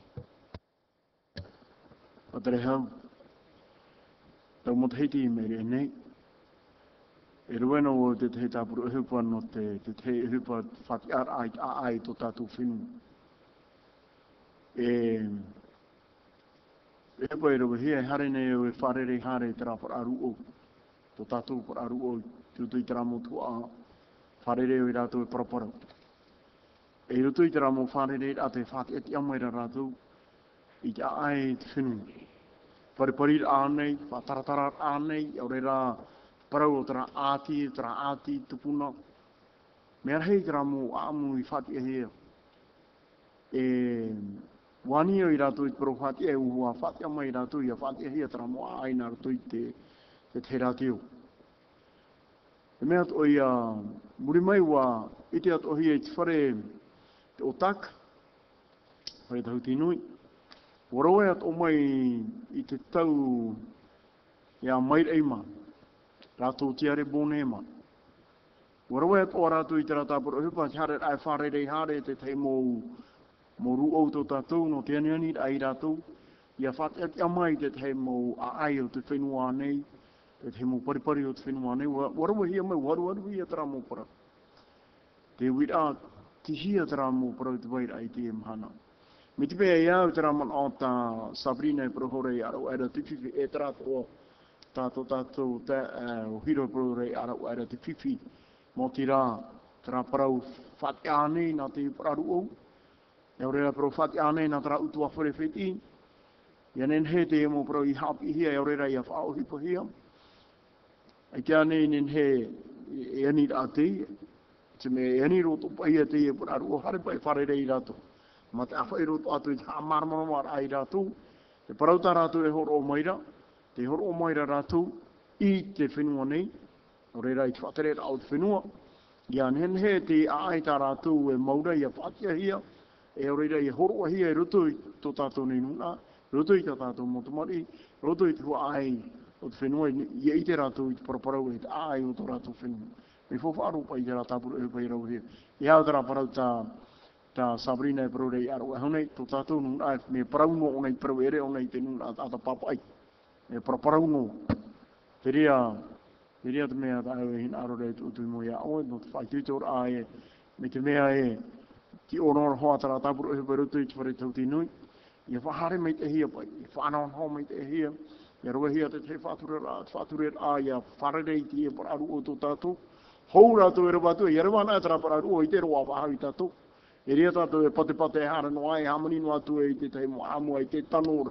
In e whenua re rei, ni e to tātou parau te ai maa, no tāta maa. Tera, mana o parau tera. Monsieur Matawa, merci. Monsieur le ministre, face à ces interrogations de la part de nos collègues, avez-vous des éléments de réponse? Merci. Oui, merci.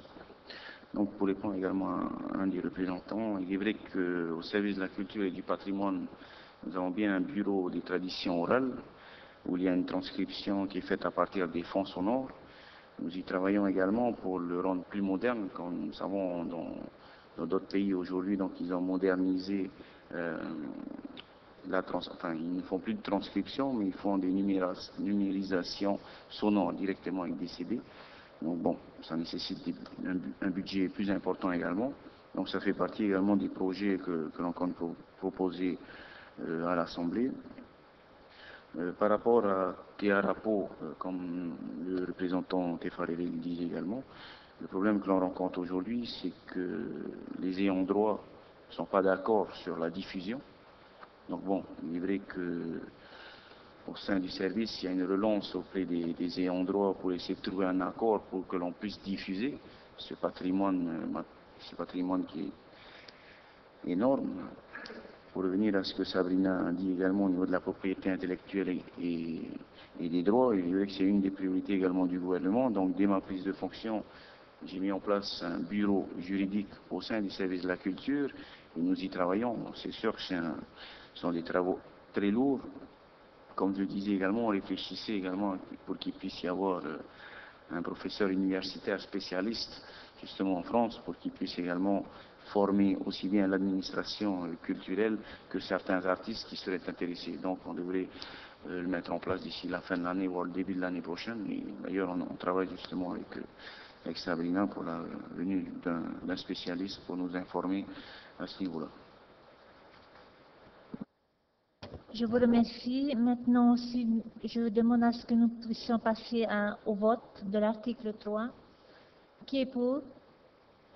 À l'unanimité, je vous remercie. L'article 3 est adopté. Article 4, Madame la rapporteure.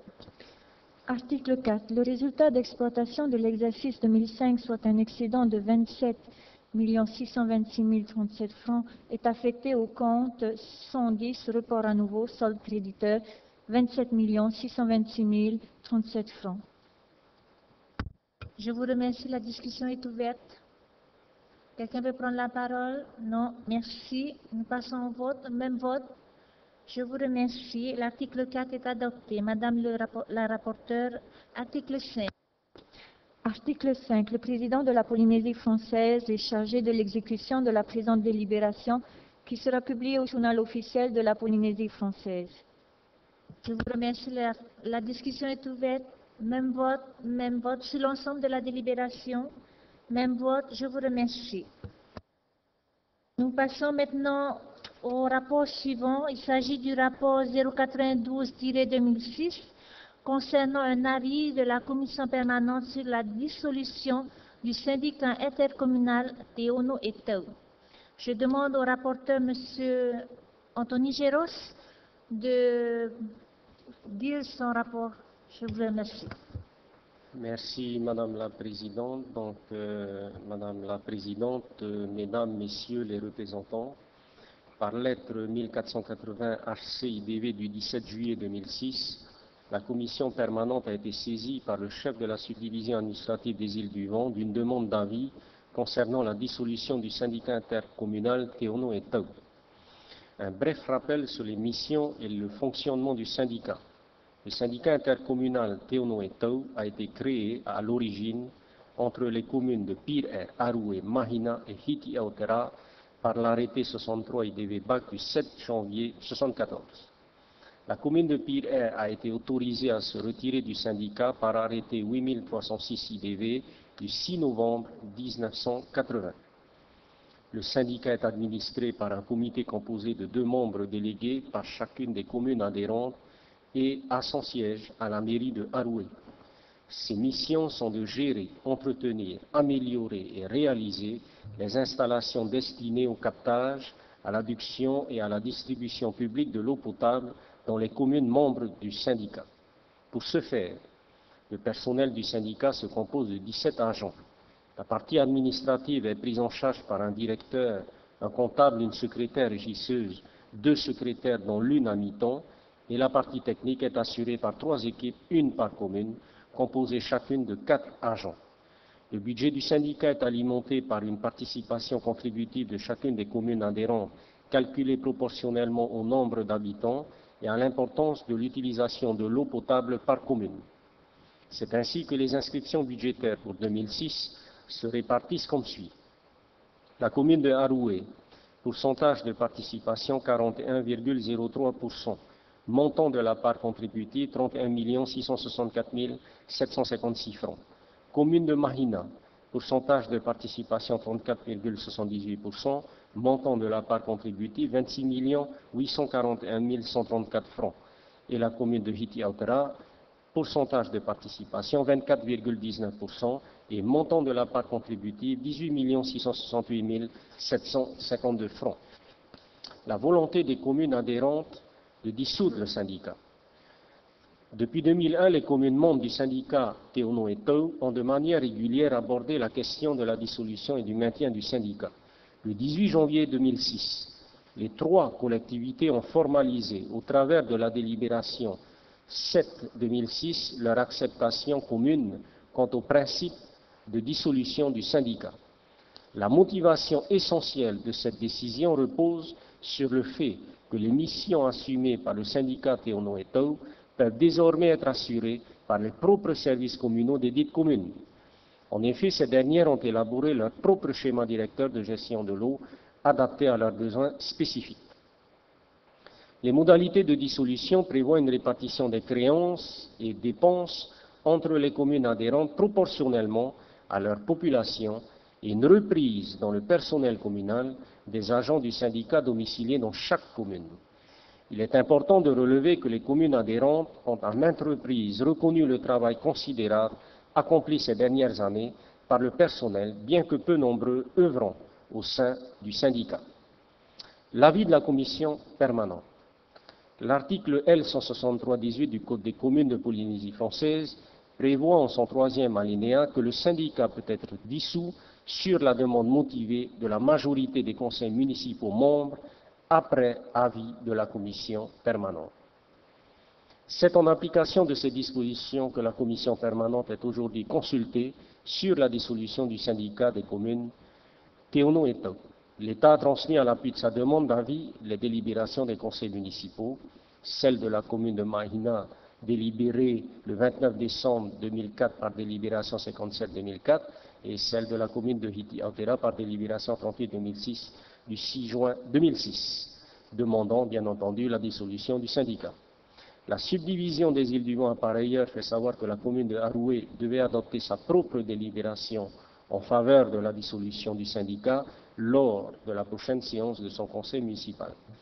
Alors, je crois savoir que celle-ci a eu lieu la veille où la commission en charge de l'examen de ce dossier s'est réunie. C'est du moins l'information qu'on nous a transmise lors de l'examen de ce dossier en commission euh, législative. Donc, compte tenu de la volonté exprimée par les communes de Mahina et Hiti ainsi que de la position de principe de la commune de Haroué en faveur de la dissolution, les rapporteurs proposent à leurs collègues de la commission permanente, au nom de la commission des institutions et des relations internationales, d'émettre un avis favorable à la dissolution du syndicat des communes Théono et Toutefois, une attention particulière devra être apportée à l'intégration de l'ensemble du personnel du syndicat au sein des communes concernées, bien entendu, après dissolution. Marou. Je vous remercie, M. Anthony. Euh, concernant cet avis, y a-t-il des orateurs qui voudraient prendre la parole? Aucune intervention Bien, nous pouvons passer directement au, à l'avis. Madame, euh, pardon, excusez-moi, Monsieur Anthony Géros, vous pouvez lire cet avis, s'il vous plaît? Merci. Donc, la commission émet l'avis suivant. Euh, excusez-moi, la commission permanente émet l'avis suivant. La dissolution du syndicat intercommunal Tierno et créé par l'arrêté 63 IDV BAC du 7 janvier 1974, recueillit un avis favorable de la commission permanente de l'Assemblée de Polynésie française, sous réserve toutefois que les communes adhérentes reprennent de manière effective l'ensemble du personnel du syndicat au sein de leur personnel communal.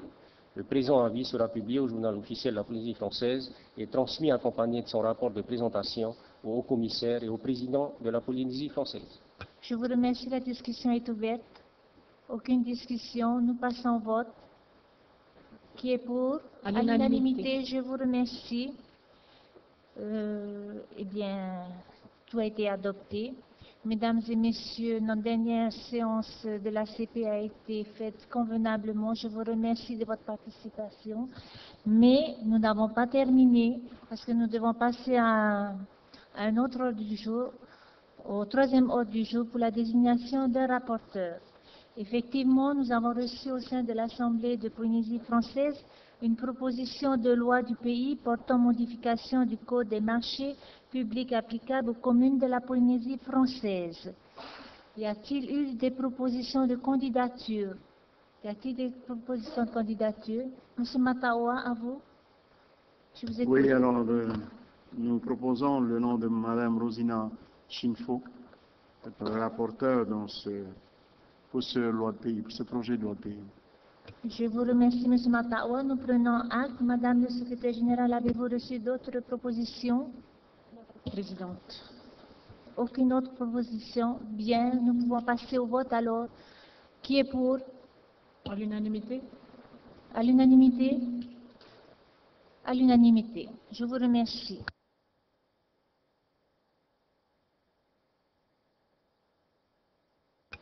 Bien, eh bien, cette fois-ci, nous avons vraiment terminé notre séance, la dernière de la commission permanente, puisque la semaine prochaine, la session budgétaire va s'ouvrir. Je vous remercie, mesdames et messieurs les représentants, d'avoir participé comme il fallait. Mes remerciements également vont aux ministres qui sont partis au gouvernement, aux membres du gouvernement, aux collaborateurs et au pu- public ici présent et du Parlement qui nous ont bien entendus. Je vous remercie. La séance est close. Au revoir.